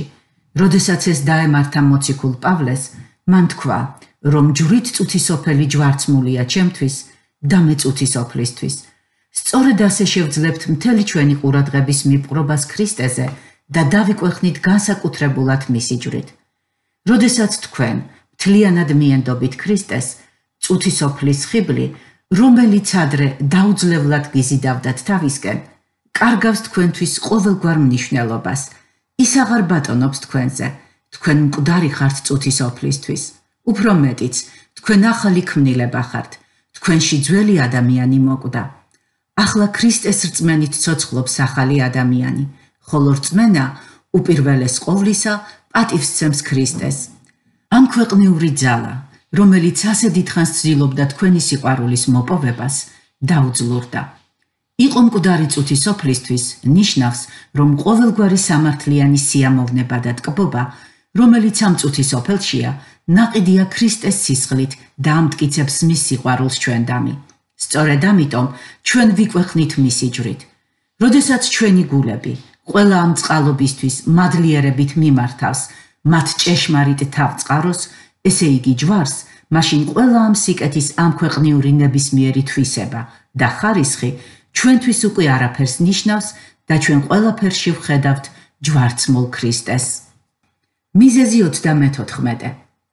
რათა ჩვენ ვიცოცხლოთ მისი რწმენით. ეპიგრაფი. მე ქრისტესთან ერთად ვარ ჯვარცმული. მე უკვე აღარ ვცოცხლობ, არამედ ქრისტე ცოცხლობს ჩემში. ახლა რომ ხორციელად ვცოცხლობ, რწმენით ვცოცხლობ ღვთისძეში, რომელმაც შემიყვარა და თავი მისცა ჩემთვის. გალატელთა წერილის მეორე თავის მე-19 მეოცე მუხლები. ამ მუხლში ჩანს აშკარა პარადოქსი. ჯვარზე კავეკარი და მაინც ვცოცხლობ. შეიძლება შევეწინააღმდეგოთ, რომ ეს სრულიადაც არ არის პარადოქსი, არამედ უბრალოდ ლოგიკური ჯაჭვი. თავიდან ჯერ მოვკვდი ქრისტესთან ერთად, ხოლო შემდეგ აღვდექი მასთან ერთად და ახლა ვცოცხლობ. ეს მართლაც ასია, მაგრამ მაშინ როგორ გავიგოთ უფრო მეტად პარადოქსალური სიტყვები? მე უკვე აღარ ვცოცხლობ. მაშ ვცოცხლობ თუ არ ვცოცხლობ? პარადოქსები ეს არ არის წინააღმდეგობები. ასე ჩანს ერთი შეხედვით. სინამდვილეში პავლე საუბრობს იმის შესახებ, რომ მოდესღაც ვიყავი და ვცოცხლობდი მე. რომელიც მოკვდა და ახლა ვцоცხლობ სხვამე. სწორედ ეს არის ჭეშმარიტი ქრისტიანობა ძველი სხეული კვდება ღმერთი ქმნის ან აღადგენს ახალ ადამიანს. მაშასადამე ვინც კავშირშია ქრისტესთან ის ახალი ქმნილებაა. ჩვენ დანაშაულთა გამო მკვდრები გაგვაცოცხლა ქრისტესთან ერთად და მკვდრეთით აღგვადგინა მასთან ერთად. ეფესელთა წერილის მეორე თავის მეხუთე მეექვსე მუხლები ქრისტეს სიკვდილის მიზანი იყო ჩვენი ძველი ადამიანის განადგურება და მასთან ერთად საფლავში წაყვანა.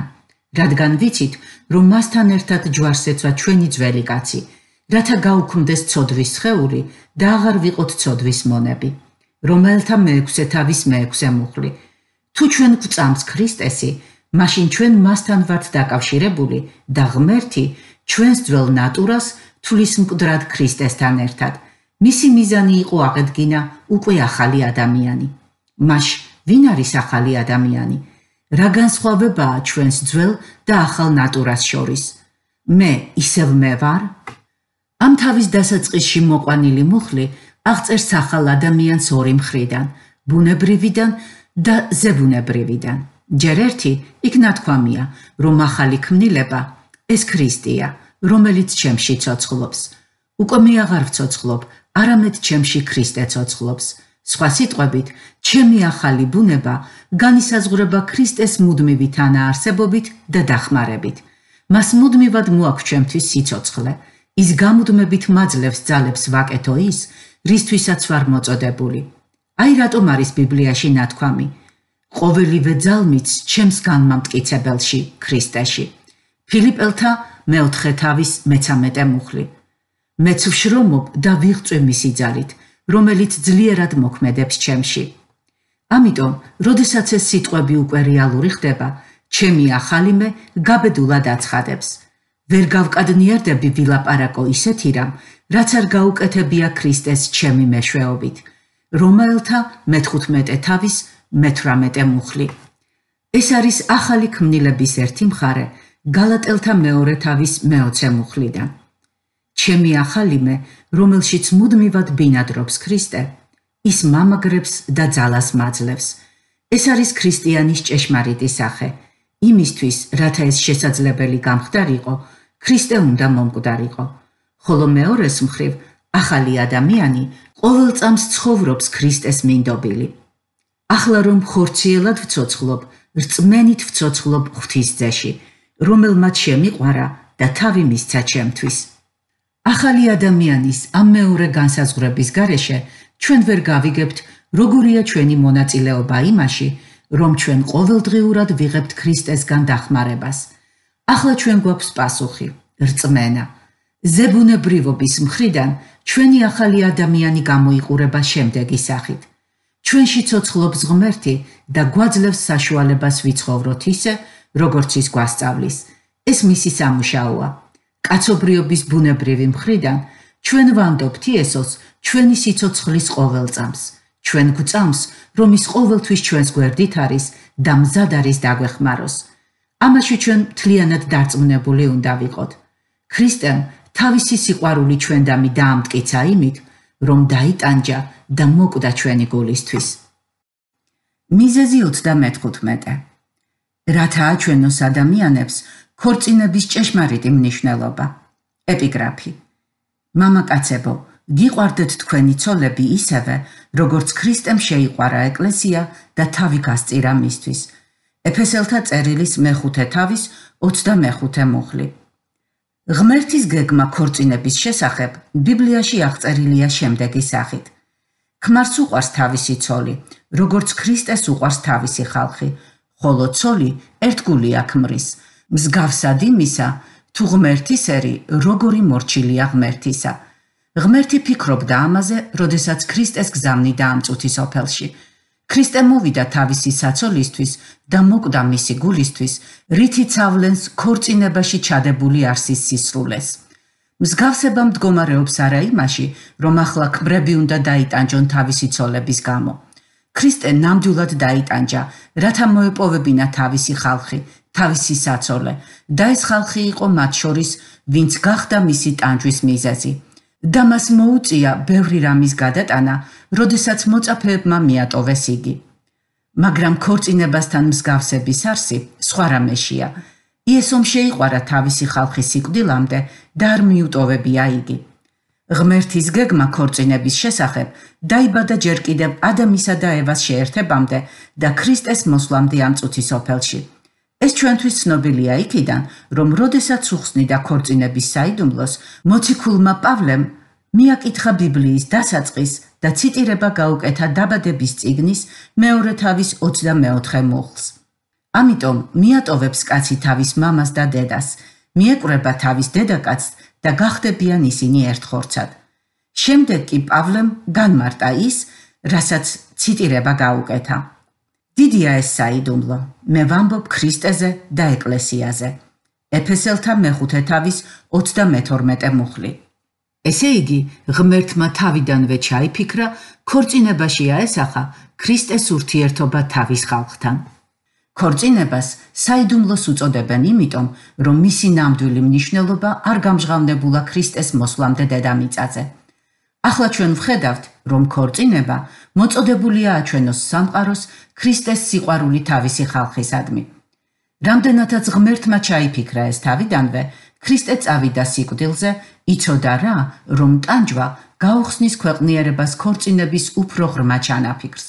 ქრისტეს უნებანი იყო ცოცხალი გზავნილი, რომელიც უპირველეს ყოვლისა მიმართული იყო ქმრების მიმართ. აი როგორ უნდა უყვარდეს ქმარს თავისი ცოლი. ღმერთის თავდაპირველი ჩანაფიქრით, ქორწინება უნდა იყოს ბედნიერი, მაგრამ სამწუხაროდ, ბევრი მეუღლეები უბედურნი არიან დღესდღეობით. ეს არის ცოდვის შედეგი. ცოდვის გამო ჩვენ ასე ცუდად ვექცევით ერთმანეთს. ქრისტე ეწამა და მოკვდა, რათა ეს შეცვალოს. ცოლებს თავისი წილი პასუხისმგებლობა აკისრია თამცვლილებებში, მაგრამ მთავარ როლს ღმერთი მაინც უთმობს ქმრებს. აი რატომ არის ბიბლიაში ნათქვამი.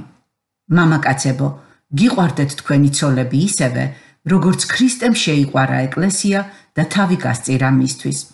ეფესელთა მეხუთე თავის 25 მუხლი. ქმარი, ეს ქრისტე არ არის, მაგრამ ის მოწოდებულია იყოს ქრისტეს მსგავსი. ქმარი ბაძავს ღმერთს თავისი მზადყოფნით იტანჯოს თავისი ცოლის სასიკეთოდ. არ დაამციროს მისი ღირსება და შეურაცხყოფა არ მიაყენოს მას. ქმარი მოწოდებულია გადაიტანოს ტანჯვა ცოლის დასაცავად გარე შეტევებისგან, რომელთაც შეუძლიათ მისთვის ზიანის მიყენება და მოითმინოს კიდეც იმედგაცრუება და შეურაცხყოფა მისი მხრიდან. ჩვენ შეგვიძლია გვიყვარდეს ერთმანეთი ასეთი სიყვარულით, რადგან ქრისტე მოკვდა როგორც ქმრებისთვის, ასევე ცოლებისთვის. ჩვენი ცოდვები მოგვეტევა და ჩვენი მეუღლეების ცოდვებიც ასევე მიტევებულია. მეტი აღარ არის საჭირო ერთმანეთს ტკივილები მივაყენოთ. ქრისტე უკვე ეწამა ჩვენი გულისთვის და ჩვენ ახლა ორმა ცოდვილმა, მაგრამ უკვე მიტევებულმა ადამიანმა შეგვიძლია ჩვენი ბოროტება ვაქციოთ სიკეთედ. მიზეზი 36 რათა ჩავუნერგოთ ადამიანებს სიკეთის კეთების დაუკავებელი სურვილი. ეპიგრაფი იესომ თავი დასდო ჩვენთვის, რათა გამოვესყიდეთ ყოველგვარი ურჯულოებისგან და განეწმინდა თავისთვის რჩეული ხალხი კეთილი საქმეების მოშურნე. ტიტეს მეორე თავის მე-14 მუხლი. თავად ქრისტიანობის გულშია ჭეშმარიტება იმის შესახებ, რომ ღმერთმა გვაპატია და მიგვიღო არა იმიტომ, რომ კეთილი საქმეები გავაკეთეთ, არამედ გვაქციოს ისეთებად, რომ შეგვეძლოს და მზად ვიყოთ მათ გასაკეთებლად. ბიბლიაში ნათქვამია, რომ ღმერთმა გვიხსნა არა ჩვენი საქმეების მიხედვით. მეორე ტიმოთეს პირველი თავის მე-9 მუხლი. კეთილი საქმეები არ არის ჩვენი ხსნის საფუძველი, არამედ მისი შედეგი. ქრისტე დაიტანჯა და მოკვდა არა იმიტომ, რომ ჩვენ წარმოვდგინეთ მას ჩვენი დამსახურებების სია, არამედ რათა განეწმინდა თავისთვის რჩეული ხალხი კეთილი საქმეების მოშურნე. სწორედ ეს არის მადლი. ჩვენ ვერ შევძლებთ ღმერთთან სწორი ურთიერთობის დამყარებას საკუთარ კეთილ საქმეებზე დაყრდნობით. ეს არის ღმერთის საჩუქარი. ჩვენ მხოლოდ მისი მიღება შეგვიძლია რწმენით და უნდა გავუფრთხილდეთ მას როგორც ფასდაუდებელ საგანძურს. აი რატომ არის ბიბლიაში ნათქვამი. ვინაიდან მადლით ხართ გადარჩენილები, რწმენის მეშვეობით და ეს თქვენგან კი არ არის, არამედ ღვთის ნიჭია. არა საქმეთაგან, რათა არავინ დაიყვეხნოს. ეფესელთა მეორე თავის მერვე მეცხრე მუხლები. ქრისტე დაიტანჯა და მოკვდა, რადგან კეთილი საქმეები იყოს არა პირობა, არამედ იმის შედეგი, რომ ღმერთი გვიღებს ჩვენ. გასაკვირი არ არის, რომ შემდეგ მუხლში ნათქვამია: ვინაიდან ვართ ქრისტე იესოში შექმნილნი კეთილი საქმეებისთვის. მაშასადამე, ჩვენ გადავრჩით კეთილი საქმეების საკეთებლად და არა კეთილი საქმეებით. და ქრისტეს მიზანი იყო მოეცა ჩვენთვის კეთილი საქმეების კეთების ნიჭი და ასევე ჩაედო ჩვენში სიკეთის კეთების გულწრფელი სურვილი. იესო მოკვდა, რათა ჩვენ გვაქციოს კეთილი საქმეების მოშურნე. ესე იგი, მგზნებარე სიკეთის მკეთებელნი. ქრისტე მოკვდა არა იმიტომ, რომ უბრალოდ კარგად ვიქცეოდეთ ძალდატანებით. ის მოკვდა, რათა ჩვენს გულებში აეღორძინებინა ძლიერი სურვილი კეთილი საქმეების კეთებისა. ქრისტიანული სისუფთავე ეს არის არამხოლოდ მზადყოფნა ბოროტებისგან გაქცევისა, ასევე სიკეთისკენ სწრაფვა. იესომ გადაიხადა უზომოდ დიდი საფასური, რათა გაეღვიძებინა ჩვენში ძლიერი სურვილი კეთილი საქმეებისა. და აი რატომ? რომ ანათებდეს თქვენი ნათელი ადამიანთა წინაშე, რათა ხედავდნენ ისინი თქვენს კეთილ საქმეებს და ადიდებდნენ თქვენს მამას, რომელიც ზეცაშია. მათეს სახარების მეხუთე თავის მე-16 მუხლი. ქრისტიანების კეთილ საქმეებში განდიდებულია ღმერთი. მათი წყალობით ქვეყნიერება ხედავს ღმერთს. სწორედ ამ დიდებისთვის დაიტანჯა და მოკვდა ქრისტე. როდესაც ღმერთი გუპატიობს ჩვენ, როდესაც ის გვიღებს როგორც თავის შვილებს, ჩვენ ვთავისუფლდებით შიშისგან, სიამაყისგან და სიძუნწისგან. ჩვენში იღვიძებს სხვებისადმი ისეთივე სიყვარულის სურვილი, როგორც ღმერთს ვუყვარვართ. ჩვენ ვმოქმედებთ მიუხედავად ჩვენი ინტერესებისა. ვუნაწილებთ იმას, რაც გაგვაჩნია და ზოგჯერ სიცოცხლესაც კი არ ვიშურებთ, რადგან მხოლოდ ქრისტეში ვგრძნობთ საკუთარ თავს უსაფრთხოდ. თუ ჩვენ სწორედ ასე გვიყვარს ადამიანები, ჩვენი ქმედებანი აღარ არის დამოკიდებული იმ ისწრაფებებზე, რაც ადამიანს ახასიათებს. როგორიცაა ეგოისტური თვითრეალიზაცია და თვითგადარჩენა. და მაშინ ჩვენი ყურადღება მიპყრობილია ჩვენ საგანძურზე, ღმერთზე, რომელმაც შეცვალა ჩვენი ცხოვრება და მოგცა მუდმივი სიმშვიდე და უსაფრთხოება ჩვენი სულისა. მაშ რომელ კეთილ საქმეებზე საუბრობს ბიბლია? უპირველეს ყოვლისა, წმინდა წერილი მოგვიწოდებს არ დავიშუროთ ჩვენი ძალები იმისთვის, რათა ვემსახუროთ გაჭირვებულებს, იმათ, ვისაც არაფერი გააჩნიათ და იმათ, ვინც იტაჯება ყველაზე მეტად. მაგალითად, ბიბლიაში ნათქვამია: ჩვენიანებმა ცისწავლონ კეთილი საქმეების კეთება უკიდურეს გასაჭირში დასახმარებლად, რათა უნაყოფონი არიყვნენ. ტიტეს მესამე თავის მე-14 მუხლი. ქრისტე მოკვდა, რათა ისეთ ადამიანებად ვექციეთ, რომელთაც ძლიერი სურვილი აქვთ დაეხმარონ საცოდავ და განწირულ ადამიანებს. ეს არის საუკეთესო ცხოვრების წესი და არა აქვს მნიშვნელობა რა ფასის გადახდა მოგვიწევს. გაჭირვებულები მიიღებენ დახმარებას, ჩვენ კი სიხარულს, ხოლო დიდება დაემხოლოდ ღმერთის იყოს. მიზეზი 37. რათა მიუბაძოთ მის მაგალითს თავმდაბლობასა და მოყვასის სიყვარულში. ეპიგრაფი. რადგან მადლი ის არის, თუ ვინმე სინდისის გამო უსამართლოდ იტანჯება და ღვთის გულისათვის იტანს გასაჭირს. ამისათვის ხართ მოწოდებულნი. ქრისტეც ხომ ეტანჯა თქვენთვის და მაგალითიც დაგვიტოვა, რათა მის კვალს მიუყვათ. პეტრეს პირველი წერილის მეორე თავის მე-19-21 მუხლები. იფიქრეთ იმაზე, ვინც მოითმინა ესოდენი სიძულვილი ცოდვილთაგან, რათა თქვენ არ გატეხილიყავით სულ დაძაბუნებულნი. ჯერ კიდევ სისხლამდე არ მდგახართ ცოდვის წინააღმდეგ საბრძოლველად. ებრაელთა წერილის მე-12 თავის მე-3-4 მუხლები. რადგან ის აზრები, რაც ქრისტეშია, იყოს თქვენს შორისაც. ის, თუმცა ღვთის ხატება იყო, მიტაცება თართული და ღვთის თანასწორად ყოფნას, არამედ წარმოიცარიელა თავი და მიიღო მონის ხატება. გახდა კაც და მსგავსი და შესახედაობით კაც და ემსგავსა. დაიმდაბლა თავი და მორჩილი გახდა თვით სიკვდილამდე, ჯვარცმით სიკვდილამდე. ფილიპელთა წერილის მეორე თავის მეხუთე მერვე მუხლები. მიბაძვას არ მოაქვს ხსნა, თუმცა ხსნას მიბყავართ მიბაძვასთან.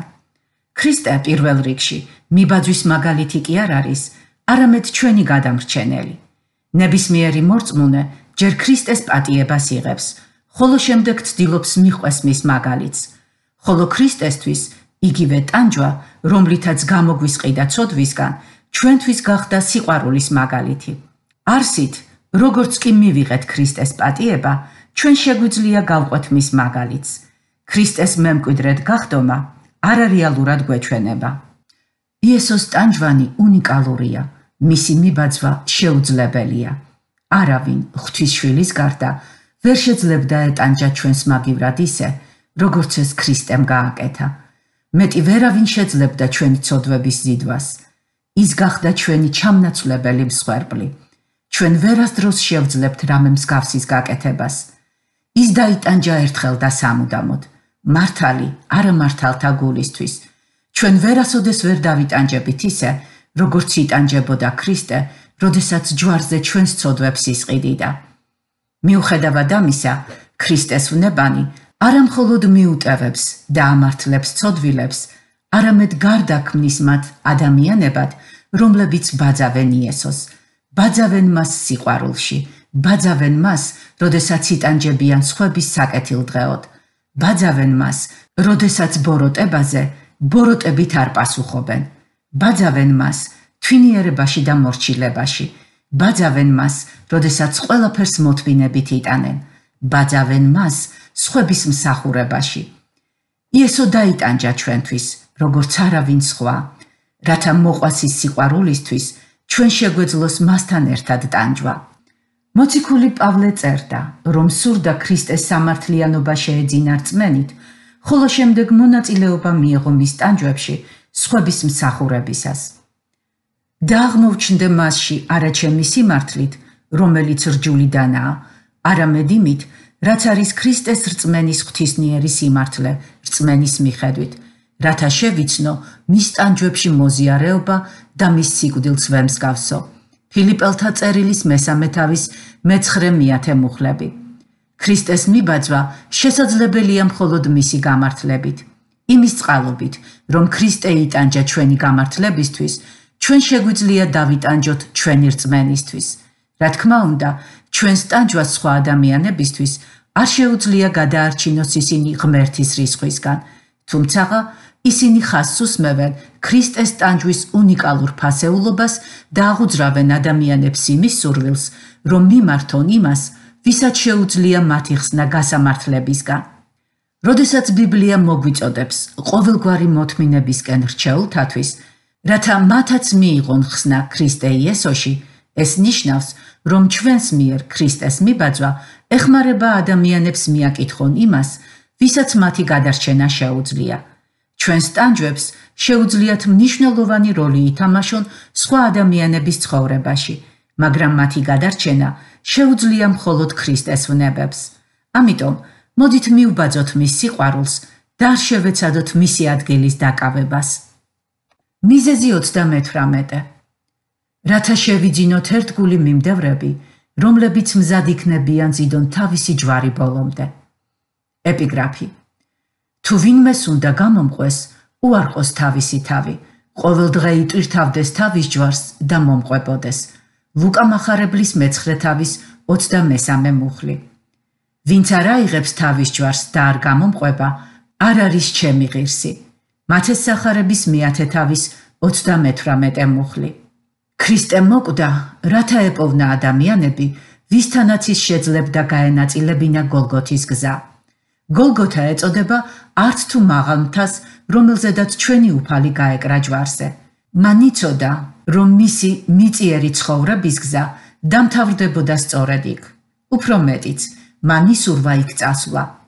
ლუკა מחარებლის მეცხრე თავის 51 მუხლი. არაფერ შეეძლო წინააღმდეგობა გაეწია მისი მისიისთვის, რათა მომკვდარიყო. მან იცოდა, სად და როდის მოხდებოდა ეს. როდესაც იერუსალიმში მიმავალ გზაზე იესო გააფრთხილეს იმის შესახებ, რომ ის საფრთხეში იყო, რადგან იროდ მეფე ცდილობდა მის შეპყრობას, ის არ შეჩერდა. ქრისტემ უკუაგდო თავად იმის შესაძლებლობა, რომ იროდი შეძლებდა ღმერთის გეგმის ჩაშლას. მან უთხრა მათ: "წადით და უთხარით იმ მელას: აჰა, ვდევნი ეშმაკებს და ვკურნავ დღესა და ხვალ. მესამე დღეს კი დავასრულებ." ლუკა מחარებლის მეცამეტე თავის 32 მუხლი. ყველაფერი გეგმის მიხედვით მიდიოდა. და როდესაც ბოლოს და ბოლოს ის დააპატიმრეს ჯვარზე გაკვრის წინაღამეს, მან თქვა: ყოველივე ეს მოხდა იმიტომ, რომ ახსრულდეს წინასწარმეტყველთა წერილები. მათეს სახარების 26 თავის 56 მუხლი. ფიგურალურად თუ ვიტყვით, გოლგოთის გზა ეს არის შეხვედრის ადგილი იესოსთან. მან უკვე განვლო ეს გზა, ის მოკვდა, აღსდგა და ახლა მეფობს ცათა სასუფეველში. ის კვლავ მოვა დედამიწაზე, თუმცა დღეს ქრისტე ხვდება თითოეულ მასთან მიმსვლელს გოლგოთის გზაზე, ჯვრისკენ მიმავალ გზაზე. და ის ყოველთვის ამბობს: თუ ვინმეს უნდა გამომყვეს, უარყოს თავისი თავი, ყოველ დღე იტვირთავდეს თავის ჯვარს და მომყვებოდეს. ლუკას სახარების მეცხრე თავის 23 მუხლი. როდესაც ქრისტე მიდიოდა ჯვარზე, მან იცოდა, რომ მრავალ მორწმუნეს მოუწოდებს გახვეს მას იმავე გზაზე. ქრისტე არაპირებს კლავს სიკვდილს, მაგრამ ჩვენ უნდა მოვკვდეთ. როდესაც ის მოგვიწოდებს, ავიღოთ ჩვენი ჯვარი, ის პირდაპირ ამბობს: მოდი და მოკვდი. ჯვარი იყო საშინელი სასჯელის ცისრულეში მოყვანის ადგილი. ქრისტეს დროს ჯვრის, როგორც სამკაულის ტარება ყელზე, იყო სრულიად არაბუნებრივი, ისევე როგორც დღეს რომ ჩამოიკიდო მინიატურული ელექტროსკამი ან თოკი ლინჩისთვის. იესოს სიტყვები ხალხს ალბათ აშინებდა. ვინც არ აიღებს თავის ჯვარს და არ გამომყვება, არ არის ჩემი ღირსი. მათეს სახარების მეათე თავის 38 მუხლი. ასევე დღესაც ეს სიტყვები აფხიზლებს. სულ მცირე ისინი გულისხმობენ, რომ როდესაც მე მივყვები იესოს, როგორც ჩემს მხსნელს და ღმერთს, ჩემი ძველი ნატურა უნდა გაეკრას ჯვარს. ყოველ დღე ჩემს თავს უნდა ვთვლიდე მკვდრად ცოდვისთვის და ცოცხლად ღმერთისთვის. სწორედ ეს არის სიცოცხლის გზა. ასევე თქვენც ჩათვალეთ თქვენი თავი ცოდვისათვის მკვდრებად და ღვთისათვის ცოცხლებად ქრისტე იესოში. რომელთა წერილის მეექვსე თავის მე-11 მუხლი. მაგრამ გოლგოთის გზის გავლა ქრისტესთან ერთად ნიშნავს რაღაც უფრო მეც. იესო მოკვდა, რათა ჩვენ წუთის ოფელში მისი შეურაცხყოფა შემოგვეტანა. იესო კარიბჭის გარეთ იტანჯა. მას გავიდეთ მასთან ბანაკის გარეთ და ვიტვირთოთ მისი შეურაცხყოფა. ებრაელთა წერილის მე-13 თავის მე-12 მე-13 მუხლები. აქ საუბარია არამხოლოდ მის შეურაცხყოფაზე. თუ საჭირო იქნება, ჩვენ მზად უნდა ვიყოთ მოწამეობრივი სიკვდილისთვის. ბიბლიაში ქრისტეს ზოგიერთი მიმდევარი ცნობილია სწორედ ამით. მათ გამოიმარჯვეს სატანაზე კრავის სისხლით და მათი მოწმობის სიტყვით და არ შეიყვარეს თავიანთი სული თვით სიკვდილამდე. ამრიგად, ღვთის კრავმა დაღვარა თავისი სისხლი, რათა ჩვენ დაგვემარცხებინა ეშმაკი, როგორც მისი სისხლის ნდობით, ასევე საკუთარი სისხლის დაღვრით. იესო მოგვიწოდებს ჩვენ დავადგეთ გოლგოთის გზას. ჩვენი ცხოვრება არ იქნება იოლი, მაგრამ იქნება დიდებული. მოდით. მიზეზი 39. რათა გაგვათავისუფლოს სიკვდილის შიშისგან. ეპიგრაფი. რაკი ბავშვები სისხლისა და ხორცის მოზიარენი არიან, თავადაც ეზიარა მათ, რათა სიკვდილით გაახარწყლოს ის, ვისაც სიკვდილის ხელმწიფება აქვს. ესე იგი ეშმაკი და გაათავისუფლოს ისინი, ვინც სიკვდილის შიშით მთელი სიცოცხლე მონობაში იყო. ებრაელთა წერილის მეორე თავის მე-14-მე-15 მუხლები. იესო მკვლელს უწოდებს სატანას. ის კაცის მკვლელი იყო თავიდან და ჭეშმარიტებაში ვერ დადგა, რადგან არა ამასში ჭეშმარიტება, რადგან ცრუა იგი და სიცრუის მამაა. იოანეს სახარების მერვე თავის 44 მუხლი. თუმცა სატანის მთავარი მიზანი არ არის მკვლელობა, არამედ წყევლა და შეურაცხყოფა. უფრო მეტიც, ის ყოველთვის ცდილობს დამალოს ჯოჯოხეთის საშინელებები და ქმნის იმის ილუზიას, რომ მისი მიმდევრები ცხოვრობენ ხანგრძლივი და ბედნიერი ცხოვრებით. ადარებს რა მათ ცხოვრებას წმინდანების ტანჯვებს. სატანას თავისთავად არ შეუძლია ადამიანის დაღუპვა. მისი ძალა მდგომარეობს ცოდვაში და სიცრუეში. რომელსაც ის აღრცელებს. სამუდამო სიკვდილი მოაქვს მხოლოდ მიუტევებელ ცოდვას. ვერავით არის ჯადოქრობა, გრძნეულება, წყევლა, შავი მაგია, მოჩვენება, ხმები თავისთავად ვერ შეძლებენ ადამიანის დაცვას ჯოჯოხეთში. ერთადერთი სასიკვდილო იარაღი, რომელსაც სატან აფლობს, ეს არის სიცრუე. მისი ყველაზე დიდი ტყუილი კი იმაში მდგომარეობს, რომ ამ ცხოვრებაში საჭიროა საკუთარი თავის განდიდება და არა იესო ქრისტესი, რომ უკეთესია გიყვარდეს ცოდვა და არა სამართლიანობა. თუ ამ იარაღს წავართმევთ, სატანა დაკარგავს სამუდამო სიკვდილის ძალას. სწორედ ამისთვის მოვიდა ქრისტე, რათა წაართვას ეშმაკს ეს იარაღი. მან აიღო თავის თავზე ჩვენი ცოდვები, დაიტანჯა მათი გულისთვის და ახლა სატანას მეტი აღარ შეუძლია გამოიყენოს ჩვენს წინააღმდეგ თავისი იარაღი. შეუძლია ჩვენი დაცინვა? კი. შეუძლია აბუჩა დაგდება? კი. მაგრამ ჩვენი დაწყევლა მას არ შეუძლია. ქრისტე მაიღო წყევლა ჩვენს მაგივრად. როგორც არ უნდა ეცადოს ჩვენს განადგურებას, ახლა მას საამისო ძალა აღარ გააჩნია. ღმერთის რისხვა აღარ არის ჩვენზე. ღმერთის მადლია ჩვენი ფარი და სატანას ჩვენს წინააღმდეგ არაფერი აღარ შეუძლია. იმისთვის, რომ ჩვენთვის ეს თავისუფლება მოენიჭებინა, ქრისტე უნდა გამხდარიყო ადამიანი. სხვაგვარად ის ვერ შეძლებდა სიკვდილს. მხოლოდ ღმერთის ძის სიკვდილს შეეძლო დაემარცხებინა ის, ვისაც ჰქონდა სიკვდილის ძალა. სწორედ ამიტომაა ბიბლიაში ნათქვამი: რა კი ბავშვები სისხლისა და ხორცის მოზიარენი არიან, ესე იგი აქვთ ადამიანური ბუნება, თავადაც ეზიარა მათ, ასევე გახდა ადამიანი. რათა სიკვდილით გააქარწყლოს ის, ვისაც სიკვდილის ხელმწიფება აქვს. ესე იგი ეშმაკი. ებრაელთა წერილის მეორე თავის მე-14 მუხლი. როდესაც ქრისტე მოკვდა კაცობრიობის ცოდვებისთვის, მან სატანას ხელიდან გამოსტაცა მისი სასიკვდილო იარაღი. ესე იგი, მიუტევებელი ცოდვა. ქრისტეს სურდა კაცობრიობა გაეთავისუფლებინა სიკვდილის შიშისგან. თავისი სიკვდილით მან გაანთავისუფლა ისინი, ვინც სიკვდილის შიშით მცელი სიცოცხლე მონობაში იყო. ებრაელთა წერილის მეორე თავის მე-15 მუხლი. სიკვდილის შიში ჩვენ გვაქცევს მშიშარა და საწოდავ მონებად. იესო მოკვდა, რათა მოეცა ჩვენთვის თავისუფლება. სიკვდილის შიში თვითგადარჩენისა და მოსაწყენი თვითკმაყოფილების მონური ბორკილები განადგურებულია ქრისტეს მსხვერპლ შეწირული სიყვარულით. ჩვენ თავისუფალდი ვართ გვიყვარდეს, ისევე როგორც ქრისტეს თუნდაც საკუთარი სიცოცხლის ფასად. ეშმაკს შეუძლია მოკლას ჩვენი სხეული, მაგრამ ის ვერასოდეს ვერ შეძლებს ჩვენი სულის მოკლას. ქრისტეში ჩვენ უსაფრთხოდ ვართ. ჩვენი მოკვდავის სხეულიც კი ერთხელაც იქნება და აღდგება. ხოლო თუ თქვენში იმყოფება მისი სული, ვინც მკვდრეთით აღადგინა იესო, მაშინ ის, ვინც ქრისტე იესო აღადგინა მკვდრეთით, თქვენს მოკვდავ შეულებსაც გააცოცხლებს თავისი სულით, რომელიც თქვენშია დამკვიდრებული. რომელთა წერილის მერვე თავის მე-11 მუხლი.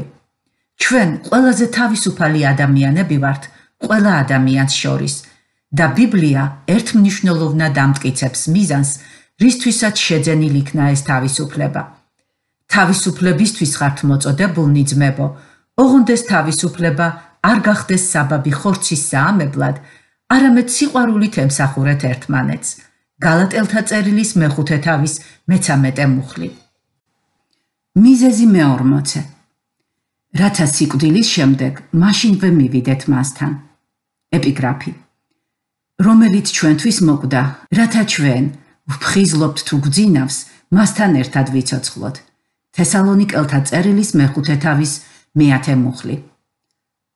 ვინაიდან ჩემთვის სიცოცხლე ქრისტეა და სიკვდილი მონაგები, მიზი დავსორივე, სურს წავიდე და ვიყო ქრისტესთან, რა კი ეს ბევრად უკეთესია. ფილიპელთა წერილის პირველი თავის 21-23 მუხლები. მხნედა ვართ და გვირჩევნია ხელს განშორდეთ და უფალთან დავბინავდეთ. მეორე კორინთელთა წერილის მეხუთე თავის მერვე მუხლი. ბიბლია არ უწოდებს ჩვენს ხელს ბოროტს. ქრისტიანობა არ გავს ძველ ბერძნულ რელიგიებს, რომლებიც ხელს ტვირთად თვლიდნენ და მისგან განთავისუფლებას სიხარულად. არა, სიკვდილია ჩვენი მტერია. როდესაც ჩვენი სხეული კვდება, ჩვენ ვკარგავთ რაღაც უძვირფასეს. ქრისტე არ არის სხეულის წინააღმდეგი, პირიქით, ისე მხრობა მას. ამ საკითხში ბიბლია უკიდურესად ნათელია. სხეული არის არა მრუშობისათვის, არამედ უფლისათვის, ხოლო უფალი სხეულისათვის. კორინთელთა პირველი წერილის მეექვსე თავის მე-13 მუხლი. ეს მშვენიერი განცხადებაა ღმერთის სხეულისთვის. თუმცა იქამდე არ უნდა მივიდეთ, ვთქვათ, რომ სხეულის გარეშე ჩვენი ცხოვრება არ იქნება შეგნებული. ბიბლია არაფერს მსგავს არ გვასწავლის. ქრისტემ მოკვდა არა მხოლოდ იმის გულისთვის, რათა სხეული გამოესყიდა. მას სურს სულიც ისევე მიახლოვოს თავისთან იმდენად, რომ სხეულის გარეშეც ჩვენ მასთან შეგვეძლოს ყოფნა. ეს უდიდესი ნუგეშია სიცოცხლეშიც და სიკვდილშიც. ქრისტემ მოკვდა, რათა ნუგეშცემულნი ვიყოთ ამ იმედით. ერთის მხრივ ბიბლიაში საუბარია სიკვდილზე და სხეულის დაკარგვაზე, როგორც ერთგვარ სულის გაშიშვლებაზე. ვინაიდან ჩვენ ამ კარავში, ესე იგი სხეულში, ტვირთქვეშ ვოხრავთ, რადგან გახდა კი არ აქვსოს, არამედ შემოსვა, რათა მოკვდავი შთაინთქას სიცოცხლით. კორინთელთა მეორე წერილის მეხუთე თავის მეოთხე მუხლი. სხვა სიტყვებით, უკეთესი იქნებოდა, რომ მაშინვე გადავსულიყავით ხრწნადი, მიწიერის ხეულიდან აღმდგარ სხეულში და არა ჰაერში გამოკიდებულ მდგომარეობაში, სანამ ჩვენი სხეული სამარეში იქნება. სწორედ ასე გადავლენ ერთი მდგომარეობიდან მეორეში ისინი, ვინც სიცოცხლეში ნახავს ქრისტეს დაბრუნებას დედამიწაზე. მეორეს მხრივ, ბიბლია განადიდებს ამ შუალედურ მდგომარეობას, როდესაც ჩვენი სული იქნება ცათა სასუფეველში, ხოლო სხეული სამარეში. ეს ჯერ კიდევ არ არის საბოლოო დიდება. მაგრამ მაინც დიდებაა. ჩვენ ვკითხულობთ: სიცოცხლე ქრისტეა და სიკვდილი მონაგები. ფილიპელთა წერილის პირველი თავის 21-ე მუხლი. მონაგები. მართალია, დროებით ვკარგავთ ჩვენს ხელს, ესე იგი ვშიშულდებით, მაგრამ მამაში არის რაღაც უფრო მეტი, შეძენა. რატომ? იმიტომ რომ ქრისტიანისთვის სიკვდილი ნიშნავს სახლში, ქრისტესთან დაბრუნებას. როგორც ამბობდა მოციქული პავლე მიზი დავსორივე სურს წავიდე და ვიყო ქრისტესთან რა კი ეს ბევრად უკეთესია. ფილიპელთა წერილის პირველი თავის 23 მუხლი. შეუდარებლად უკეთესია მაგრამ ჯერჯერობით არ შეგვიძენია ეს უკეთესი. ეს მოხდება მხოლოდ მაშინ როდესაც ხეული აღსდგება ჯანმრთელი და განდიდებული. შეუდარებლად უკეთესი ჯერ კიდევ წინ არის ცათასასუფეველში ჩვენ ვიქნებით ქრისტესთან შეუდარებლად ახლოს, თითქოს სახლში ვართ. პირველი ქრისტიანები ასეც ამბობდნენ. თუმცა მხნედ ვართ და გვირჩევნია გამშორდეთ ხელს, რათა უფალთან დავბინავდეთ. კორინთელთა მეორე წერილის მეხუთე თავის მერვე მუხლი. ისინი, ვისაც წამს იესო ქრისტესი, არ შეწყვეტენ არსებობას, როდესაც გარდაიცვლებიან. ჩვენი სული არ მიიძინებს სულიერი ძილით, როგორც ზოგიერთები ამბობენ. ჩვენ ვიქნებით ქრისტესთან ერთად. ჩვენ სახლში დავბრუნდებით. ეს შეუდარებლად უკეთესია. ეს არის შენაძენი. ეს არის ერთ-ერთი უდიდესი მიზეზი ქრისტეს ტანჯვისა, რომელიც ჩვენთვის მოკვდა, რათა ჩვენ გვძინავს თუ გვიძავს მასთან ერთად ვიცოცხლოთ. თესალონიკელთა პირველი წერილის მეხუთე თავის მეათე მუხლი. საფლავში ყოფნისას ჩვენი სხეული ახლოსაა ძილის მდგომარეობასთან. ჩვენ თავად კი ამ დროს ვიმყოფებით ქრისტესთან ცათასასუფეველში და ჩვენი იმედი ძალიან დიდია. ერთხელაც ჩვენი სხეული აღსდგება, მაგრამ როგორ მდგომარეობაშიც არ უნდა ვიყოთ, ქრისტესთან ყოფნა ნებისმიერ კეთილდღეობაზე ძვირფასია. მიზეზი 41. რათა ჩვენ შევძლოთ მკვდრეთით აღდგომა. ეპიგრაფი. თუ დავენერგეთ მას სიკვდილის მსგავსებაში, ასევე ვიქნებით მისი აღდგომისას, რომელთა წერილის მეექვსე თავის მეხუთე მუხლი. ის, ვინც ქრისტე იესო აღადგინა მკვდრეთით, თქვენს მოკვდავს ხეულებსაც გააცოცხლებს თავისი სულით, რომელიც თქვენშია დამკვიდრებული. რომელთა წერილის მერვე თავის მე-11 მუხლი. თუ მასთან დავიხოცეთ, მასთან ერთად ვიცოცხლებთ. ტიმოთეს მეორე წერილის მეორე თავის მე-11 მუხლი. სიკვდილის გასაღები იყო ქრისტეს სამარხში, შიგნით. მიწიერი ცხოვრების პერიოდში იესო უამრავ სასწაულს ახდენდა. მან 12 წლის გოგონაც კი გააცოცხლა და კიდევ ორი ადამიანი. მაგრამ ისინი მაინც დაიხოცნენ თავის დროზე. იმისთვის, რომ ცოდვილები აღსდგნენ მკვდრეთით და აღარასოდეს დაიხოცონ, ქრისტე თავად უნდა მომკვდარიყო, შესულიყო სამარხში, აეღო გასაღები და გაეხსნა სიკვდილის კარი უკვე იქიდან, მეორე მხრიდან. იესო ქრისტეს აღდგომა ეს არის ღმერთის საჩუქარი და იმის დამადასტურებელი საბუთი, რომ მისი სიკვდილი იყო სავსებით გამართლებული. ქრისტემ განადგურა თავისი ხალხის ცოდვები და თავის თავზე მიიღო ღმერთის რისხვა. ყურადღება მიაქციეთ წმინდა წერილის შემდეგ ადგილას სიტყვას ამიტომ. ქრისტე იყო მორჩილი თვით სიკვდილამდე, ჯვარცმით სიკვდილამდე. ამიტომ ღმერთმაც აღამაღლა იგი. ფილიპელთა წერილის მეორე თავის მერვე მეცხრე მუხლები.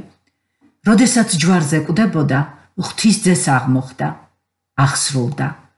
როდესაც აღადგინა იგი მკვდრეთით, მამა ღმერთმა თითქოს უპასუხა. ჭეშმარიტად აღსრულდა. იესოს სიკვდილით აღსრულდა უდიდესი სამუშაო – ჩვენი ცოდვები გამოსყიდულია, ღვთის სამართლიანობა დაკმაყოფილებულია. ჩვენ გავმართლდით. შემდეგ საფლავში იესომ მოიპოვა ძალაუფლება და ძალა, აეღო სიკვდილის გასაღები და გაეხსნა კარები ყველასთვის. ვინც რწმენით მივა მასთან. თუ ცოდვის საფასური უკვე გადახდილია, თუ სამართალი ყოველასთვის ხელმისაწვდომია, თუ სამართლიანობის მოთხოვნა დაკმაყოფილებულია, მაშინ უკვე ვერაფერი ვეღარ შეძლებს ქრისტეს და მისი ხალხის დაკავებას საფლავში და ამიტომ იესო გვამცნობს. მკვდარი ვიყავი და აჰა, ცოცხალი ვარ უკუნითი უკუნისამდე. მიპყრია სიკვდილისა და ჯოჯოხეთის გასაღები. გამოცხადების პირველი თავის მე-18 მუხლი. ბიბლია ბევრ საკითხს არ უთმობს იმდენ დროს, რამდენსაც ჭეშმარიტებას იმის შესახებ, რომ ვეკუთვნით რა ქრისტეს, ჩვენ ვიქნებით მასთან ერთად მკვდრეთით აღმდგარი. ვინაიდან თუ დავენერგეთ მას სიკვდილის მსგავსებაში, ასევე ვიქნებით მისი აღდგომისას, რომელთა წერილის მე-6 თავის მე-5 მუხლი. ვინაიდან თუ გწამს, რომ იესო მოკვდა და აღდგა, მაშინ უფალიესოში განსვენებულებსაც მიიყვანს მასთან ერთად. თესალონიკელთა პირველი წერილის მეოთხე თავის მე-14 მოხლი. ღმერთმა აღადგინა უფალიესო და ჩვენც აღგვადგენს თავისი ძალით. კორინთელთა პირველი წერილის მე-6 თავის მე-14 მოხლი. იესოს სიკვდილსა და ჩვენს აღდგომას შორის არსებობს კავშირი. სიკვდილის ნესტარია ცოდვა, ხოლო ცოდვის ძალა რჯულია. ჩვენ ყველანი ვწოდავთ, ხოლო ცოდვილებს კანონით ელოდებათ სამუდამო სიკვდილი. მაგრამ მიაქციეთ ყურადღება შემდეგ მუხლს. მადლობა ღმერთს, რომელიც გვაძლევს ძლევას ჩვენი უფლის იესო ქრისტეს მიერ. კორინთელთა პირველი წერილის მე-15 თავის 47 მუხლი. კანონის მოთხოვნა დაკმაყოფილებულია იესოს სიცოცხლით და სიკვდილით. ჩვენი ცოდვა ნაპატიებია. ცოდვამ დაკარგა თავისი ნესტარი. ამიერი და ნისინი, ვისაც ქრისტეს ისწამს, ვერ იხილავენ სამუდამო სიკვდილს. არამედ აღდგებიან უხრწნელად. მაშინ ახდება დაწერილი სიტყვა: სიკვდილი შთაინთქა ძლევით. კორინთელთა პირველი წერილის მე-15 თავის 42-44 მუხლები. სული სიღრმემდე შემძრელია ეს სიტყვები. ქრისტე გეძახით თქვენ, მაშ მიდით მასთან. მე ვარ აღდგომა და სიცოცხლე. ჩემი მორწმუნე კიდეც რომ მოკვდეს, იცოცხლებს. იოანეს სახარების მე-11 თავის 25 მუხლი. მიზეზი 42. რათა განაიარაღოს სულიერი მთავრობანი და ხელმწიფებანი. ეპიგრაფი. განჩინებებით წაშალა თანანადებთა ხელწერილი, რომელიც ჩვენს წინააღმდეგ იყო. აიღო იგი შუაგულიდან და ჯვარს მიამსჭვალა. განაიარაღა მთავრობანი და ხელმწიფებანი. სააშკარაოდ შეარცხვინა და ჯვრით იზეიმა მათზე გამარჯვება. კოლასელთა წერილის მეორე თავის მე-14-მე-15 მუხლები. ამისათვის გამოჩნდა ძეღთისა, რათა დაერღვია ეშმაკის საქმენი. იოანეს პირველი წერილის მესამე თავის მერვე მუხლი. ბიბლიაში სიტყვები მთავრობანი და ხელმწიფებანი შეიძლება ასახავდეს ადამიანურ მართლობას, ძალაუფლებას, მართვას, მაგრამ როდესაც ჩვენ ვკითხულობთ იმის შესახებ, რომ ჯვარზე იესომ განაიარაღა მთავრობანი და ხელმწიფებანი, სააშკარაოდ შეარცხვინა და იზეიმა მათზე გამარჯვება, ჩვენ გვესმის, რომ მოცემულ შემთხვევაში დემონურ ძალებთან გვაქვს საქმე, რომლის გავლენის ქვეშაც არის ეს სამყარო. უფრო გარკვევით ბოროტ ძალებზე საუბარია ეფესელთა წერილის მე-6 თავის მე-12 მუხლში. ჩვენი ბრძოლა არ არის სისხლისა და ხორცის წინააღმდეგ, არამედ მთავრობათა წინააღმდეგ, ხელმწიფებათა წინააღმდეგ, ამ წუთისოფლის სიბნელის მპყრობელთა წინააღმდეგ, ცისქვეშეთის ბოროტების სულთა წინააღმდეგ. სამჯერ უწოდა სატანას ამ წუთისოფლის მთავარი. იესომ თავისი სიცოცხლის ბოლო საათებში დედამიწაზე თქვა: ახლა ამ წუთისოფლის სამსჯავრო, ამ წუთისოფლის მთავარი ახლა გარეთ გაიდევნება. იოანეს სახარების მე-12 თავის 31 მუხლი. იესოს სიკვდილი იყო საბოლოოდ დამარცხება ამ წუთისოფლის მთავრისა. ესე იგი ეშმაკისა. ხოლო იქ, სადაც ეშმაკია, იქ არიან ყველა მისი დაცემული ანგელოზებიც. როდესაც იესო მოკვდა, ისინი ყველანი, როგორც მათი ბოსი, დამარცხდნენ. ეს არ ნიშნავს, რომ ისინი ყველანი იყვნენ განადგურებულნი. ბოროტ ძალებს ჩვენ დღემდე ვებრძვით, მაგრამ ახლა ისინი ყველანი ჩვენი დამარცხებული მტრები არიან. ჩვენ ვიცით, რომ გავიმარჯვებთ. თითქოს უშველებელ დრაკონს მოჰკვეთეს თავი. ის კი სისხლის განიცლება და მაინც ცდილობს წინააღმდეგობის გაწევას. ბრძოლა მოგებულია და მაინც ჩვენ ფრთხილად და ყურადღებით უნდა ვიყოთ, რათა ზიანი არ მოგვაყენოს სასიკვდილოდ განწირულმა. როდესაც იესო მოკვდა, მან გაანადგურა თანანადებთა ხელწერილი, რომელიც ჩვენს წინააღმდეგ იყო. აიღო იგი შუაგულიდან და ჯვარს მიამსჭვალა. ამით მან განაიარაღა მთავრობანი და ხელმწიფებანი. სააშკარაოდ შეარცხვინა. სხვა სიტყვებით, თუ ქრისტემ გადაიხადა ჩვენი ბალი და ღვთის კანონი აღარ გვდებს მსჯავრს, ეს ნიშნავს, რომ სატანას არავითარი საფუძველი აღარ გააჩნია, რომ დაგვადანაშაულოს. ქრისტემდე ეშმაკის ყველაზე მთავარი საქმე იყო ღმერთის ხალხის ბრალდება. თავად სიტყვა სატანა ნიშნავს მოწინააღმდეგეს, ბრალმდებელს. მაგრამ შეხედეთ რა მოხდა, როდესაც მოკვდა ქრისტე. ეს სიტყვები ეკუთვნის მოციქული იოანეს. და მომესმა მაღალი ხმაცაში, რომელიც ამბობდა: დადგახსნა ძალა და მეფობა ჩვენი ღმერთისა და მისი ცხებულის ხელმწიფება. რადგან ჩამოგდებულია ჩვენი ძმების ბრალმდებელი. გამოცხადების მე-12 თავის მეათე მუხლის თავისუფალი ინტერპრეტაცია. ქრისტემ დაამარცხა ჩვენი მტერი და განაიარაღა მთავრობანი და ხელმწიფებანი. ახლა არც ერთი ბრალდება არ იქნება წარმატებული იმათ წინააღმდეგ, ვინც ქრისტეშია. ვინ გაამტყუნებს ღვთის რჩეულებს? ღმერთია გამმართლებელი მათი, რომელთა წერილის მერვე თავის 33 მუხლი. ახლა ადამიანური და სატანური ბრალდებანი წარუმატებელია. სასამართლოს საქმე ჩვენს წინააღმდეგ დაიხურა. ჩვენი სიმართლე ქრისტეა, ჩვენი ბრალდებელი განიარაღებულია. თუ ის გაბედავს ჩვენს წინააღმდეგ გამოსვლას ღმერთის სასამართლოზე, სირცხვილი და შეურაცხყოფა დაფარავს მის სახეს. რამდენად გაბედულად და ბედნიერად შეგვიძლია წარსდგეთ ამ სამყაროს წინაშე, ადამიანების სიყვარულით და ქრისტეს მსახურებისკენ სწრაფით. არავითარი განსჯა არ არის მათთვის, ვინც ქრისტეშია. მას ზურგი ვაქციოთ ცდუნებებს, რომელსაც სატანა გვთავაზობს. მისი დაპირებანი მტკნარი სიცრუეა და თავადი სამიერიდან უძლურია. მიზეზი 43. რათა ღმერთის ძალა იღრებოდეს ევანგელიის ქადაგებაში. ეპიგრაფი. ვინაიდან სიტყვა ჯვრის შესახებ სისულელია მათთვის, რომელნიც იღუპებიან, ხოლო ჩვენთვის, რომელნიც გადავრჩებით, ღვთის ძალაა. კორინთელთა პირველი წერილის პირველი თავის მე-18 მუხლი. ვინაიდან მე არ მრცხვენია სახარებისა, რადგან ღვთის ძალაა იგი, ყოველი მორწმუნის სახსნელად ჯერი უდეველისა და მერე წარმართისაც, რომელთა წერილის პირველი თავის მე-16 მუხლი. ევანგელიე ნიშნავს კარგ ამბავს. უპირველეს ყოვლისა, ეს არის ახალი ამბავი და მხოლოდ შემდეგ ღვთისმეტყველება. ახალი ამბავი გვაგებინებს, რომ მოხდა რაღაც ისეთი, რაც ღირსია ყურადღებისა.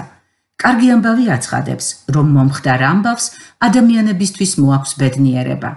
ევანგელიე ეს არის საუკეთესო ახალი ამბავი, რამდენადაც გვატყობინებს იმას, რომ ადამიანებისთვის მოაქვს სამუდამო ბედნიერება. ევანგელიე მოგვითხრობს ქრისტეს სიკვდილზე და აღდგომაზე. მოციქული პავლე გასაგებად გადმოსცემს ევანგელიის ამბავს. გაუწყებთ თქვენ ევანგელიე, რომ ქრისტე მოკვდა ჩვენი ცოდვებისთვის, როგორც წერილებშია, და რომ დაკრძალულ იქნა იგი და რომ აღდგა მესამე დღეს. შემდეგ გამოეცხადა 500-ზე მეტ ძმას ერთდროულად, რომელთა უმრავლესობა აქამდე ცოცხალია. კორინთელთა პირველი წერილის მე-15 თავის პირველი მე-6 მუხლები. ევანგელიე დაფუძნებულია ჭეშმარიტებაზე. ქრისტე მოკვდა ჩვენი ცოდვებისთვის, დაკრძალულ იქნა, აღდგა და გამოეცხადა 500-ზე მეტ ადამიანს. ამის მომსწრეთა უმრავლესობა ჯერ კიდევ ცოცხალია, წერდა პავლე. ეს კი ნიშნავს, რომ ევანგელიეს ჰქონდა უტყუარი დამამტკიცებელი საბუთები. მკითხველებს შეეძლოთ ამ მოწმეების მოძებნა და თავად შეეძლოთ მათი გამოკითხვა. ევანგელიე ეს არის ახალი ამბავი გაუბათილებელ ფაქტებზე, რომელიც შეეძლოთ დაედასტურებინათ იმათ, ვინც გახდა ქრისტეს სიკვდილის, მისი დაკრძალვის და აღდგომის ნათელმხილველი. ტრაგიკულია, რომ ბევრი ადამიანისთვის ეს კარგი ამბავი უაზრობად ჟღერს. პავლე ამბობს: ვინაიდან სიტყვა ჯვრის შესახებ სისულელია მათთვის, რომელნიც იღუპებიან, ხოლო ჩვენთვის, რომელნიც გადავრჩებით, ღვთის ძალაა. სწორედ იმისთვის მოკვდა ქრისტე, რათა აჩვენოს ეს ძალა. სახარება ღვთისა, ღვთის ძალაა ყოველი მორწმუნის სახსნელად. რომელთა წერილის პირველი თავის მე-16 მუხლი. რატომ არ ხედავს ყველა ადამიანი ქრისტეს სიკვდილში კარგ ამბავს? სანამ ევანგელიეს იწამებს, ადამიანმა უნდა დაინახოს მასში კეთილი და მართალი ამბავი. მაშ რატომ არის, რომ ზოგი ადამიანი ხედავს ამას, ზოგი კი არა.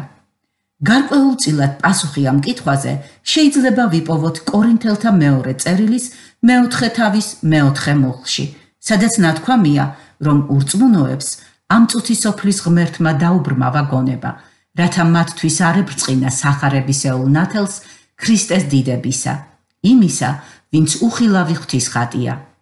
კორინთელთა მეორე წერილის მეოთხე თავის მეოთხე მუხლი. გარდა ამისა, ცოდვილი ადამიანის ბუნება მკვდარია, ჭეშმარიტი სულიერი რეალობის აღსაქმელად. მშვენიერი ადამიანი არღებულობს იმას, რაც ღვთის სულისაგან არის, ვინაიდან უგუნურებად მიიჩნევს. კორინთელთა პირველი წერილის მეორე თავის მე-14 მუხლი.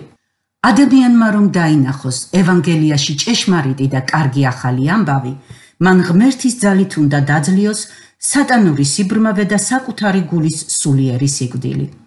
ბიბლიაში აი რატომ არის ნათქვამი, რომ თუმცა ზოგისთვის ევანგელიე არის სისულელე, ხოლო მოწოდებულთათვის ქრისტე არის ღვთისძალა და ღვთისციბრძნე. ეს მოწოდება არის ღმერთის წყალობა, რითიც ის გვანთავისუფლებს სულიერი სიკვდილისგან და სიბრმავისგან. ასე რომ, ჩვენ ვხედავთ ქრისტეს ჭეშმარიტს და კეთილს. ეს სიკეთე ღმერთის საჩუქარია, რისთვისაც ქრისტეს სისხლია გადახდილი. მიაპყარით თქვენი მზერა იესოს და შეევედრეთ ღმერთს, რომ შეგაძლებინოთ ქრისტეს ევანგელიის დანახვა და მიღება. მიზეზი 44. რათა გაანადგუროს რასობრივი შუღლი. ეპიგრაფი. მან, რომელმაც დაანგრია მათ შუამდგარი ზღუდე, გააუქმა მტრობა თავისი ხორცით, მცნებათა რჯული მცნებებით, რათა ორისაგან თავის თავში შეექმნა ერთი ახალი კაცი, შვიდობის მოყარე, და ერთ სხეულში ორივე შეერიგებინა ღმერთთან ჯვრის მეშვეობით, მტრობის მოკვდინებით მასში. ეფესელთა წერილის მეორე თავის მე-14-მე-16 მუხლები. ახალი აღთქმის პერიოდში იუდეველებსა და წარმართებს, ესე იგი არაიუდეველებს შორის ურთიერთობებში იყო ბევრი ეჭვი, ცრურწმენა და დამცირება ისევე, როგორც დღეს მსოფლიო სავსეა რასობრივი, ეთნიკური თუ ეროვნული მტრობით. ამის ერთ-ერთ მაგალითად გამოდგება კონფლიქტი, რომელიც წამოიჭრა ანტიოქიის ეკლესიაში პეტრესა და პავლეს შორის. პავლე აღწერს ამ ისტორიას შემდეგნაირად. როდესაც პეტრე, ანუ კეფა ანტიოქიაში მოვიდა, მეწინააღმდეგი მას საჯაროდ, ვინაიდან მასზე საჩივარი იყო. ვინაიდან ვიდრე ზოგიერთები მოვიდოდნენ იაკობისგან, წარმართებთან ერთად ჭამდა, ხოლო მათი მოსვლისთანავე დაიწყო ჩამოშორება და განზე გადგომა წინა დაცვეთილთა რიდით. გალატელთა წერილის მეორე თავის მე-11-მე-12 მუხლები. პეტრე ცხოვრობდა იესო ქრისტეს თავისუფლებაში. მიუხედავად იმისა, რომ ის იყო იუდაველი ქრისტიანი, ის ჭამდა ქრისტიან წარმართებთან ერთად. კედელი, რომელიც მათ ყოფდა, დანგრეული იქნა, ტრობა დამარცხებული იქნა, სწორედ ამისთვის მოკვდა იესო. თუმცა, როდესაც ერთხელ ანტიოქიაში მივიდნენ კონსერვატორი იუდეველები, პეტრე დაპანიკდა. ის შეშინდა, რომ მათ არ გაეკრიტიკებინათ და შეწყვიტა ურთიერთობა წარმართებთან. მოციქული პავლე ხედავდა, რაც ხდებოდა და რა გააკეთა მან საპასუხოდ. შეეცადა არჩარეულიყო კონფლიქტში. ცდილობდა შეენარჩუნებინა მშვიდობა კონსერვატორ და უფრო თავისუფალ ქრისტიან იუდეველებს შორის ანტიოქიაში, პავლეს პასუხი მდგომარეობს შემდეგში. მე დავინახე, რომ ისინი სწორად არ მიყვებიან სახარების ჭეშმარიტებას. ეს მნიშვნელოვანი განცხადებაა. რასობრივი და ეთნიკური დაყოფა ევანგელიის საკითხია. პეტრემ შიშის გამო შეწყვიტა ურთიერთობა ადგილობრივ ცხოვრებლებთან და მისი საქციელი არ იყო ჭეშმარიტად ევანგელიური. ქრისტემ მოკვდა, რათა დაენგრია ეს კედელი. პეტრემ კი ისევ დაიწყო მისი აღორძინება. ამიტომ პავლე არ დარჩა გულგრილი ამის მიმართ და არ წავიდა მშვიდობიან მოლაპარაკებაზე, რაც კომპრომისი იქნებოდა ევანგელიის ჭეშმარიტებისა. მან ყოველას თანდასწრებით ამხილა პეტრე.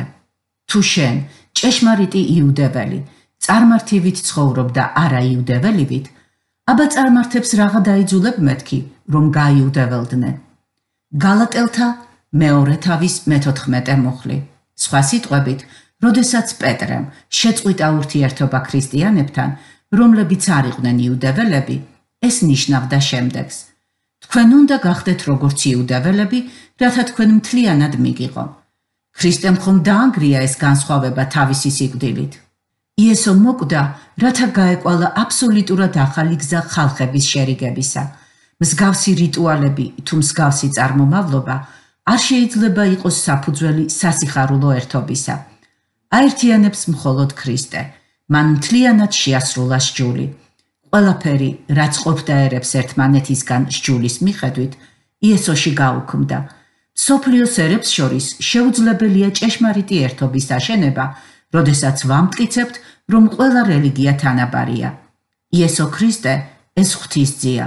ღმერთმა გამოაგზავნა ის სამწუთი სოფელში, და მხოლოდ მას შეუძლია ცოდვილების გადარჩენა და ერების ერთმანეთთან სამუდამოდ შერიგება. თუ ჩვენ ამას უარყოფთ, ამით ვანადგურებთ სამუდამო იმედის და სამუდამო ერთობის საფუძველს სოფლიო ერებს შორის. იესოს ჯვარზე სიკვდილით მოხდა რაღაც გრანდიოზული რამ.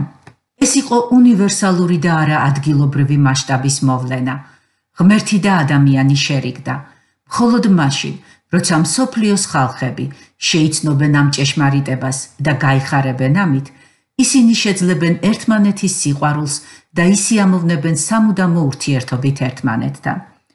ქრისტემ ადამიანსა და ღმერთს შორის დაბრკოლების დანგრევით განადგურა ასევე ერებს შორის ყოველგვარი მტრობა. მიზეზი 45.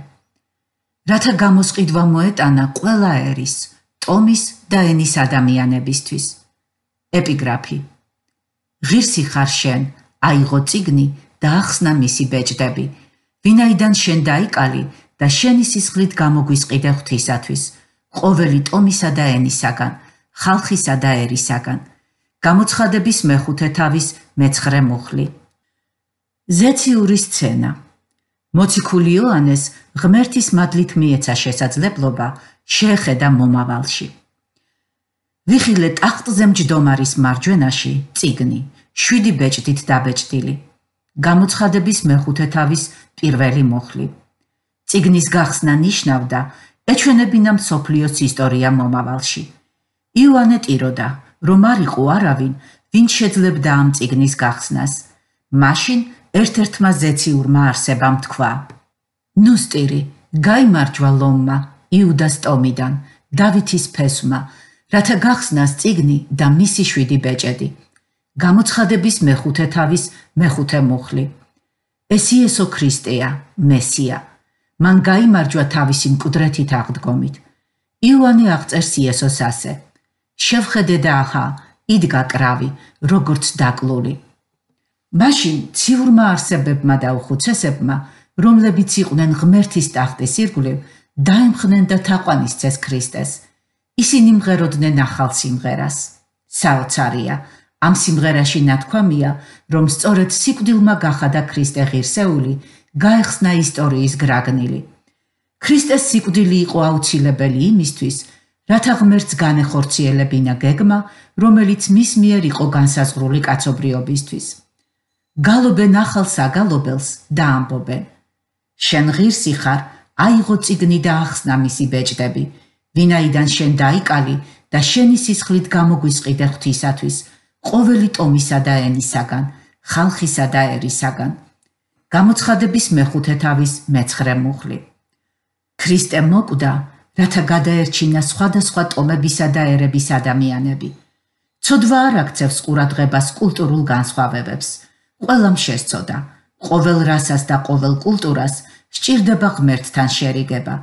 ცოდვის ავადმყოფობა აღწევს ყველგან, ასევე მოქმედებს განკურნებაც. იესომ, როდესაც ჯვარი უკვე ახლოს იყო, გაბედულად განაცხადა თავისი მისიის შესახებ. როცა აუმაღლდები მიწიდან, ყოველას ჩემთან მივიზიდა. იოანეს სახარების მე-12 თავის 32 მუხლი.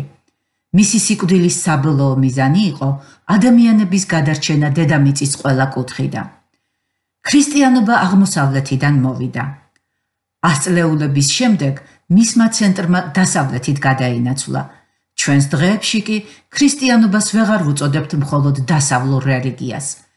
ქრისტესთვის ამაში გასაოცარი არაფერია. ჯერ კიდევ ძველ აღთქმაში ნაცინასწარმეტყველები იყო, რომ ქრისტე ზემოქმედებას მოახდენს მთელს მსოფლიოზე. გაიხსენებენ და უფალთან დაბრუნდებიან ქვეყნიერების ყველა კიდენი და თაყვანს ცემენ ყველა ტომი ხალხებისა. 21 ფსალმუნის 28-ვე მუხლი. გაიხარებენ და ილხენენ ერები. 66 ფსალმუნის მე-5 მუხლი. როდესაც ქრისტე ასრულებდა თავის მიწიერ მსახურებას, მან ნათლად თქვა თავის მისიაზე. ქრისტე უნდა ტანჯულიყო და მკვდრეთით აღმდგარიყო მესამე დღეს. უნდა ქადაგებულიყო მისი სახელით მონანიება ცოდვათა მისატევებლად ყველა ხალხში. ლუკას სახარების 24 თავის 46-47 მუხლები.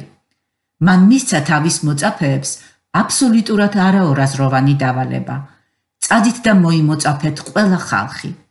მათეს სახარების 28 თავის მე-19 მუხლი. იესო ქრისტე არ არის ტომის კიდევ ერთი ღმერთუკა. ის არ მიეკუთვნება ერთ-ერთს ან ერთ ეთნიკურ ჯგუფს. ის არის ღვთისკრავი, რომელიც იღებს წუთისოფლის ცოდვას. იოანეს სახარების პირველი თავის 29 მუხლი. ამაში არ არის განსხვავება იუდეველსა და წარმართს შორის. ვინაიდან ერთი უფალი არის ყველაზე, ის უხვია ყველასთვის, ვინც მას მოუხმობს. რადგან ყოველი, ვინც უფლის სახელს მოუხმობს, გადარჩება. მოუხმეთ მას ახლა და შეუერთდით ქვეყნიერების გამოსყიდულთა დიდ ოჯახს.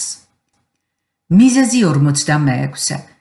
რათა ერთად მოუყაროს თავი ყველა თავის ცხარს თელს ქვეყნიერებაზე. ეპიგრაფი. ეს კაიაფას თავისით არ უთქვამს, არამედ მღვდელ მთავრობდა იმ წელიწადს და იწინასწარმეტყველა, რომ იესო ერისთვის მოკდებოდა და არა მარტო ერისთვის, არამედ იმისთვისაც, რომ ღვთის გაფანტული შვილები შეეკრიბა ერთად. იოანეს სახარების მე-11 თავის 51-52 მუხლები. მე სხვა ცხრებიც მყავს, არა ამ ფარეხისა. მე ისინიც უნდა მოვიყვანო. მოისმენენ ჩემს ხმას და იქნება ერთი ფარა და ერთი მწყემსი. ივანეს სახარების მიათეთავის მე-16 მუხლი. ღმერთ შეუძლია ვირის მეშვეობითაც ისაუბროს. იხილეთ რიცხვთა ციგნის 22 თავის 28 მუხლი. ასევე მას შეუძლია გამოიყენოს მქადაგებელი და სულიერი მოღვაწე. სწორედ ეს მოუვიდა კაიაფას, რომელიც დედამიწაზე ქრისტეს მოღვაწეობის დროს იყო მღვდელმთავარი ისრაელში.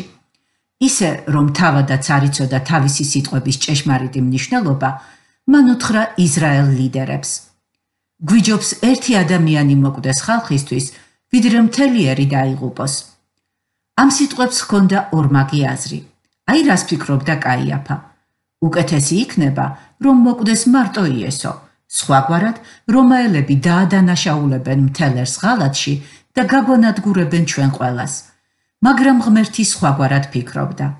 ამიტომ ბიბლიაში ნათქვამია: ეს კი კაიაფამ თქვა არა თავისთვის, არამედ მღვდელმთავრობდა იმ წელიწადს და იწინასწარმეტყველა, რომ იესო ერისთვის მოკვდებოდა და არა მარტო ერისთვის, არამედ იმისთვისაც, რომ ღვთის გაფანტული შვილები შეეკრიბა ერთად.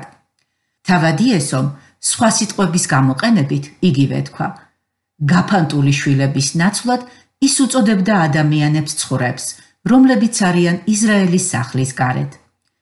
მე სხვა ცხურებიც მყავს, არა ამ ფარეხისა, მე ისინიც უნდა მოვიყვანო. მოისმენენ ჩემს ხმას და იქნება ერთი ფარა და ერთი მწყემსი. ორივე ანალოგია ძალიან მნიშვნელოვანია. ისინი იმაზე მეტყველებენ, რომ თელ დედამიწის ზურგზე გაფანტულნი არიან ადამიანები, რომელნიც ღმერთმა ამოირჩია და განსაზღვრა გადაერჩინა იესო ქრისტეს საშუალებით. ესენი არიან გაფანტული ღვთის შვილები და ცხრები არა ამ ფარეხისა. ეს ნიშნავს, რომ ღმერთს ნამდვილად გადაწყვეტილი აქვს შეაგროვოს ხალხი თავისი ძისთვის.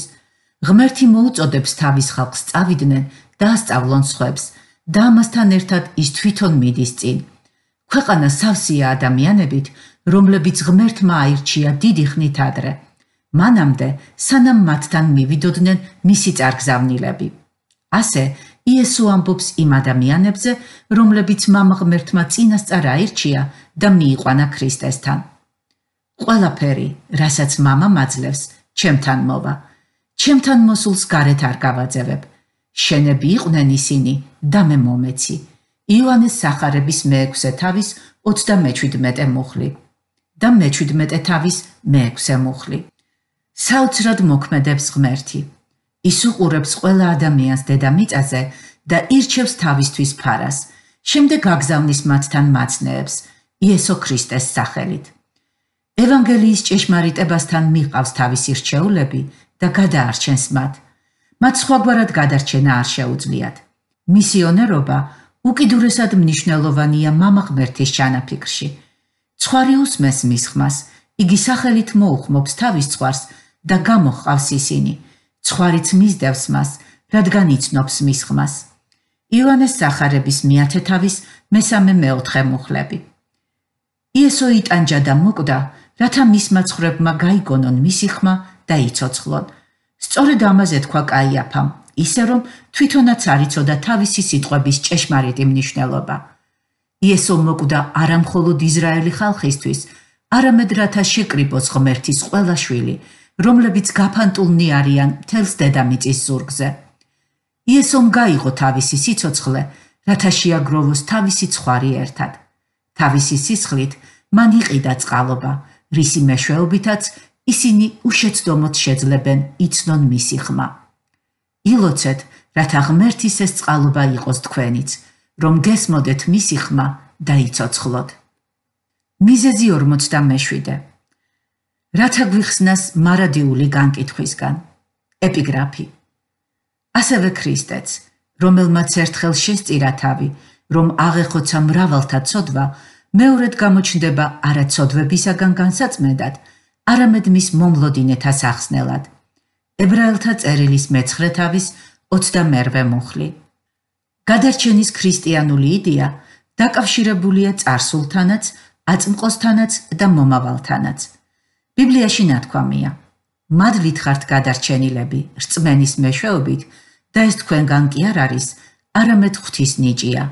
ეფესელთა წერილის მეორე თავის მერვე მუხლი. ასევე ნათქვამია, რომ ევანგელიე ჩვენთვის, გადარჩენილებისთვის, ღვთის ძალაა. ხოლო ახლა უფრო ახლოა ჩვენი ხსნა, ვიდრე მაშინ, როცა ვირწმუნეთ. ჩვენ გადავრჩით, ჩვენ გადარჩენილები ვართ და ჩვენ ვიქნებით გადარჩენილნი.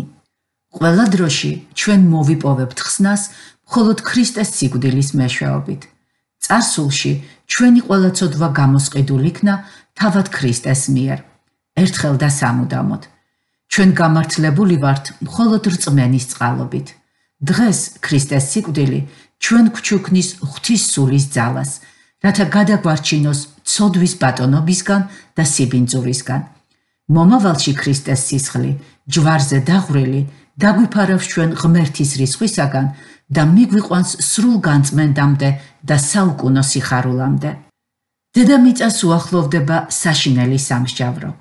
ბიბლია აღწერს სამსჯავროს საშინელ მოლოდინს და მოწინააღმდეგეთა მიერ გამზადებულ შურის ცეცხლს. სიტყვა მოგვიწოდებს ვიცხოვროთ მოწიწებითა და მოშიშებით, რადგან ჩვენი ღმერთი მჭამელი ცეცხლია. მათეს სახარების მესამე თავის მეშვიდე მუხლში ვხედავთ. ადამიანები როგორ გაურბოდნენ მომავალ რისხვას. აი რა მოხდება მომავალში. უფალიესოს გამოცხადება ციდან თავისი ძალის ანგელოზებით ურთ, რომელიც ცეცხლის ალით იძიებენ შურს მათზე, ვინც არ შეიცნო ღმერთი და არ ემორჩილება უფალიესოს სახარებას, ვინც სასჯელად მიისღავს მარადიულ დაღუპვას უფლის პირისაგან და მისი სიძლიერის დიდებისგან. თესალონიკელთა მეორე წერილის პირველი თავის მეშვიდე მეცხრე მუხლები. მომავალში ღმერთის სამსჯავროს ზოგიერთ სურათზე გაფიქრებაც კი საშინელებაა. საინტერესოა, რომ ჯოჯოხეთის ყველაზე საშინელ აღწერას ჩვენ ვკითხულობთ იოანესთან, რომელსაც უწოდებენ სიყვარულის მოციქულს. ის, ვინც უარყოფს ღმერთს და უპირატესობას ანიჭებს რაღაცა სხვას, წერს იოანე, შესვავს ღვთის მძვინვარების ღვინისაგან, რომელიც მისი რისხვის თასშია შემზადებული შეუზავებლად და დაიტანჯება ცეცხლსა და გოგირდში, წმინდა ანგელოზებისა და კრავის წინაშე. მათი წამების კვამლი იდინებს უკუნითი უკუნისამდე და არ ექნება მოსვენება არც დღისით და არც ღამით. გამოცხადების მე-14 თავის მე-11 მუხლები. მანამდე, სანამ ჩვენ არ ვიგრძნობთ მოწიწებულ ჯანსახშიშს ღმერთის მომავალი რისხვის მიმართ, ჩვენ ძნელად თუ გავიგებთ რა მოწიწებითელო და ადრეული ეკლესია ქრისტეს მხსნელ საქმეს მომავალში. ელოდოთ ზეციდან მისცეს, რომელიც მკვდრეთით აღადგინა იესოს, რომელიც მომავალი რისხვისაგან გვიხსნის ჩვენ. თესალონიკელთა პირველი წერილის პირველი თავის მეათე მუხლი. იესო ქრისტე, მხოლოდ მას ერთს შეუძლია ჩვენი გადარჩენა მომავალი რისხვისაგან.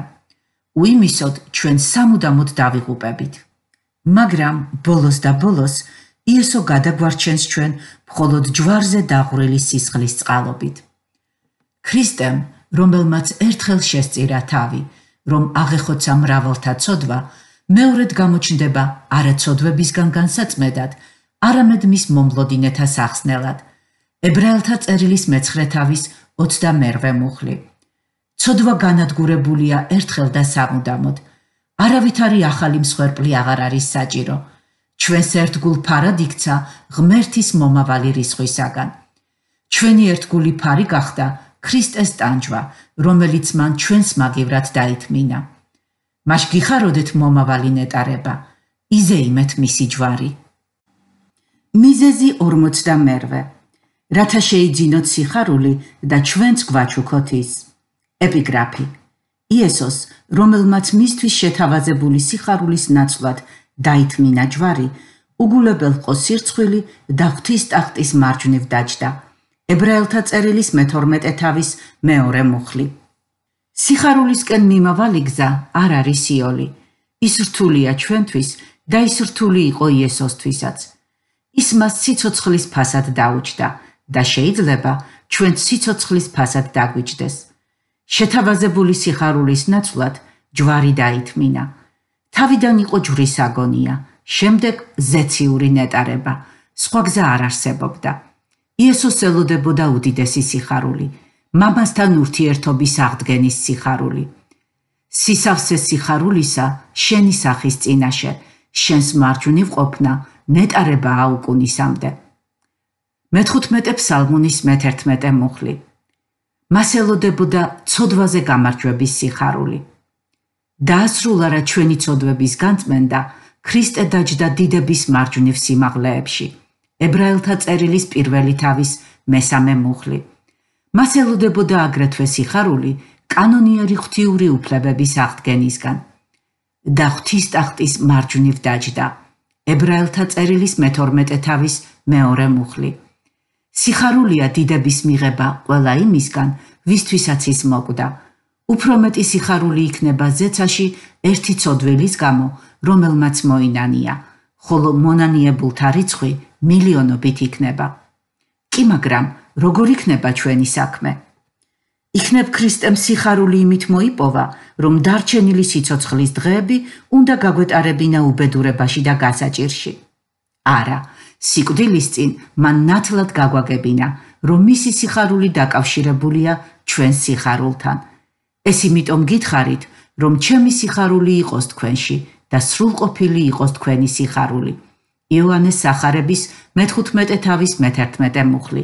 მან იცოდა, რომ მისი სიხარული იქნება უდიდესი და სრულყოფილი და ამიტომ თქვა: ჩემი სიხარული იყოს თქვენში.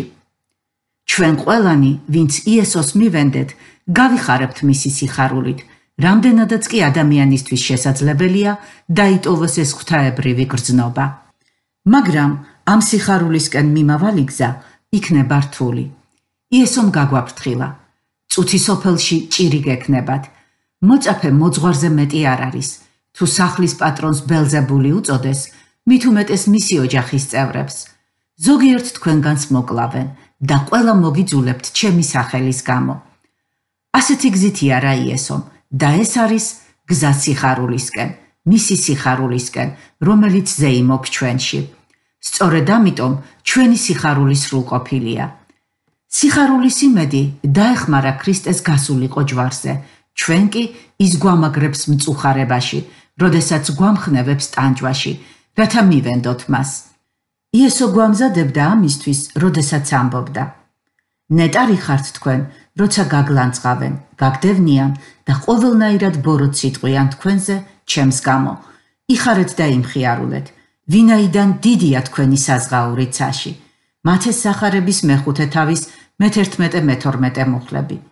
ჩვენი საჩუქარი იქნება იგივე სიხარული, რომელიც საჩუქა ღვთისძეს მისმა მამამ. იესო თავისი ნების გარეშე რომ მომკვდარიყო, მაშინ არც ის და არც ჩვენ ვერასოდეს ვერ შევძლებდით სიხარულს. ის ვერ შეძლებდა თავისი მისიის შესრულებას. ჩვენ კი დავიღუპებოდით ჩვენს ცოდვებში. მისი სიხარული ისევე როგორც ჩვენი ناقიდია ჯვარზე. ახლა ჩვენ მივყვებით მას სიყვარულის გზაზე. ჩვენ ვთვლით, რომ ახლანდელი ტანჯვანი არაფერია იმ დიდებასთან შედარებით, რომელიც გამოვლინდება ჩვენს მიმართ. რომელთა წერილის მერვე თავის მე-18 მუხლი. ჩვენ მასთან ერთად ვზიდავთ მის ლანძღვას, შეურაცხყოფას, დამცირებას, რადგან ვიცით, რომ წინ გველოდება ენით აღუწერელი სიხარული. ჩვენ შევძლებთ ნებისმიერი სირთულის გადალახვას, რომელსაც მოითხოვს ჩვენგან სიყვარული. არა იმიტომ, რომ გმირები ვართ. ჩვენი ძალა მომდინარეობს იმ იმედიდან, რომელიც ჩვენთვის არის მოცემული. ღამით გლოვა დაისადგურებს და ცისკრის ჟამს მხიარულება. 29 ფსალმუნის მე-6 მუხლი. მიზეზი 49. რათა მიიღოს დიდებისა და პატივის გვირგვინი. ეპიგრაფი. ვხედავთ, რომ სიკვდილის განცდის გამო დიდებით და პატივით დაგვირგვინებულია იესო. ებრაელთა წერილის მეორე თავის მე-9 მუხლი. გახდა კაც და მსგავსი და შესახედაობით კაც დაემსგავსა. დაიმდაბლა თავი და მორჩილი გახდა თვით სიკვდილამდე, ჯვარცმით სიკვდილამდე.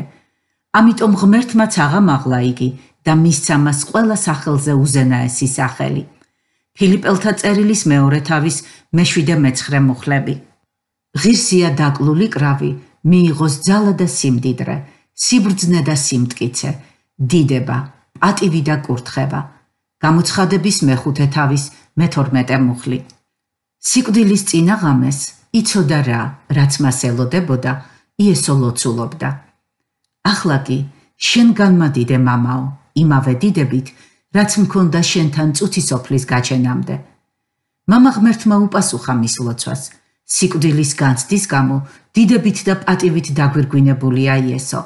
მისი დიდება გახდა საჩუქარი გადატანილი ტანჯვებისა. ის იყო მორჩილი თვით სიკვდილამდე. ამიტომ ღმერთმაც აღამაღლა იგი. სწორედ იმიტომ, რომ კრავი დაკლულ იქნა, ის ახლა ღირსია მიიღოს პატივი და დიდება. ქრისტეს უნებანი არამხოლოდ წინოსწრებდა მის დიდებას, ისინი იყო დიდების საფასური. გვირგვინი კი გახდა მისი საჩუქარი. ის მოგდა, რათა შეეძინა ის. ბევრს ამის გაგება არ ძალუც. როგორ შეიძლება ამას სიყვარული ეწოდოს? როგორ უნდა მიელტვოდეს ჩვენი სიხარული თავსებას, თუ მას სურს მთელი დიდების მოპოვება? ნუ თუ ქედმაღლობა გახდა სათნოება, ეს კარგი კითხვაა და მასზე არის მშვენიერი ბიბლიური პასუხი. პასუხი იმაში მდგომარეობს, რათა გავიგოთ, რა არის ნამდვილი სიყვარული. უმეტესობა ჩვენგანი ისე გავიზარდეთ, ვფიქრობდით, რომ ადამიანისადმი სიყვარული დასტურდება იმით, რომ მუდმივად აქებენ, თავსევლებიან, ადიდებენ და ხოტბას ასხამენ. მთელი ჩვენი წარმოდგენა სამყაროზე აგებულია ამ ვარაუდზე. თუ მე შენ მიყვარხარ, ეს ნიშნავს, რომ უნდა დაგითმო, რაც შეიძლება მეტი ყურადღება და ხელში აყვანილი უნდა გატარო. უნდა დაგეხმარო, კარგად იფიქრო საკუთარ თავზე და შენ იგრძნობ თითქოს და სიხარულის საიდუმლო შენი თავის განდიდებაში და ზეცამდე აყვანაშია.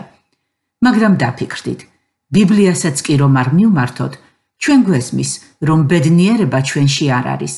ცხოვრებაში ჩვენი ყველაზე ბედნიერი წუთები იყო არასაკუთარი თავის სიყვარულში, არამედ პირიქით, როდესაც ჩვენ უბრალოდ ვივიწყებდით საკუთარ თავს. შესაძლოა ამ წუთებში ვტკბებოდით დიდი კანიონის სილამაზით, როდესაც ვიდექით მთის ძირში. ან შეიძლება ვუყურებდით მზის ჩასვლას სადღაც უდაბნოში. და გულში ისე თუ ეცარ სიხარულს ვგრძნობდით, თითქოს გავხდით ნამდვილი სასწაულის მოწმე. სწორედ ამისთვის შევიქმენით. სამოთხე არ გავს ცარკეებიან გალერეას. ეს არის განუზომელი სიდიადის დარბაზი და ეს არ არის ჩვენი სიდიადე. თუ ეს ყველაფერი ასია, თუ ქრისტე ნამდვილად ყველაზე დიდებული ფიგურაა მთელ სამყაროში, მაშინ რაში გამოიხატება მისი სიყვარული ჩვენდამი? რა თქმა უნდა, ის არ დაიწყებს ჩვენს ქებადიდებას. მან იცის, რომ ეს ვერ დააკმაყოფილებს ჩვენს სულს.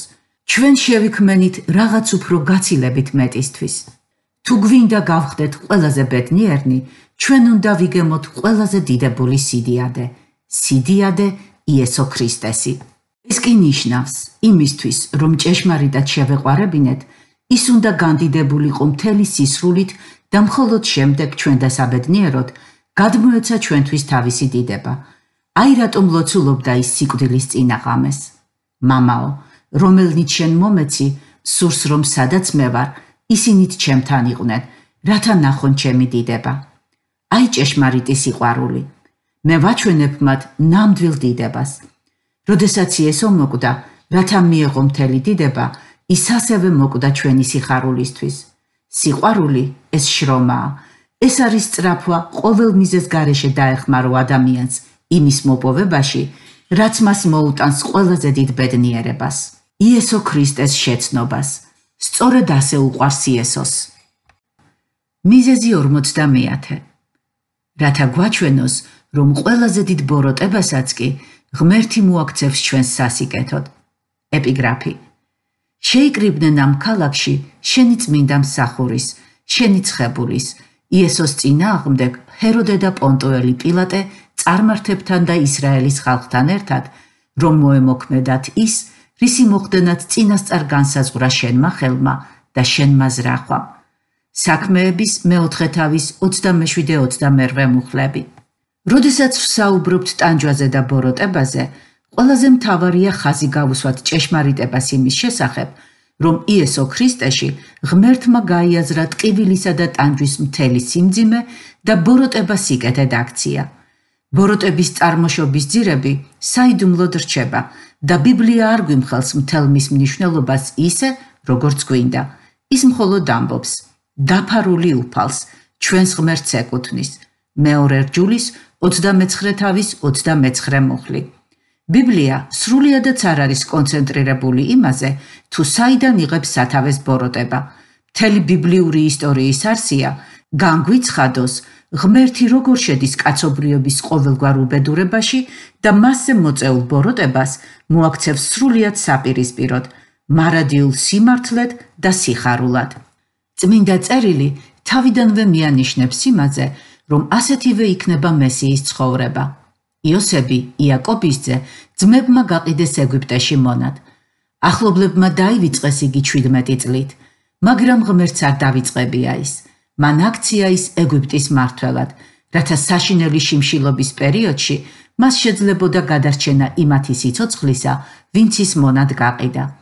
ბოლოს იოსები ეუბნება ძმებს: ბოროტება კი განიზრახეთ ჩემს წინააღმდეგ, მაგრამ ღმერთმა სიკეთედ მოაქცია იგი. გამოსვლის 50-ე თავის მე-20 მუხლი.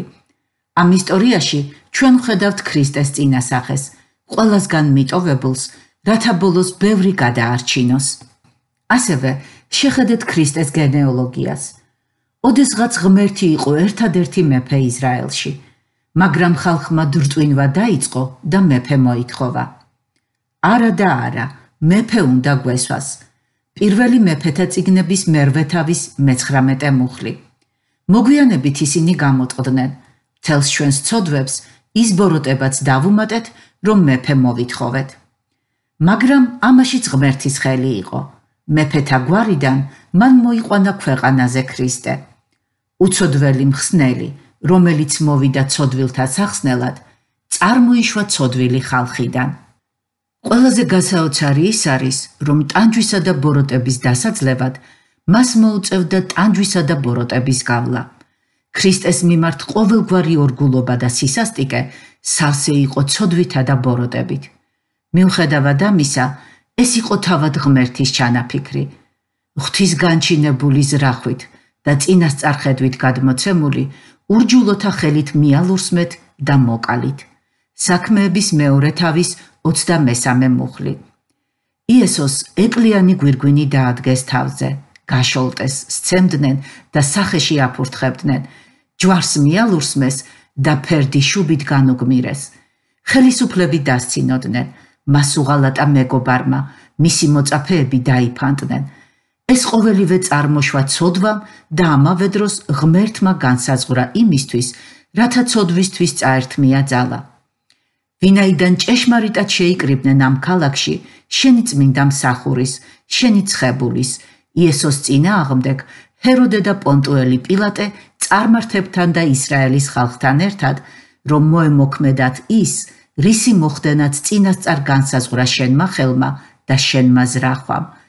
საქმეების მეოთხე თავის 27-28 მუხლები. არ არსებობს იმაზე დიდი ცოდვა, ვიდრე ღვთისძის სიძულვილი და მოკლა. არ არსებობდა უფრო უცოდველი ადამიანი, ვიდრე იესო. და ისტორიაში არ ყოფილა იმაზე უფრო მძიმე ტანჯვა, ვიდრე ქრისტეს ვნებანი, მაგრამ მამაშიც ღმერთის ხელი ჩანს. უფალმა ისურვა მისი შემოსვრა. ესაიას 53 თავის მეათე მუხლი. ღმერთმა ჩაიფიქრა გაევლო ტანჯვა და ბოროტება და დაემარცხებინა ისინი. მისი ჭრილობებით ჩვენ განვიკურნეთ. ესაიას 53 თავის მეხუთე მუხლი. ქრისტეს თავად ღმერთმა განუსაზღვრა ტანჯვა. განა არ ამტკიცებს ეს, რომ არ არსებობს ქვეყნიერებაზე ცოდვა და ბოროტება, რომელიც იქნებოდა ღმერთზე დიდი და რომლებსაც ის ვერ შემოაბრუნებდა სამუდამო სიმართლედ და სიხარულად.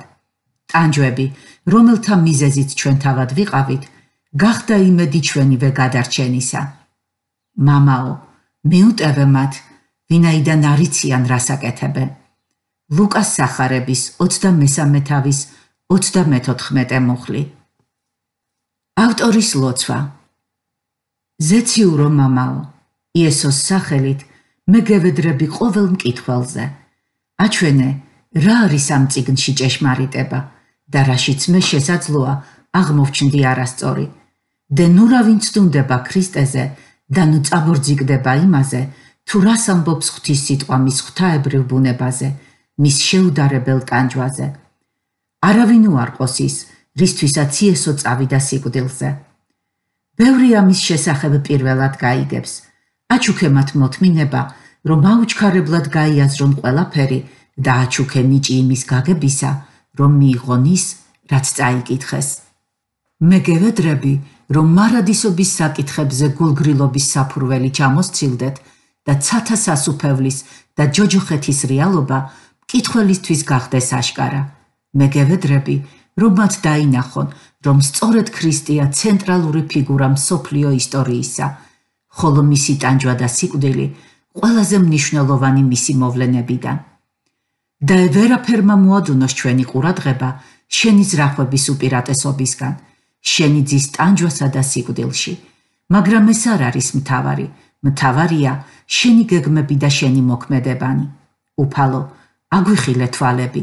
დაგვეხმარე დავინახოთ, რომ ქრისტეს ვნებანი შენი ჩანაფიქრია და არა ადამიანური. დაგვეხმარე, მткиცად ვიდგეთ ამ ჭეშმარიტებაზე და ვუმზიროთ უსაცრულო წყალობას და იმედს, რომელიც გამოგვიცხადე ქრისტეს ტანჯვაში. რა საოცარი ჭეშმარიტება გახსენი ჩვენს წინაშე. იესო ქრისტე მოვიდა ქვეყნიერებაზე ცოდვების სახსნელად, რათა გადაარჩინოს პირველ რიგში არა თავისი სწავლების სიტყვებით, არამედ მოწამებრივი სიკვდილით. წმინდა წერილის მიხედვით ქრისტე მოკვდა ჩვენი ცოდვების გამო. განა არის კი ქვეყანაზე ჩვენთვის ამაზე უფრო მეტი სასიხარულო ცნობა იმათთვის, ვისაც ისიც კი არ შეუძლია ყური დაუგდოს საკუთარ სინდისაც კი, რომ აღარაფერი ვთქვათ უკვე იმაზე, რომ დავემორჩილოთ შენი უწმინდესობის მოთხოვნებს. მოწყალეო მამავ, მაშ გვაჩუქე თითოეულს, ვინც ამ წიგს კითხულობს, უნარი, რომ დავინახოთ შენი საჭიროება, გვჯეროდეს, რომ ქრისტეს სიკვდილის წყალობით – შენ უკვე შეიძინე ყველაფერი რაც აუცილებელი იყო მის შესავსებად. ჩემს ლოცვაში მე ვიმედოვნებ შენი ძის სიტყვაზე. რამე თუ ისე შეიყვარა ღმერთმა წუთი სოფელი რომ მისცა თავისი მხოლოდ შობილიძე რათა ყოველი მისი მორწმუნე არ დაიღუპოს არამედ ჰქონდეს საუკუნო სიცოცხლე. მე გევედრები ღვთისმოწყალე შვილის იესო ქრისტეს სახელით. ამინ